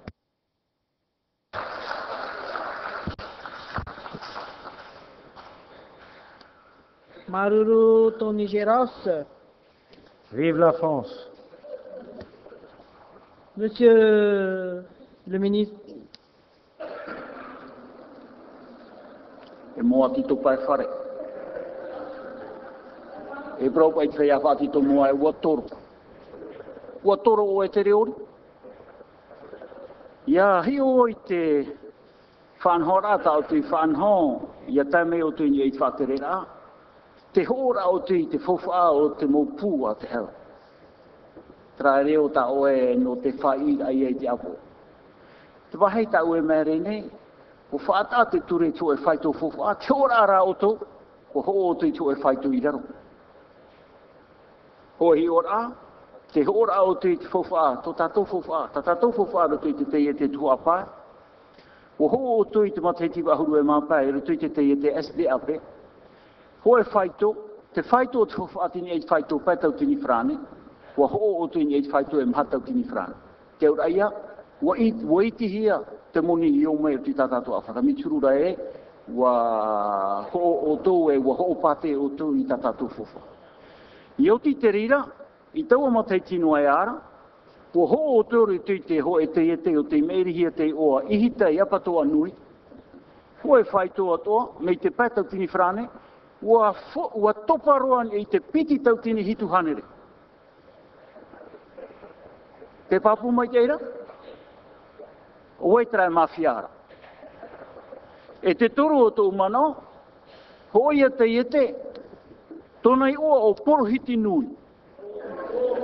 O porohiti nui. E mei te pētau tini, u hoa at o tui te te hora, e piti tau tini e hitu hanere. Te tārai a tātou? Tā tātou fofua? Ua topa ro te whaitu i raro. E ai te ioti, O nari rato ora tui ta tātou te e te orea, tiro tō wai tātou i te ria te e te. Ua ho tātou i te matheiti wahuru e matorura, i roto i a er teiti. E te whai tō moni o ta tātou i tau o matheiti ira, toru o huru maho e tau tini frane. Tau te ho, piti e huru mapai tau tini. E ia tai te mateiti piti tautini, te toera te tei, i a tatu, ua ho whahaua o tōru te te tei e te ar teiti, me te toro ahuru maho e tau tini, o ho o tau ahuru maho e tauatini. E tārai a o e te reori, i roto i tara perera ata o tui pre, me turu rai o ho patehi ata tatu fofa. Whaari ane tatu i anari rahi e. I te mhana, te oa oa ne o te tere me te rei te e te e te tawiri a papepeina pono o ua ho'opa'ato a tatou i tatatou fofa'aitiritatau ua ma'iri tanere miliuni ahari tio tonu a tatou i te mana ua o'otinoa tatou i te ha ua ha'aputu tatou e ua o'oti tatou i te foufa'a te wahaia tamato e pe'apea nei te wahai tamato e pe'apea nei e te reori te ho'ora otu i te a o te whenua rutu i te teimotei e te rapa e rei nā teau ua whatoparo otu i te monito e whaitu hea aroa ua o tu i fu fu are ara! Whātere rā a te tapura amui aita. Ai te hohi ara te ienei mō pui rapa, te tape ara no tatou, te whaituitura tatu i te amui tatatu iso. Te ria te teita e rā papu, pero tu i tā o tō rawera e te rawera te whātere rā amui. Te anine iau ia oe te reori, iha oe tatarei tā oe opuara. Tape anō mai, tape anō mai, mai ki pa atoa tatu, e fufu anō te tātoa. Maruru e peridite. Mm. Bien, Euh, comme M. Fritsch a retiré son amendement, nous, allons passer au deuxième amendement présenté également par M. Fritsch. Donc je demande au rapporteur, à l'auteur de l'amendement, d'en faire la lecture.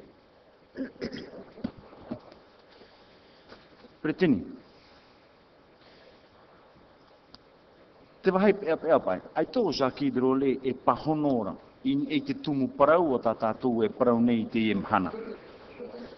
Ia whaahiti ona, ia whaahiti ona te parau o te e mo te e te, tā tātou i ho. Ai tā tātou i ho i te ona. Ha? Ia whaahiti o te parau o te tuha apā. Nā wai i ho i te e mo te e te. O wai mati ho o te e mo te e te. Eh? Whia no te whenua, whia no tupu ai maa, whai anō rurutuma. Ia ho o tātou i te ie pai o wai anu. No te mea tara te te te o tā oe whaahiti rei na ua nei. Peri te tengi iare ho e ho ano o tō. O wai te tata o te ho mai tara pai. O Ravel, ere o Ravel. E te mau hitei e hui pare ni hoi tara mu pai. Te vai nei te tumu, whaite pai te paraumau. E mi te pe ue ua hohia, ua i te tau i taua te mera e i te mara a orere fifi toro tui te emo te e te. Tā rātui ha amanuia i te e mhana. Tā ha amanuia i te e mana, ha apōpōwo i te rira ohipa. Aita te moni a te nuna e paura, e te apira rātui te moni. E ha te wahai hape.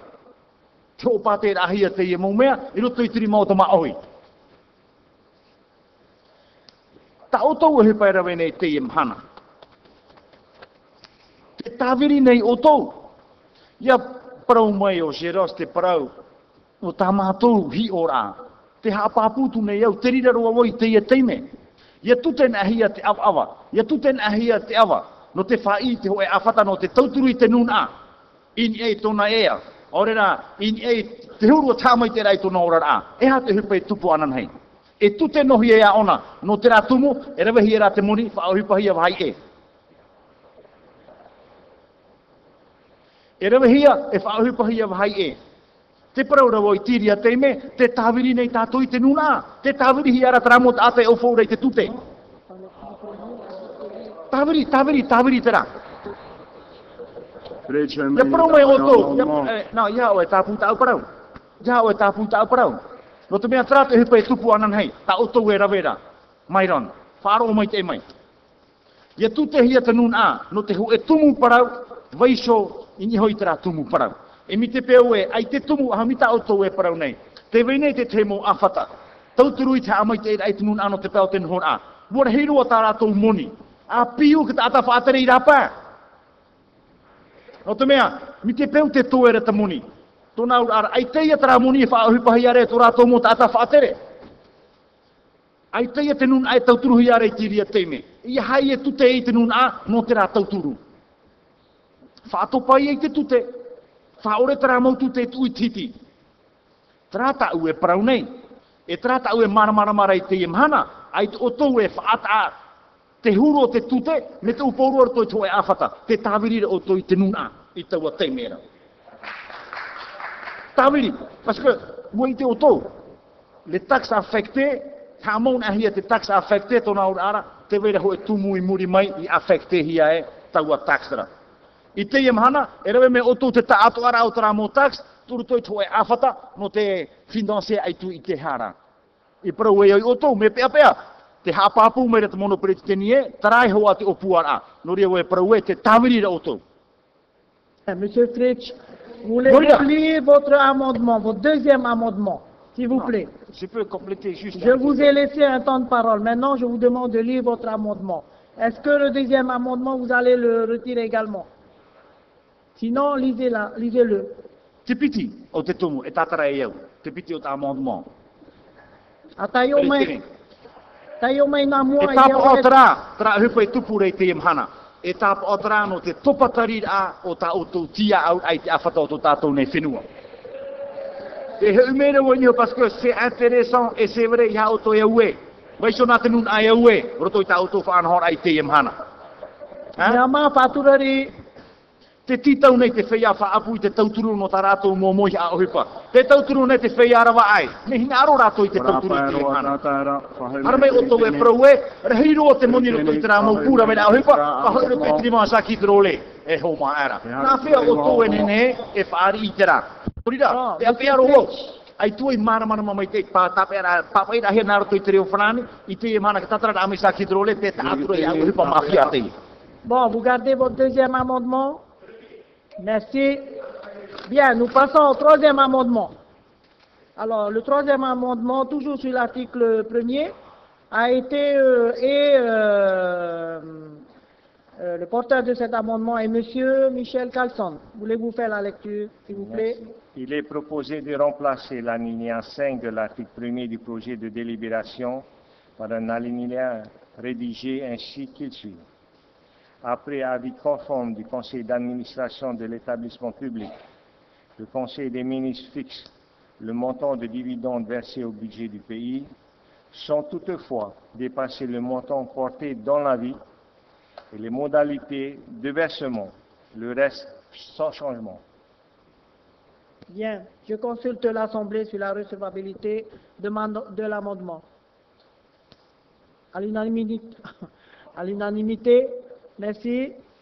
Euh, la discussion est ouverte sur l'amendement. Oui, Monsieur Noir-Tétonoui. Madame la Présidente, euh, merci. Ah, le débat se passe dans des conditions vraiment difficiles, mais intéressant parce que c'est notre population qui est derrière.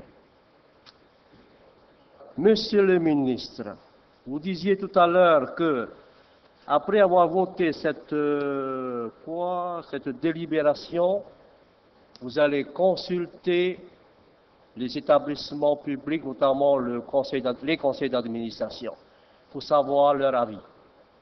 C'est incroyable ça.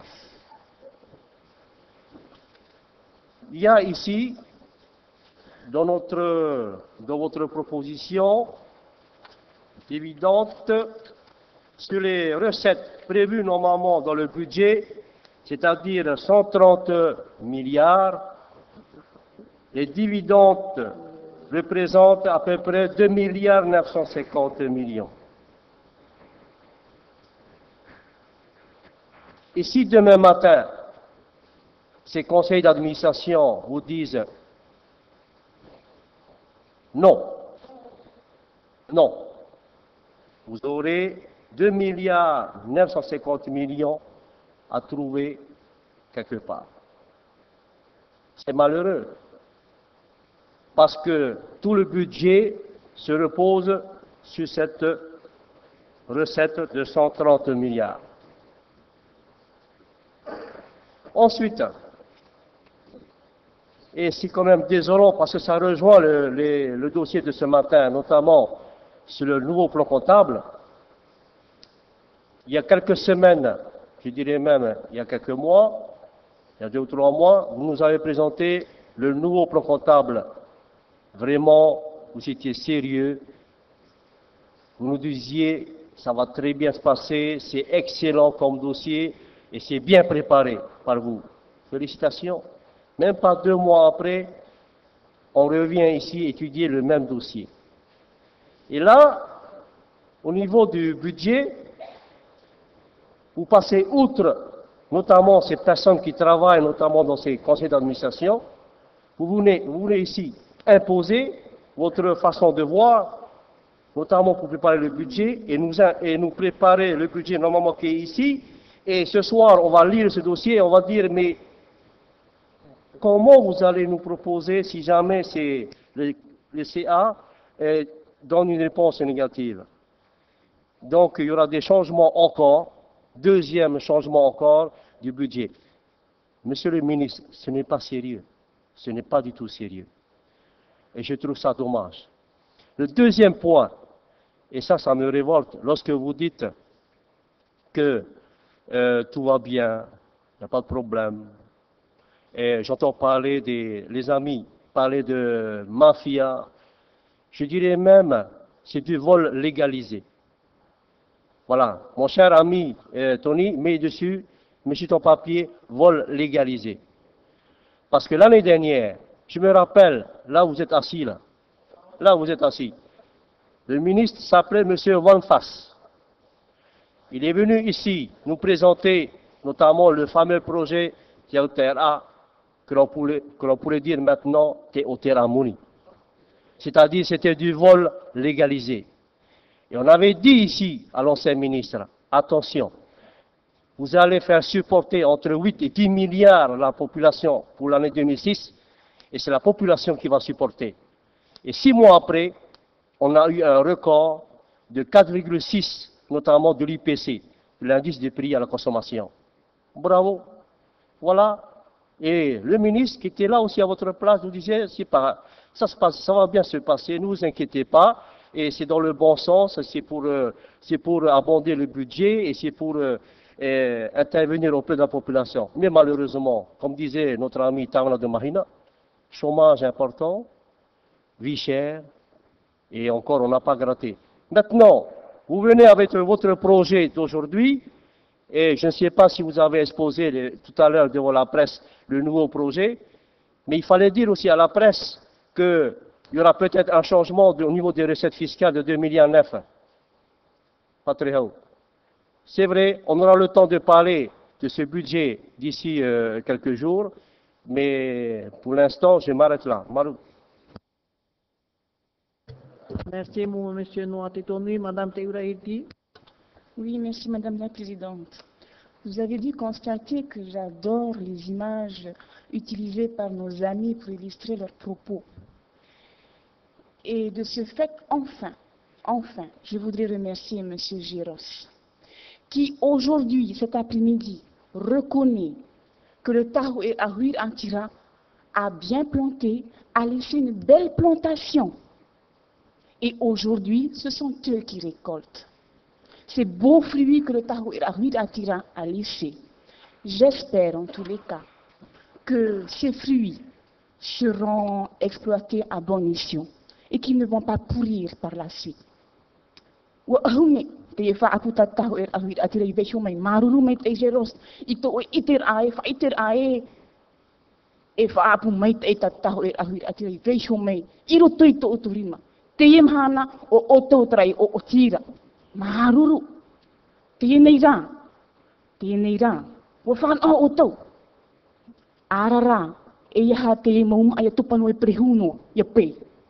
Tara maruru. Maruru. Euh, Monsieur Bouissou. Je ne sais pas, vous avez un écran en bas, vous voyez ma photo en bas? Quand vous regardez en bas, vous dites Monsieur Bouchou. Non? Il n'y a pas d'écran. Merci Madame la Présidente. Euh, Madame la Présidente, nous sommes maintenant sur le projet d'amendement euh, proposé par euh, Jean-Michel Carlson et Ruben Télématé. Nous sommes bien là-dessus. Hein euh, et qui nous propose de consulter le conseil d'administration de l'établissement public sur lequel nous souhaitons faire un hold-up préalablement. Hein. Et ce qui m'étonne avec cet amendement, c'est que vous veniez un peu précipitamment nous proposer d'amender votre projet. Euh, est-ce que c'est parce que euh, les membres du conseil d'administration de l'OPT ont fait pression sur vous, monsieur le ministre, pour que vous veniez aujourd'hui aussi rapidement, de peur de perdre votre majorité, nous proposer cet amendement? Est-ce que c'est une question que je pose hein?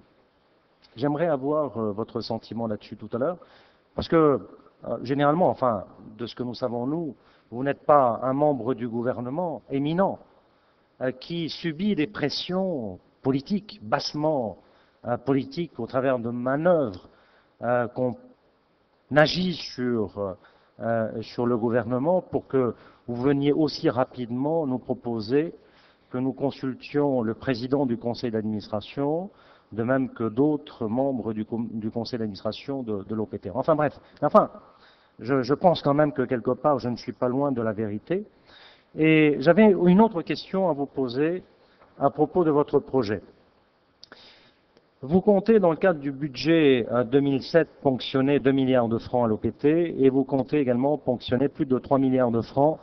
Alors, je l'annonce parce que la population ne le sait pas encore, donc euh, autant qu'elle le sache, il y aura euh, des droits qu'on appelle des licences d'exploitation sur les réseaux téléphoniques de Tikiphone, sur Internet, sur Mara Telecom pour 220 millions sur Tikiphone, 500 millions sur Mara Télécom, ça fait 720 millions en tout.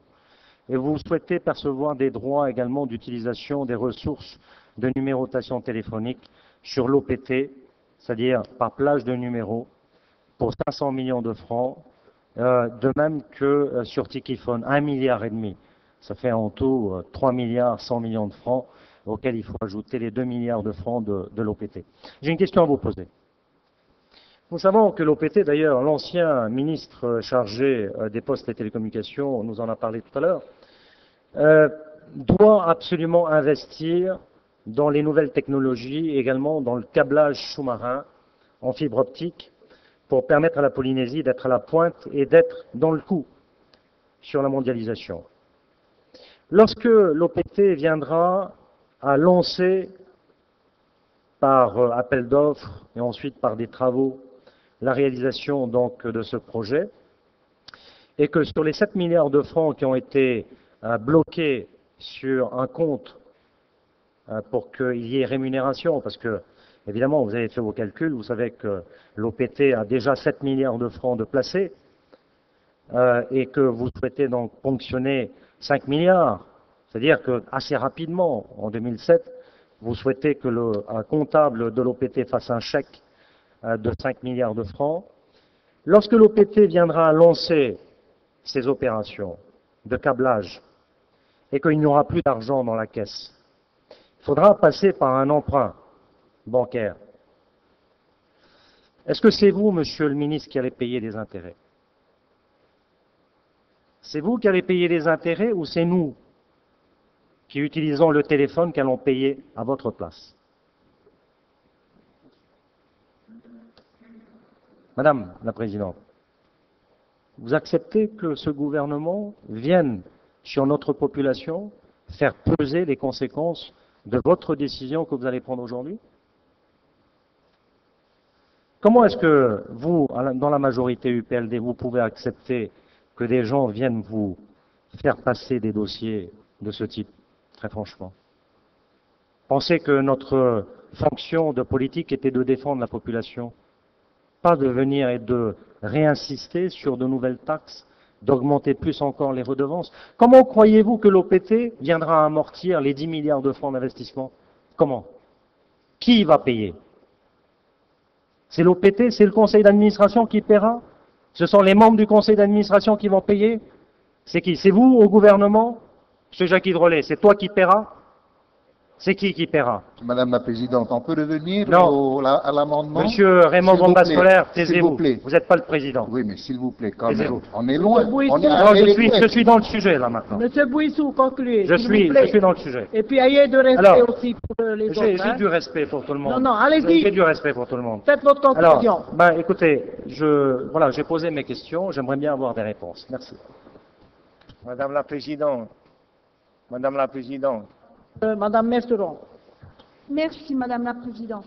Oui, je, ma, réflexion euh, euh, allait aussi dans le sens euh, de celle de Monsieur Bouissou. Lorsque, sans connaître l'amendement, j'ai lu le projet de texte, il m'a semblé que dire que le Conseil des ministres fixe le montant du dividende versé au budget du pays, c'était en complète opposition avec le principe de l'autonomie juridique de l'EPIC, qui est une personnalité morale, qui a un patrimoine, qui a des dirigeants, et manifestement, c'est euh, un texte impérialiste. hein. Donc, vous l'avez corrigé, mais après, je me suis demandé pourquoi est-ce qu'en séance, ce type d'amendement est venu? Donc, je rejoins évidemment les réflexions de, de Jean-Christophe Bouissou à propos de l'OPT, mais je voudrais aussi le relier à ce que le représentant du ministre de l'Équipement nous a dit la semaine dernière, suite à une question que j'ai posée et qui portait sur cela, euh, nous a clairement dit que le port autonome avait un plan d'investissement pluriannuel et qu'il il n'était pas acceptable qu'on puisse, il s'opposerait à toute amputation de, de- de- des réserves et du fonds de roulement, donc euh, qui, qui en réalité correspond à des réserves accumulées, parce qu'ils avaient absolument besoin de ce financement. Donc j'en conclus que vous aurez du mal à faire passer ce genre de texte parce que dès lors que le président du conseil d'administration d'un EPIC est généralement le ministre de tutelle de, l'établissement, il y a de fortes chances donc qu'il y ait des conflits d'intérêts et je pense que votre texte risque d'être inopérant ou en tous les cas source de conflits cela indépendamment du fait que, par principe, nous sommes opposés à cette euh, intrusion de- et, et ces ponctions qui sont faites dans les, dans les, dans les financements euh, dont bénéficient les EPIC. hein. Donc, j'ai de forts doutes sur le, le caractère efficace de ce genre d'amendement. Merci, Madame Merceron. Monsieur Hirote Farere. Oui, merci, Madame la Présidente. Il n'y a pas de cohésion et de cohérence dans les propositions qui nous sont faites. Lorsqu'on prend en référence le PV de la séance de la Commission des finances du jeudi 2 novembre, présidée par euh, Madame Chinifo, le représentant du ministre, M. Lucien Yo, dit qu'il y a 12 établissements qui dégagent des excédents. L'ATP 3 millions, Atimono 21 millions, le FDA 1 milliard 22 millions, Heivanui 36 millions, Malardé 158 millions, l'OPH 66 millions, l'OPT 1 milliard 234, le GT 3 milliards 147, le port autonome 997 millions. J'essaye de faire en sorte qu'il y ait un lien entre le document qui nous est donné, l'amendement, et également les textes budgétaires qui nous ont été transmis pas plus tard qu'hier au soir que nous avons reçus ce matin. Que M. Bouissou, dont M. Bouissou a donné communication de la ponction au niveau des dividendes et des taxes de télécommunication. Alors, plusieurs interrogations, Monsieur le Vice-président et Madame la Présidente. Pourquoi donc, au niveau des dividendes, n'avoir choisi que la Socredo et l'OPT et pas tous les autres? Établissements qui pourtant rapportent assez d'excédents Première question. Je réitère ma question sur le rapport de présentation, sur le caractère exceptionnel, ce dispositif de prélèvement exceptionnel. Est-ce qu'il est inscrit dans le temps ou est-ce qu'il sera définitif? Je crois qu'une réponse s'impose. Est-ce qu'on peut nous faire, puisqu'on parle de politique, ça va servir à renforcer la politique d'investissement du pays. Est-ce qu'on peut nous faire déjà un premier bilan des investissements réalisés en 2005 et 2006 par le pays? Ensuite, Madame la Présidente, je crois que quelqu'un l'a dit, je crois, si, je, mes souvenirs sont bons, c'est Madame Merceron, on met la charrue avant les bœufs dans l'exposé sommet pour expliciter l'amendement qui arrive en séance. Cet amendement aurait pu venir en commission. Là, les choses auraient été plus normales. En séance, aujourd'hui, enfin, on reconnaît pleinement le rôle des administrateurs des établissements publics. C'est aujourd'hui, en séance, qu'on reconnaît leur rôle, qu'ils servent à quelque chose. Et pendant plus d'une semaine, à aucun moment on n'a pensé à eux. Je vais dans le sens de l'intervention et de M. Vernaudon et de M. Bouissou.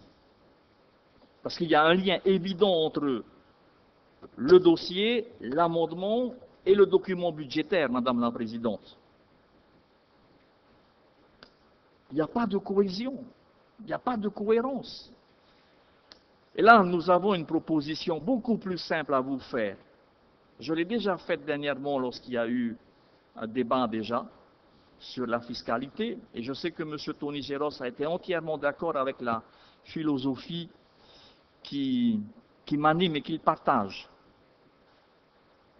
Indépendamment de ce que vous proposez aujourd'hui, Monsieur le Vice-président, je crois qu'il faut rapidement aller, et le débat budgétaire est l'occasion idéale pour aller vers cette démarche. Il faut avoir le courage. Durant 20 ans,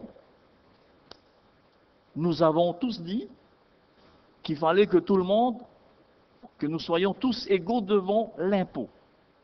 Qu'il n'y avait pas d'impôt plus juste que l'impôt sur le revenu des personnes physiques. Tout le monde l'a dit. Mais l'occasion vous est donnée là d'aller vers cette réforme. Je crois qu'il est temps, aujourd'hui, d'avoir le courage. Moi, je me souviens à l'époque, lorsque le Tahouara était au pouvoir, et syndicalement, nous nous sommes battus avec certains ici dans cette salle pour mettre en place le financement du RST à travers la CST, qui est un impôt direct. Et le Tahouara, qui était opposé à toute imposition directe, par la pression populaire, a accepté cette démarche.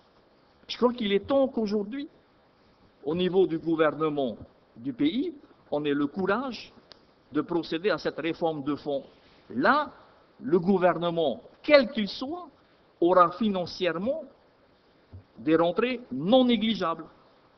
Quand on connaît les écarts de salaire qu'il y a dans le privé et dans le public, je peux vous assurer qu'il y a là source de financement du budget, aussi bien au niveau du fonctionnement que de l'investissement. Voilà, Madame la Présidente, et les questions et les propositions que je souhaitais faire au nom du Hayafi. Merci. Merci, M. Hirote Farere. M. Jacques Brion. Merci, euh, Madame la Présidente, Monsieur le Ministre, euh, Mesdames et Messieurs les représentants, Mesdames et Messieurs. On a entendu tout et le contraire depuis hier à propos euh, de la cohérence des affectations des crédits par rapport à nos établissements.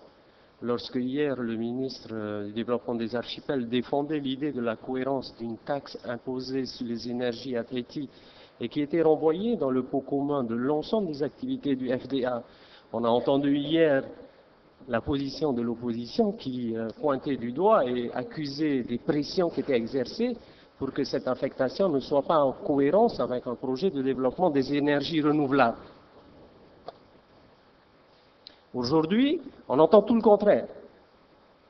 On est dans une logique où, euh, prenons un exemple, et on espère que ça n'arrivera jamais, puisqu'on était sur le port. Si demain le port était déficitaire, est-ce qu'on va demander aux seuls usagers du port de payer et de renflouer la caisse?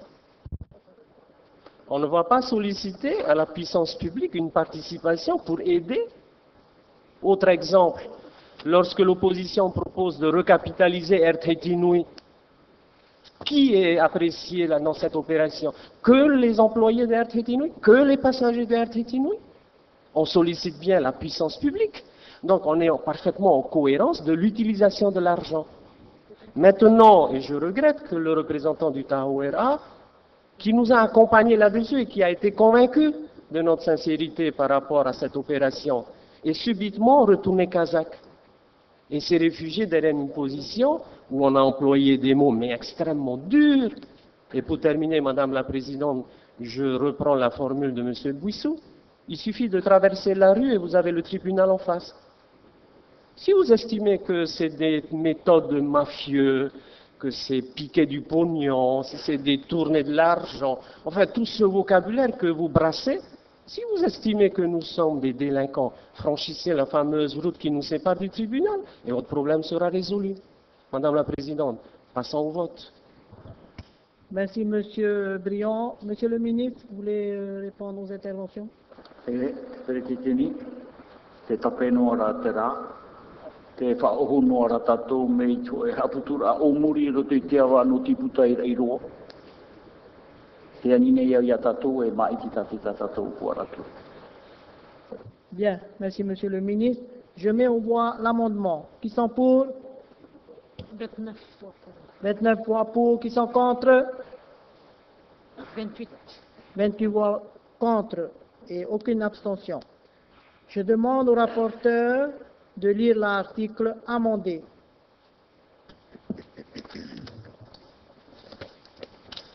Article 1er.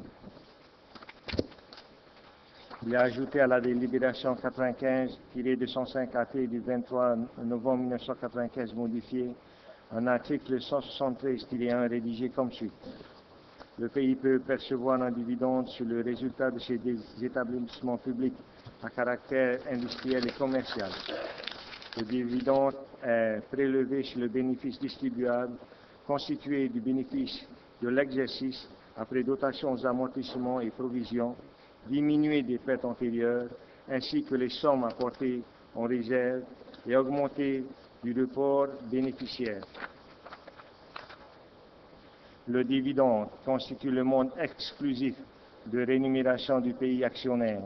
Le Conseil des ministres fixe le montant du dividende versé au budget du pays et les modalités de versement. Après examen du rapport du Conseil d'administration portant sur la situation financière de l'établissement et de l'existence des sommes distribuables, après avis conforme du Conseil d'administration de l'établissement public, le Conseil des ministres fixe le montant du dividende versé au budget du pays, sans toutefois dépasser le montant porté dans l'avis et les modalités du versement. Voilà, Madame la Présidente. Merci, Monsieur le rapporteur. La discussion est ouverte sur l'article amendé. Madame Juliette Tahuatama. Maruru e preteni, wahina anu au e preteni e hui mai e te moman ai proprohia mei to mono preteni. Ni ho ara te ye pū a te o tāna e praura e wahohia nā taho e ai tātou. Te pro o iana wa tano, o taho e a tratau, ia horo te ye, ia ho te hau, te ye pū, i te ye te ye te tuape. Me ta e duar hoi prau te ye mhana, nā te hoi pai e whatuhiara te te ye te, e te tia ahuiara te mutumar i tuape, e whaatare ne te e pai. Te ye te pai, i tawini mei te i, te mo huira atira o tuapa e whiaroa a tumateiti. Tēnā ora ona, e wa pau pa te moni a te hauwhenua i ni te e hor a tānai te e te e te. Te mohi ara pai ana e preteni, par o mai, Ia rawe pa i te i mo tata tu apa i haramera tui unei, e heo te whaata atu e ra. I e ho tu te tima, ia ho te puluwhare. E ia huri atu i e te e pai, te whāna o nei, kiau whenua te e mhana, te oi tupe, te e prohia nei TVA. E horo anu o hohi o rai oto. Ho e tuahi te iho pour 150.000 francs tol. Tana moni TVA. E ofo i kiau whenua te e mhana, noni anō tra 150 000 francs tol. 25.000 francs TV. Oi te whan o tra TVA. Te heira tra moni, i roto te awhata teo. Nori rā, te prong iau, aita te hau whenua i pau. Me tānei praura, nā rato te ie hōr ahia, te ie taiete, i te ie motamar i tā tātou tuape. Te piti. Te hamna nei au te i motamar i rapa. O tā autou i ore, i whahoi i tū rato whenua i te ima teiti. Wa hohi aho e pai no rato. O tā auto i nane, maoti te i pai tu apa, nana i whahoi ta matu motumari i nei tu rato whenua o rapa. No reira te emhana te whaihia ne o momana o hiro. No te mea, te weira a rato i roto te pai pātoi, ia mai te mātou te tei tua amoni. No te tauturu te i mōpū tā rātou e whahihiara te e mhana. Pāto i e, e mei rātou. Ai te rātou e turu mai nei, nei te rāmo mai tira a faufa. Te e mhana, te han mene o to e te o teo. Nō rira, i to o tō e ti ara e tau, a roi mi tā hiro e paraura, a ho o. O i te wau me te me e heo tātou te i mōpū, e no a me tā tātou moni, mi te i e pū, tu a whae. Tēnu atu ia SDAP. SDAP te toturu nei te mo whea whaapu o tu motu. E e tēmei te mo mai o nei, te tute nei o tau, te e mō maa.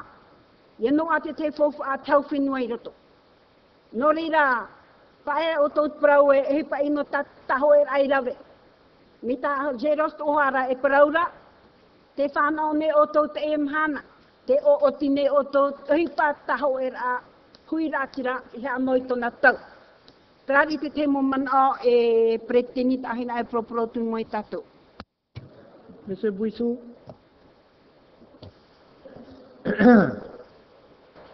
Pardon. Euh, merci Madame la Présidente. Monsieur le, le Vice-président, j'ai une question à vous poser euh, dans le sujet. Est-ce que, euh, est-ce que vous comptez euh, consulter les conseils d'administration de la Banque Socredo et y compris de l'OPT avant le vote de votre budget, puisque vous prévoyez donc euh, le versement de, de dividendes? Deuxième question, si jamais les conseils d'administration de ces organismes ne donnent pas une réponse favorable, euh, où c'est que vous irez chercher euh, l'argent en question? Est-ce que vous irez frapper euh, à la porte de, l'OPH, ensuite euh, du port autonome, ensuite des autres établissements publics? Évidemment, c'est plus facile lorsque les conseils d'administration sont composés surtout de ministres du gouvernement et de représentants issus de la majorité. Parce que là, il n'y a pas de discussion à avoir. D'où l'idée que nous avons, nous, et que nous soutenons, de sortir les politiques des conseils d'administration. Parce que finalement, les personnes qui sont à l'intérieur de ces conseils euh, ne sont plus là pour défendre les intérêts de leur organisme ou de leur établissement, mais sont plutôt des gens qui sont là pour faire passer le pignon de la décision gouvernementale. Donc euh, voilà, j'avais simplement cette question à, vous poser. Est-ce que vous allez consulter les conseils d'administration? Euh, Deuxième question, euh, ce n'est pas une question. J'ai entendu tout à l'heure un représentant intervenir pour dire mais que se passerait-il si un établissement public euh, avait des difficultés? C'est forcément le territoire qui interviendrait. Ce n'est pas tout à fait comme ça qu'on euh, dirige un établissement. Lorsqu'il y a une prestation de service, lorsqu'il y a euh, un problème lié à l'activité, il y a autre chose à faire avant d'en arriver à appeler les pompiers.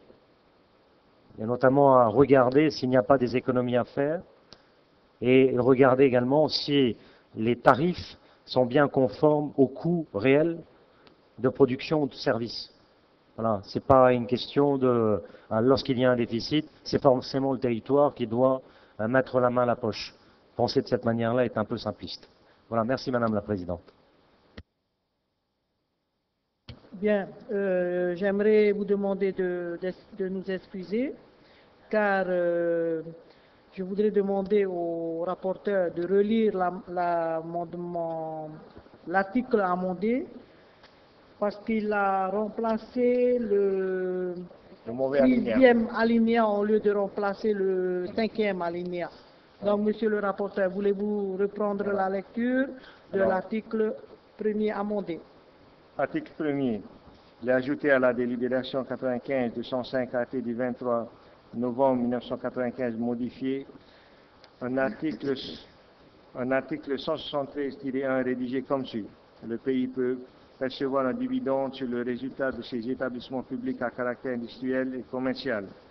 Le dividende est prélevé sur le bénéfice distribuable constitué du bénéfice de l'exercice après dotations, amortissements et provisions, diminué de fêtes antérieures, ainsi que les sommes à apporter en réserve et augmenter le report bénéficiaire.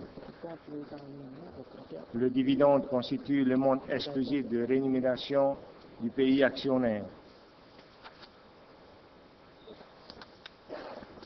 Après avis conforme du conseil d'administration de l'établissement public, le conseil des ministres fixe le montant des dividendes versés au budget du pays sans toutefois dépasser le montant porté dans l'avis et les modalités de versement les comptes annuels de l'établissement public qui verse un dividende comportent une annexe financière détaillée relative à la politique de distribution des dividendes par l'établissement.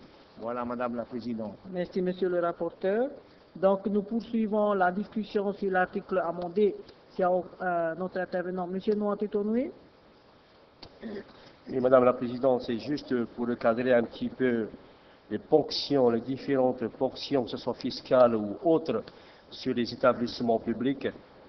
Euh, il y a à peu près 130 milliards qui est prévu pour les recettes fiscales, dont 7 milliards directs sur les établissements publics.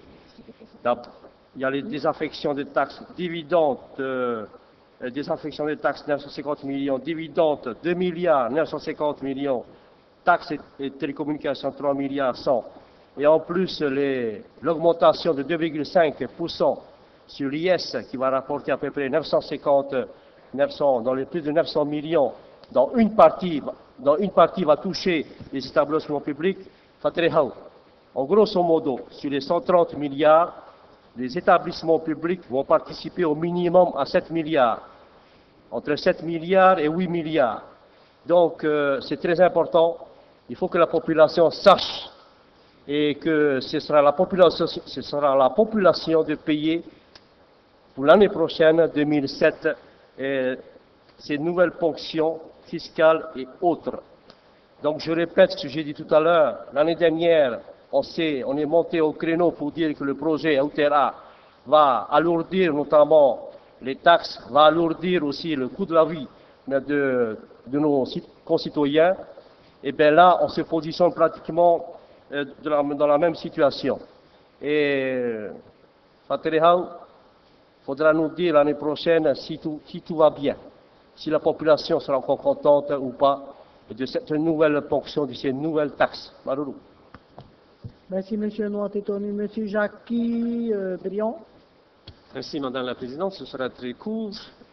Euh, Lorsque nous faisons une proposition et que nous reprenons les idées qui ont été développées par l'opposition, ça devient tout simplement simpliste. C'est bizarre, lorsque M. Gaston Floss proposait de recapitaliser RTT Noué, faut-il déduire que c'était un simpliste?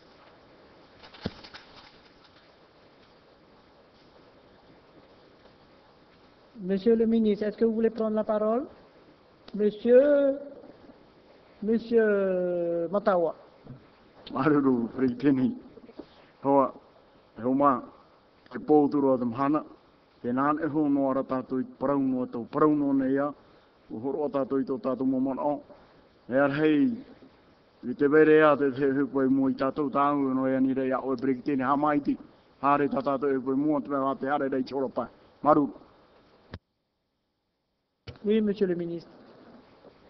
Te tuatira tō umano i te ene ani rā tātou tātou ta e a mai rona ta oa.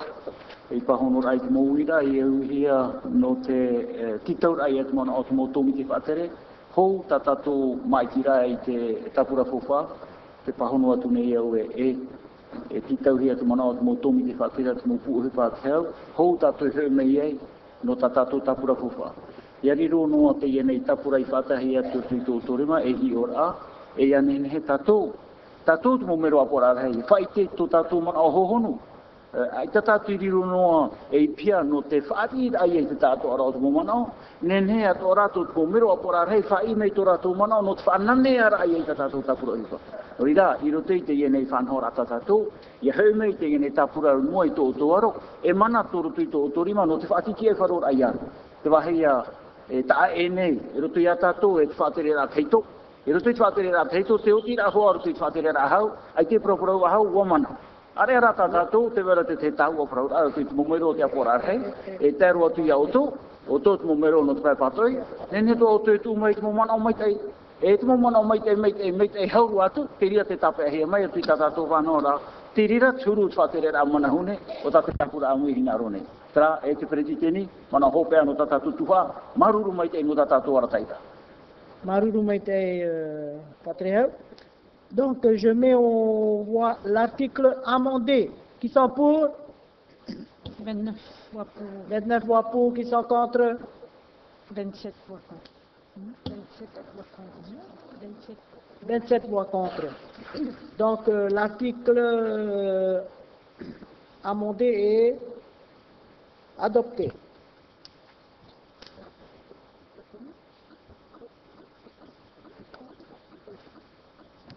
Euh, nous passons à l'article 2, Monsieur le rapporteur. Article 2. Le président de la Polynésie française est chargé de l'exécu- l'exécution de la pré- présente délibération qui sera publiée au journal officiel de la Polynésie française. Voilà, Madame la Présidente. Merci, Monsieur le rapporteur. La discussion est ouverte sur l'article 2. Monsieur Bouissou. Merci, euh, Madame la Présidente. Madame la Présidente, euh, j'ai entendu tout à l'heure, c'est quoi cette idée de... Et à chaque fois que nous sommes en discussion sur un dossier, il arrive toujours un moment où, par manque de patience, je présume, vous voulez tout de suite qu'on arrête et, qu'on passe au vote. On a quand même droit à avoir un débat sur des dossiers aussi importants que celui-ci. Nous avons posé des questions tout à l'heure, nous n'avons pas eu nos réponses.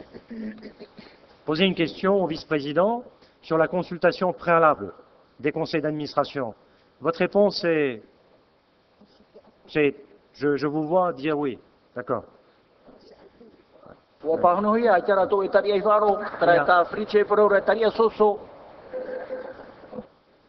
E no ai e pahono ra, i te te vene. Ere? E o? Turi. E o? Ya, ua ue, ua parau au te ia parau mai te ia churu. Ia, mana ue. Are mua, s'il vous plaît, s'il vous plaît. Are mua. Sivuple. Ia, ia parau parau pai tato mai te ia churu. Me au, ere me. Mai te mea na auto e parau, me au ro na auto. Mai te mea na au e parau e toto e wari, e ho maera. Ko te reo, pai apai o tau, pai o tau tau tau mo parau mai te ia churu. Parau mai. E u PLD mā, paro mai. Te mana hopea te ie ia peretene.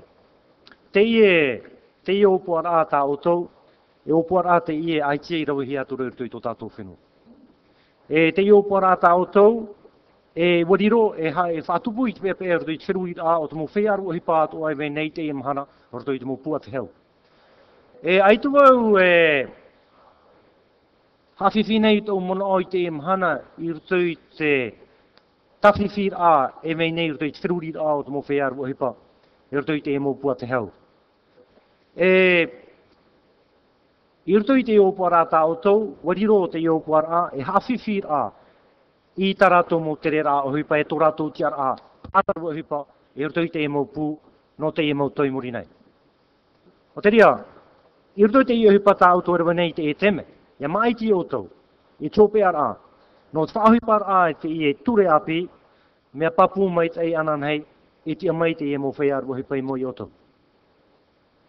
E ia te amai rātou i mo i o a ho maera. Tai ta tātou i te i te mo hope toma mari anei, te emo a, a mari anei. Nā rātou i te te mo whaoti rā auto e whaoti, ei tau tau hare whare rei te whai whaiaru o hipa, no te tuatapapa namua rua i mo i rātou.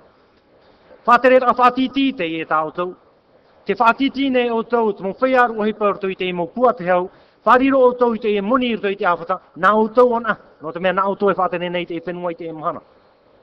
Rara, ai tau uto i te, nā te ie tō hoa mō whaiaru o hipa i muri, i nā tui tō rātou hou, tā rātou o hipa i mō mhana atoa, i whaatupu i te e maitai, i roto i tā rātou mō awhata. Tā rātou e ni no i ha maitai hia i tā rātou moni au a. Tā rātou e ani noa i eimihia te te mō rau ea, ia ohi e ri a tā rātou mō hipa i mō mhana atoa. Te haramai nei o tau, me te te mō whaia e ia, e o e ia o tau i te moni, o te Roi whau te rā i e parau rātou. e ia. No te ria, Roi e o te tau, rā. e wharo mai te mō parau e paruhia nei Ia, te pai, teme. ngaro ai, E o tau ngaro harma ai, e ngaro tapu. parau e ia, Mai rona, e parau. o harma e tapu. Ai. I nā roe proporo aro a, Presidente, proporo ai. tua. Ai te tu ati. Ai te, ai te o titulu. Ai te vai, tu Ai ati,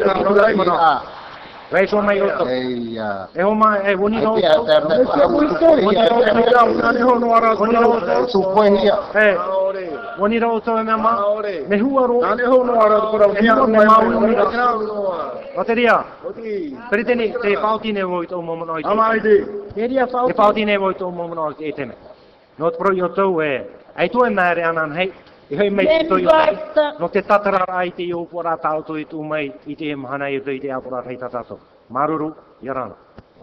Maruru Mate Bouissou. Donc, euh, notre euh, délibération, notre... Ah oui.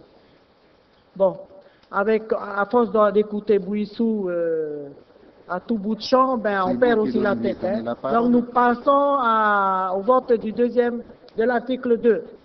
Même vote même vote. Toute la délibération, même vote, même vote. Voilà, euh, la délibération numéro 118 tiré. La délibération est adoptée. Merci beaucoup.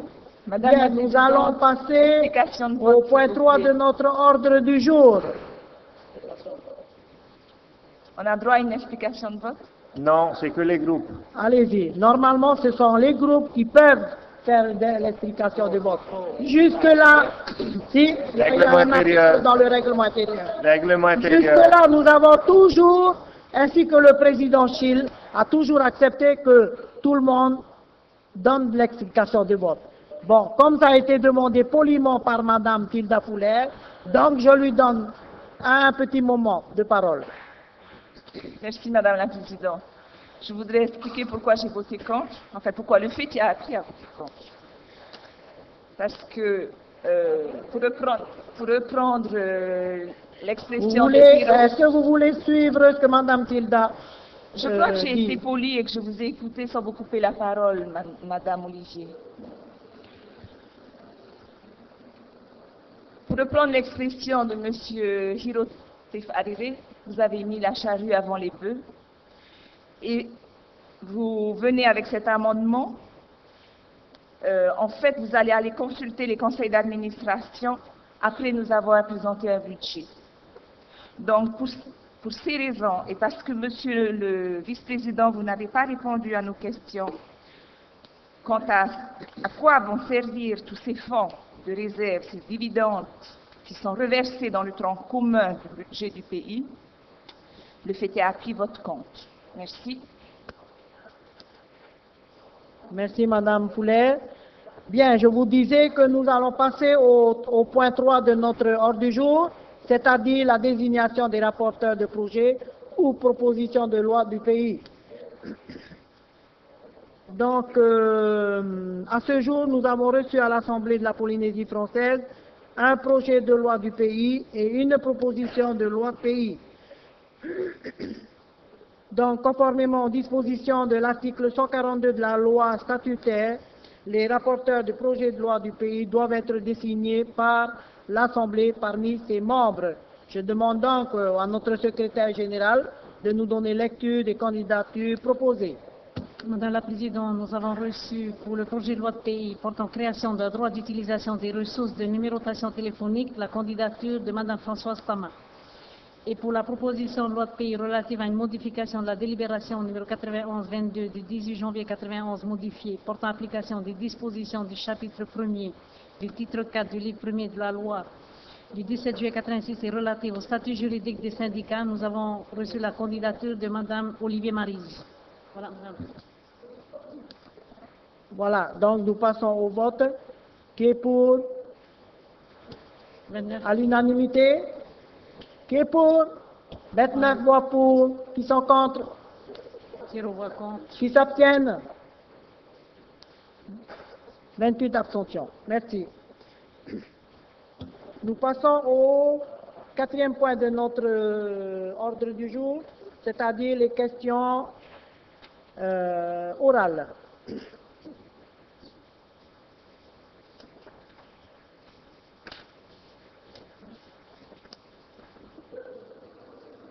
Alors, nous avons reçu cinq questions orales. Je vous rappelle que l'orateur dispose de trois minutes pour exposer sa question. Il ne peut reprendre la parole après la réponse du gouvernement. Le ministre dispose de cinq minutes pour, pour apporter sa réponse.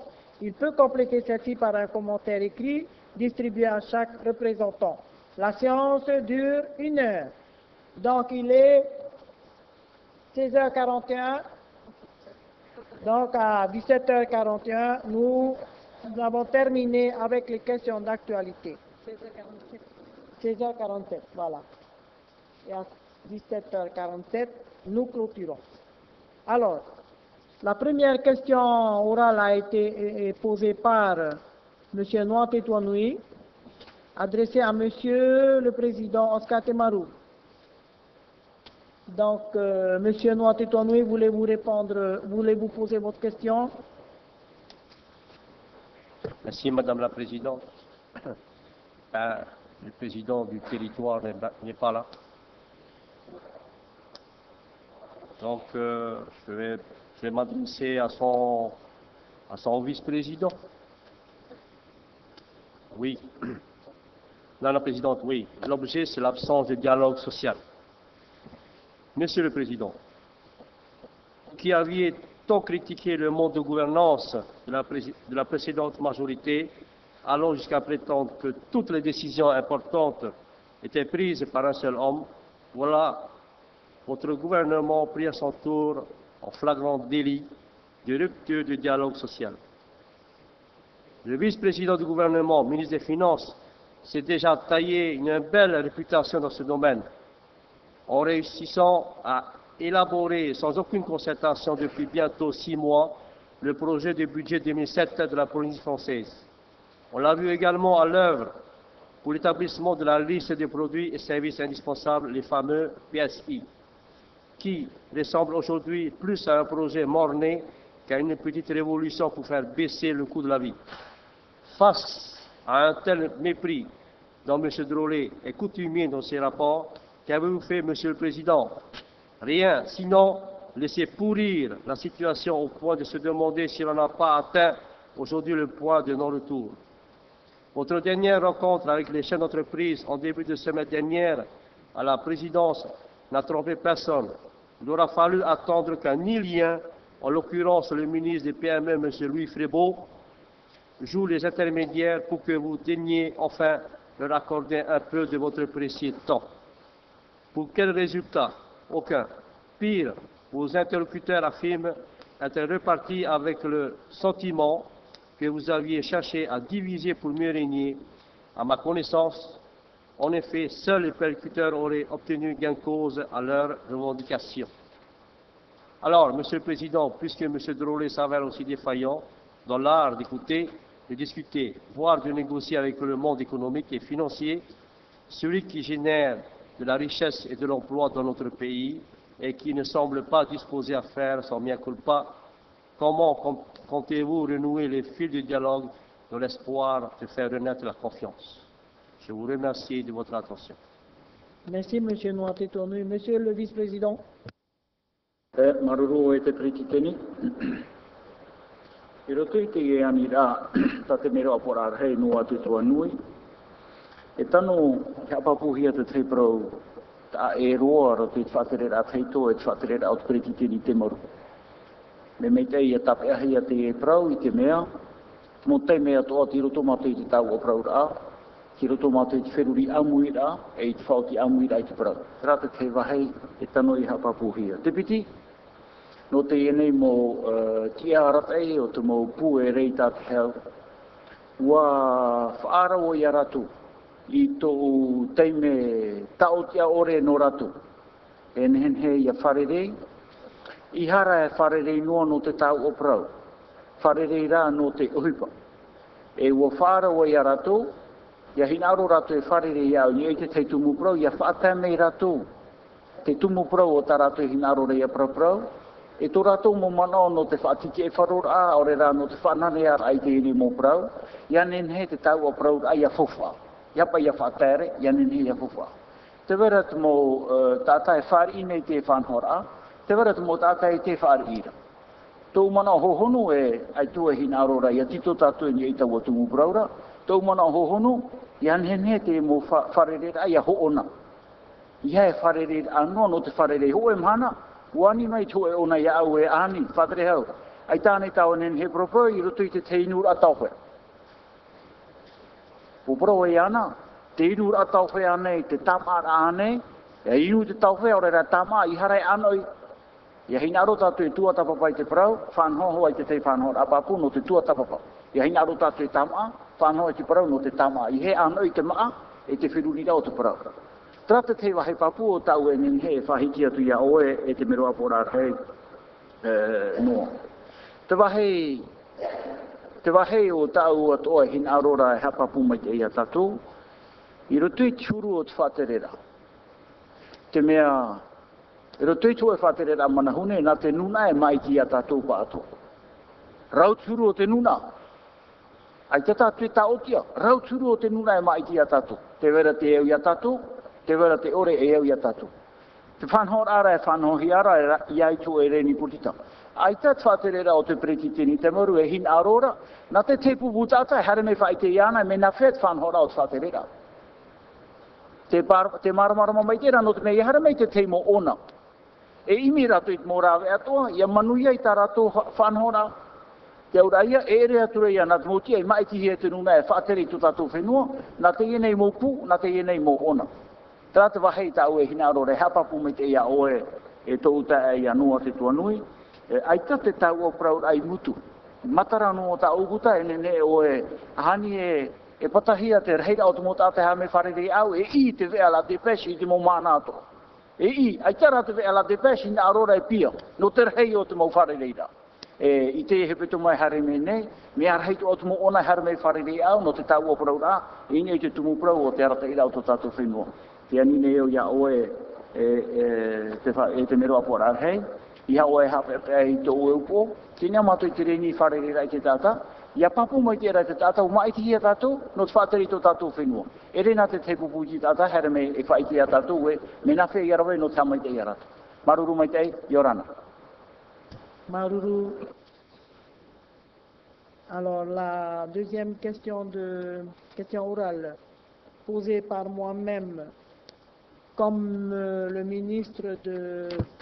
du Logement n'est pas là, donc je retire ma, question.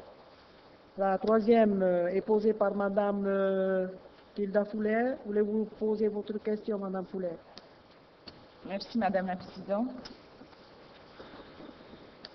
Je vais l'adresser au vice-président puisque le président n'est pas là. Il y a un an, la population découvrait le projet TLTRA qui devait refonder le lien social entre les Polynésiens. Vos ministres nous, expliquaient qu'en augmentant le pouvoir d'achat des salariés de 6 000 francs par mois, vous alliez relancer la consommation, que cette relance allait créer un boom économique sans précédent et que cette relance allait générer un nombre d'emplois remarquable. Pour amener, à vous, ah, pardon, pour amener à vous les partenaires sociaux hésitants, vous avez promis aux patrons l'augmentation du nombre de leurs sièges au conseil d'administration de la CPS. Avec une partie des salariés, vous avez signé un protocole. Avec une autre partie, un protocole disant exactement le contraire. À tous, vous avez promis une baisse de leur cotisation sociale. Qu'en est-il aujourd'hui?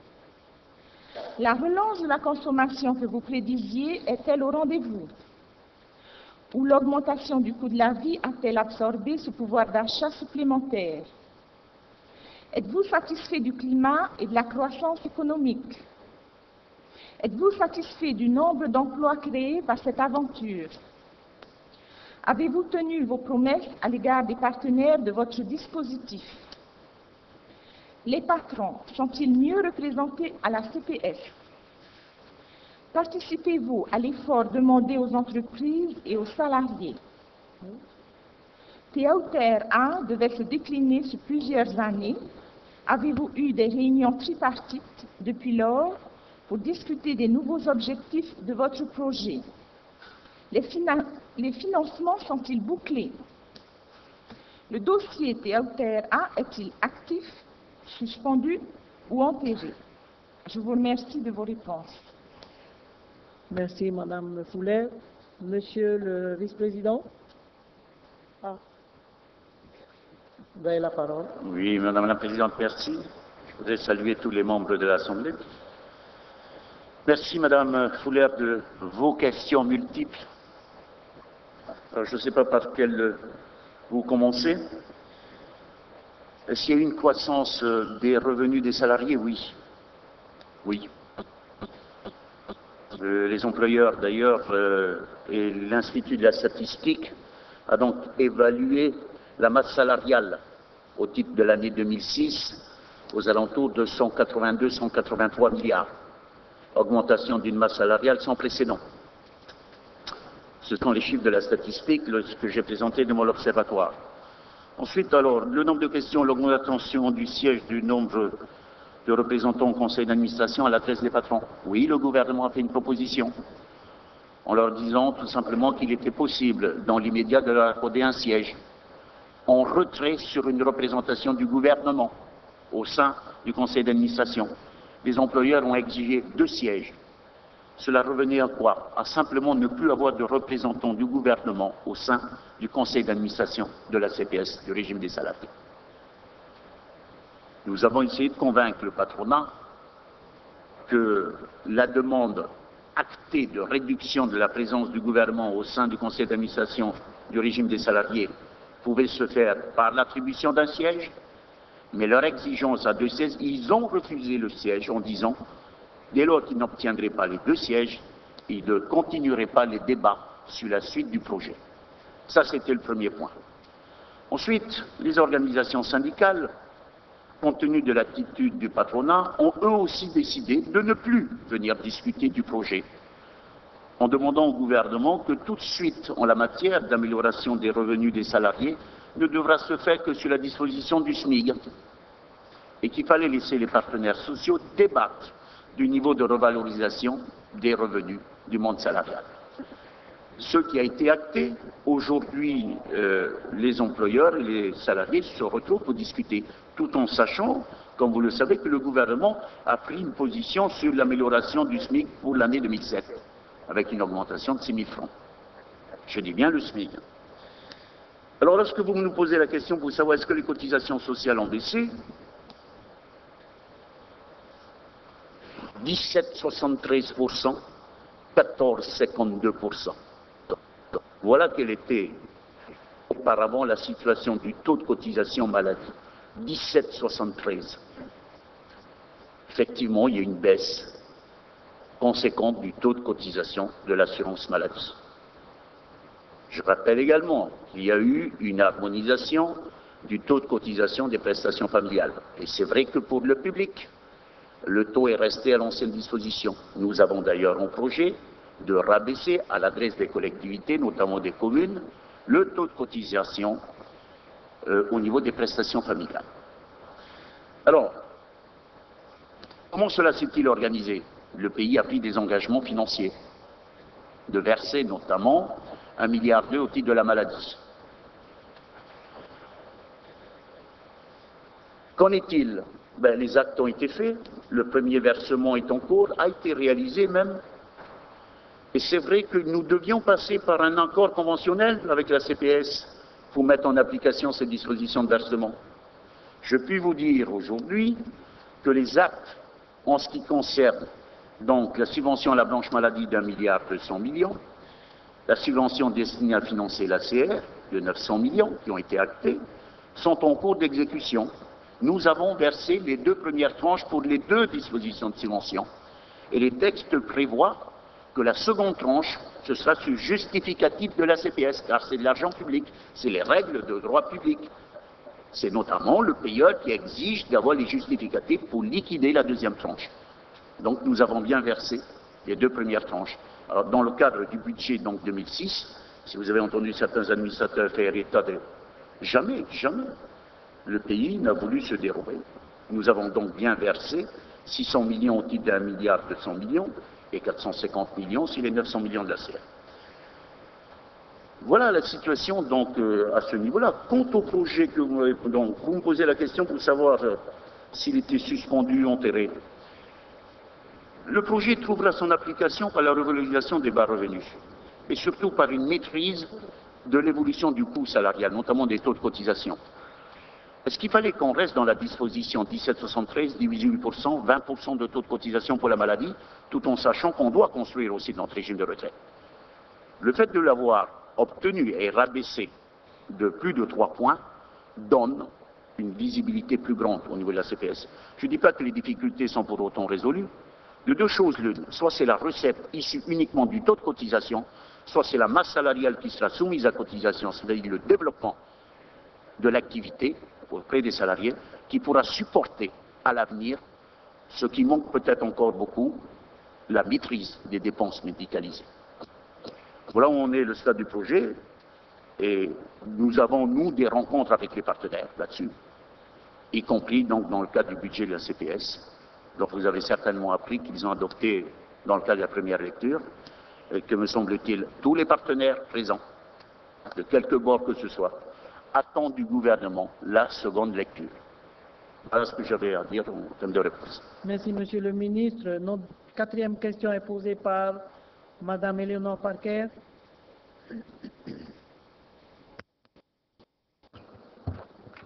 Merci, Madame la Présidente. Monsieur le ministre, Monsieur le vice-président, vendredi dernier, votre ministre de la Santé, Mme Piahiro, a annoncé qu'elle démissionnait de votre gouvernement. Dans sa conférence de presse expliquant sa décision, Mme Piahiro a motivé sa décision par de nombreux griefs imputables à vos décisions politiques. La liste de ces griefs n'est pas une surprise, puisqu'à de nombreuses reprises devant cette Assemblée, le groupe Tawer Ahuriatra a eu l'occasion de dénoncer la politique de votre gouvernement en matière de santé et notamment le manque de crédit affecté à ce secteur. Les déclarations de Mme Piahiro ne sont que la confirmation de ce que nous avons dit, déjà dit. En fait, nous étions en dessous de la réalité puisque le ministre démissionnaire affirme qu'il lui a été demandé de réduire les dépenses du secteur dont elle avait la responsabilité. Nous en déduisons que malgré un contexte catastrophique dans le secteur de la santé publique, et notamment en raison de la pénurie des professionnels de soins et particulièrement dans nos archipels, la santé ne fait pas partie des priorités du gouvernement. Elle en fait d'autant moins partie que vous avez, semble-t-il, eu des propos outranciers, voire racistes à l'égard des médecins du secteur privé. Et comme si ce n'était pas suffisant, à l'heure où le ministère lançait une nouvelle campagne contre le diabète, vous supprimez la quasi-totalité des taxes affectées à l'EPAP, réduisant ainsi à néant les efforts de prévention. Monsieur le vice-président, dans l'unique but de gratter un peu d'argent pour boucler votre budget, jusqu'où irez-vous dans vos intentions de sacrifier la santé de nos compatriotes? Merci. Monsieur le ministre. E maruru e e Eleanor Parker, no Mua tu atu ni eiti e ni fifi wharerehi e pia hiro. Ta matari oi toro e te te mu pahono rai ta oe wira. I roto i tātou tapura fufua, ia tei o o e te tapura fufua, e i te o i te pē o te fufua wha ahutu, te pē o te harai rāmai o te nuara piti. Te numara matamua, te pē o te maupatu ararhei. Hauri o ia i te toru ohoru i e chanere, o te fufua, i whaatahia no te maupatu ararhei. E te piti, te ara i amai, te parau no te ea, kini e te whaito, piti ohuru e maho e ni e chanere. O te fauwha i whaatahia ri tata tau tapura, o te tauturu ai ki riatua. No rira, Nā rora oe whaatiti e wharo i traman o ta o i tū mai, e mei tiro i whawhai whaatahia no te ea tini ona i whaito, piti horu maho e ni chane. Te parau no te ene mō tau te ere i nā te hau, o i te oto, tō tātou whiwhir hei, i te mea uh, uoiti hi at mo tau te ere tuto tātou whenua, me te tau a uh, whanhoa i te whaterera o te whenua whrani, te te whanhoa at a e no te tepur ai ai te mō tamari, no te hare te tiri ratoroa. E ere o tātou ana e trai wharere i tushi, i o nei, te whenua whrani to atra e whare re reit whiwhi. I te imir ai tā ratu tote, ore re mo mō tuati mai. E wata roa i te nei e wo mata i te tatu, i te rei au te mō teime, wata e roa i te nei i te mō tuati mai no te whenua panyora, e rawa te hupa i te whenua whrani. E nari ratu atu mo tote no te whenua here ni, hare me rate i te whenua whrani. Te tera tatu, te huru o te whanhora o te arata ira o te tote. Tēnei, Ia whahiti tātu te, mo te proa te mo tau te ere i nā te hau. Mea tano tātou i a whiruri atoa te tātua rao o mo whaature rata tātou e rawe nei, no te tao ti ar aia i te moni tātou he e tu atu no te paruru aia i te tino, te ea o te mō tātou. Ai tātou tātu he whaari i a opere noa hia, e ura prau, te mo rā au, Ma te hi upoa ore, te whaito moni, e a muhia rei tatatu a whataturuta. O te oe, e te mero apora arhei. Me te peu e whaari tātou i te tāpura fōwha ai whatahia, Me roto mai te a whataturuta, no te prauno no te raa, e ahia te whaito e hitu miria. Te uraia, e te uira e vero tia tātou, whaari ane tatu, ia vaisho no te ene mo whanhor, ai hare roi te rei. Te mana or hei, ai tāne ne ne, e tā otia, e ta uaprau, e whanhoi te te tā otia. Rau ta ua. E ua whahiti at o e te prauno te epa, na rora oe hapa pui a oe e te mero pora rei ai tate rira pu i whaore hia mi tai whaaro. Ai taro atu. Te wahi paku e te wira i tupu e rutu i te whatire rau tu tatou whenua ne ane rutu i te i nei pu tai mei te matheti o te i e opere nei tāna fofa hau atu i te piti miria i rutu i te tātou arau hua e ere te arai rau ai ana te parau no te whare hapira, te parau no te api, te parau no tratua, tratua, tratua, tratua. Tēnei, te wahi tā matu i te, i opere ia te ienei fufa e te ienei pū, ai ta te ienei whatre hau no te pēo te ea, nene e hare hi opoa, ua manu ia nei te moni i tuhi aro te tire tua. Te me me ia whanho te ienei whatere hau te te tino moni, no te tauturu ai ai whaita e tara tino, me fifi nona, i tare rai feruri e, e o okoa, ua manu ia nei te moni tuhi aro te tira tua.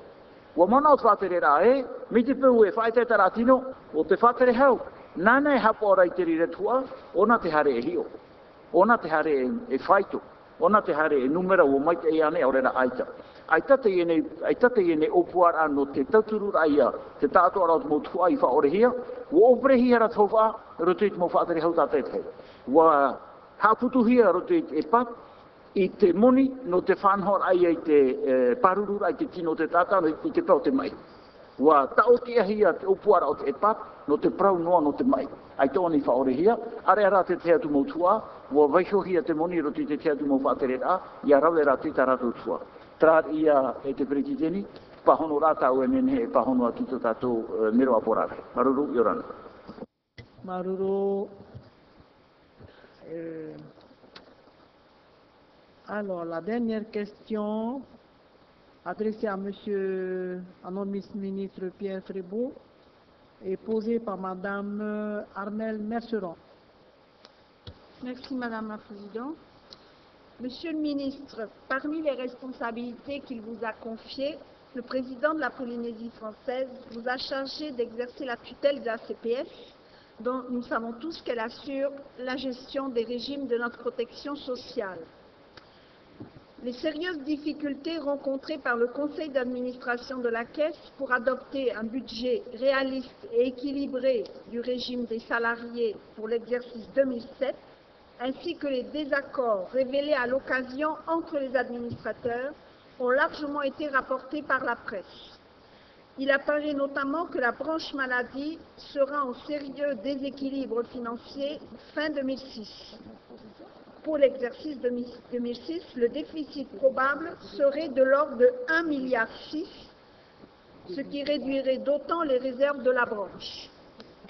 Ce déficit pourrait être encore aggravé de 1,2 milliard si le gouvernement ne payait pas au régime des salariés cette somme qui a pourtant été votée par votre majorité et inscrite au budget primitif de 2006 et qui devait, comme vous l'avez dit tout à l'heure, compenser la baisse des cotisations décidée par votre majorité dans le cadre du projet TAOTRA. Je vous signale que les informations que le conseil d'administration a eues dataient du 30 octobre. Or, c'est il y a moins de 15 jours et à ce moment-là, il n'y avait pas de paiement.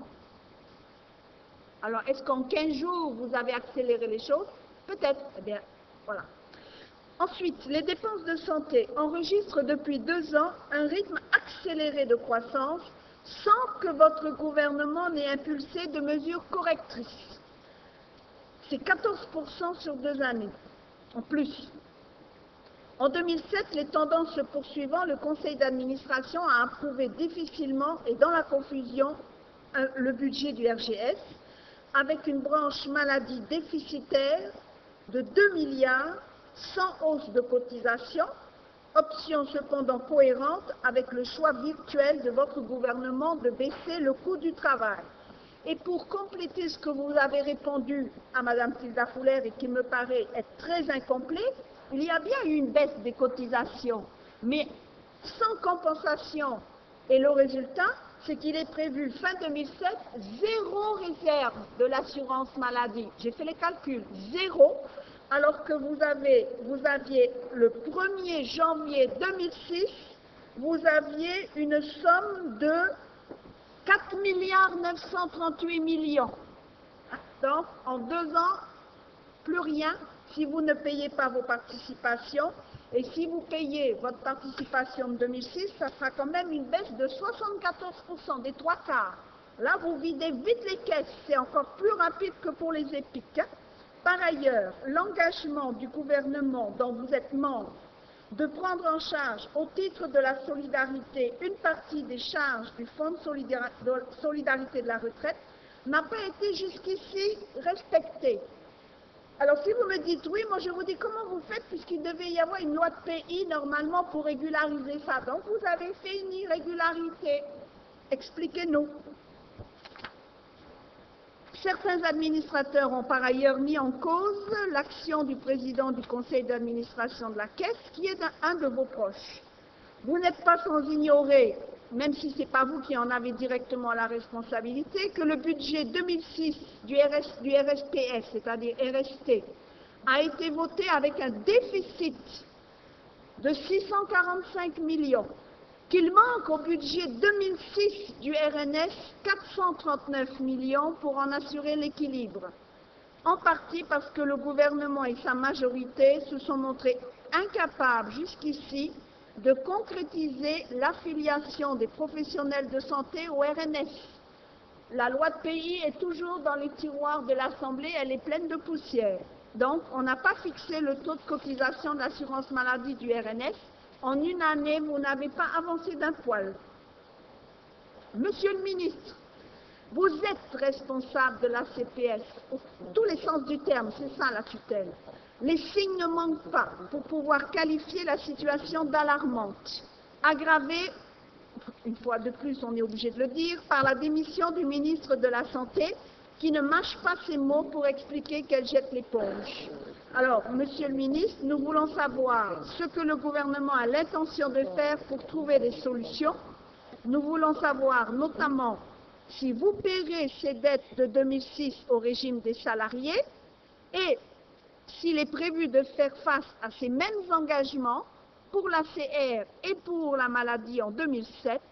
Et enfin, compte tenu de tout cela, êtes-vous solidaire des options de votre gouvernement? Je vous signale, pour terminer, puisqu'on a le temps, que j'ai regardé dans le, bouquin bleu et je n'ai pas trouvé de traces de, de subvention du budget du territoire au régime des salariés. J'en conclus que les 1,2 milliard, il n'y aura pas d'engagement de verser 1,2 milliard en 2007 comme en 2006. Voilà mes questions. Merci. Merci, Madame Messeron. Monsieur le ministre. Merci Madame la Présidente. Alors, Madame Merceron, les arrêtés portant donc organisation du paiement des dispositions de financement de 2006 ont bien été pris, publiés au journal officiel. Suite à ces arrêtés, les déblocages de fonds se sont faits. Je disais tantôt que les deux premières tranches ont été versées. Nous attendons maintenant ensuite la clôture pour les justificatifs pour terminer les versements. On parle là des 1 milliard de de la maladie et des 900 millions pour la CR. Vous prendrez connaissance dans le journal officiel, c'était publié. Je pense que vous êtes abonné. Donc il vous appartient de prendre connaissance des actes qui permettent justement le déblocage des fonds. Alors ensuite, ça permet, me semble-t-il, de répondre à la situation de 2006. Et lorsque vous dites, euh, de manière un peu osée, que l'engagement du gouvernement dont vous êtes demandé de prendre en charge au titre de la solidarité une partie des charges du Fonds de solidarité de la retraite n'a pas été jusqu'ici respecté. Je vous démontre qu'au contraire.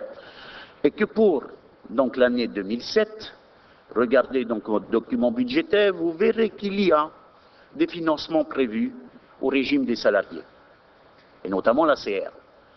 Si la particularité du gouvernement à l'heure actuelle, au titre de son engagement vis-à-vis des partenaires, c'est de dire nous allons prendre au titre de la solidarité le financement de l'ACR à moins de 15 ans, c'est parce qu'une loi de pays est pendante devant le Haut Conseil. Et cette loi de pays va arriver.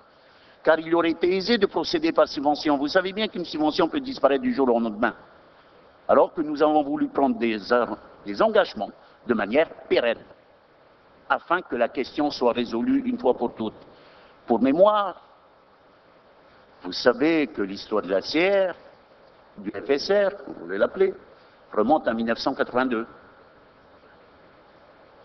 D'ailleurs, je me suis fait procurer les actes des anciens ministres chargés de la tutelle de la CPS, que ne fut mon bonheur de vous découvrir également parmi ceux-là. C'est bien la première fois que la question de l'ACR est résolue de manière définitive. Et nous allons donc, bientôt vous allez recevoir la loi de pays, car je ne voulais pas procéder par voie de subvention qui pouvait être remise en cause tous les ans s'il s'agit là véritablement de s'engager dans une dépense pérenne à la charge du pays pour la fraction donc euh, de cette allocation complémentaire de retraite à moins de 15 ans. Ensuite, vous avez parlé du déficit. Alors, c'est vrai que les membres du conseil d'administration se sont posés beaucoup de questions Ils ont donc élaboré un budget en partant du principe que le pays devait payer un milliard d'euros. Vous savez bien que aucune structure publique ne peut se permettre de mettre une charge ou du moins une recette non acquise.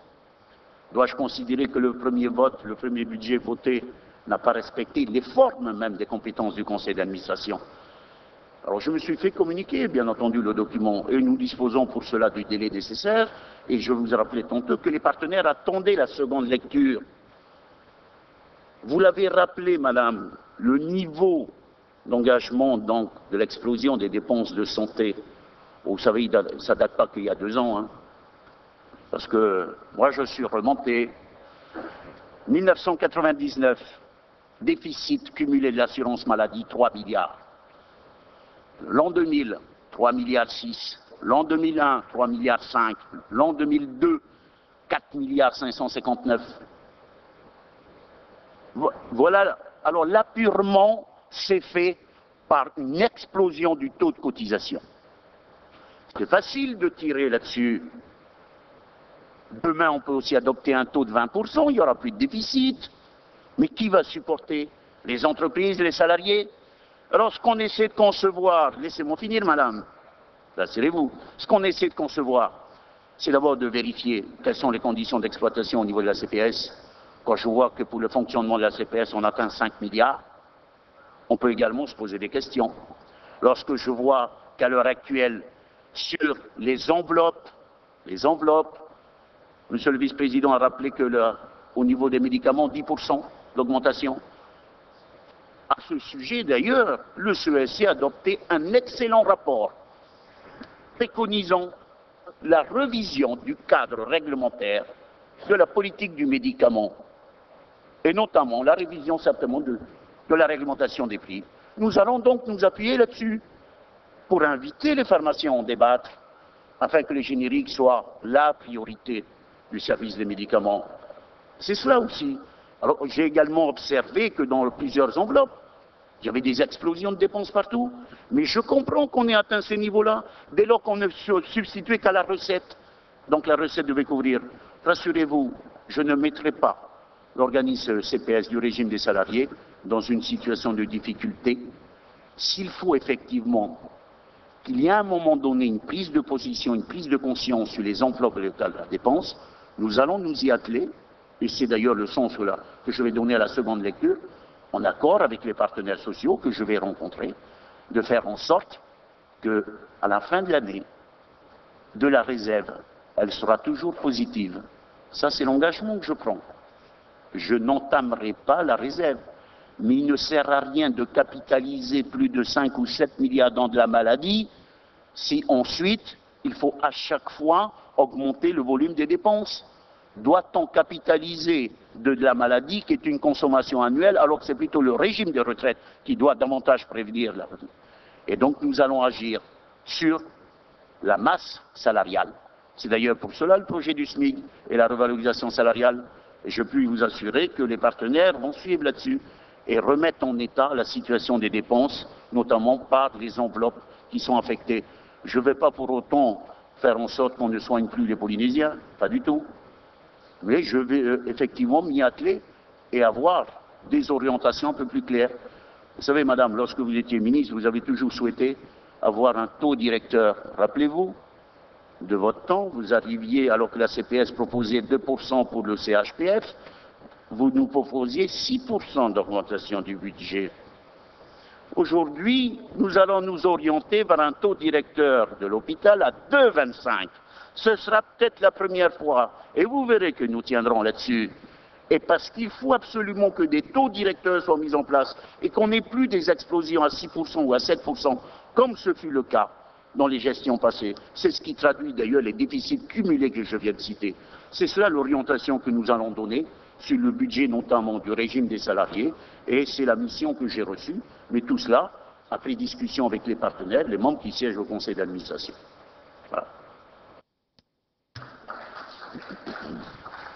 Merci, Monsieur le ministre.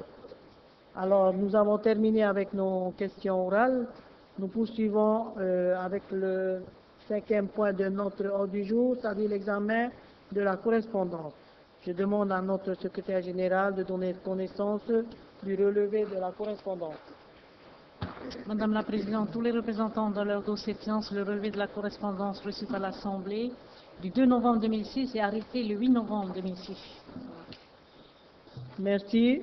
Nous passons au point suivant, c'est-à-dire la convocation pour une prochaine séance. Donc, nous fixons la date de notre prochaine séance au mercredi 22 novembre 2006 à 9 heures du matin. Donc, mercredi 22 novembre à 9 heures du matin. Voilà. Madame la Nous Présidente, passons. Oui, alors je demande l'avis de, la, de notre Assemblée. Oui, Madame euh, Lana Titonoui. Oui, Madame la Présidente, merci pour ce dernier point. Je voulais juste euh, faire rappeler euh, nos, collègues euh, représentants de l'Assemblée pour avoir participé à la conférence des présidents de groupe la semaine dernière pour fixer la séance d'aujourd'hui. Nous avions évoqué avec le président de l'Assemblée de l'absence de certains représentants maires qui se sont déplacés à Paris pour le congrès des maires et nous avions demandé à ce qu'on euh, à ce qu'on ne puisse pas tenir euh, une séance, euh, quand même par respect pour nos collègues euh, repré- euh, représentants et maires en même temps euh, qui, sont, qui sont en déplacement. Je voulais juste euh, faire rappeler qu'on a, on a évoqué ce problème-là lors de la conférence euh, des, présidents de groupe. Bon, j'entends des graissements de temps dedans à ma gauche. J'ai été très poli toute la journée, très calme. Je vais continuer à être calme. Non, vous avez la majorité aujourd'hui. Vous allez décider ce que vous voulez. Mais je voulais juste rappeler quand même la discussion qu'il y a eu entre les présidents de groupe. Merci. Merci, Madame, Madame Tetonoui. Euh, comme vous l'avez précisé, nous avons la majorité et c'est la décision de la majorité de fixer le- la convocation de notre prochaine séance qui a été fixée au 22 novembre 2006. Voilà. Eh bien, notre, je rappelle que notre prochaine séance se passera le 22 novembre 2006 à partir de 9 heures du matin et la- nous passons au vote qui sont pour? 27 voix pour. 27 voix pour. 27 voix pour. Euh, non. 16 euh, contre. 16. 16 voix contre. Madame Tilda Foulet, vous votez contre? Bien, donc, hmm,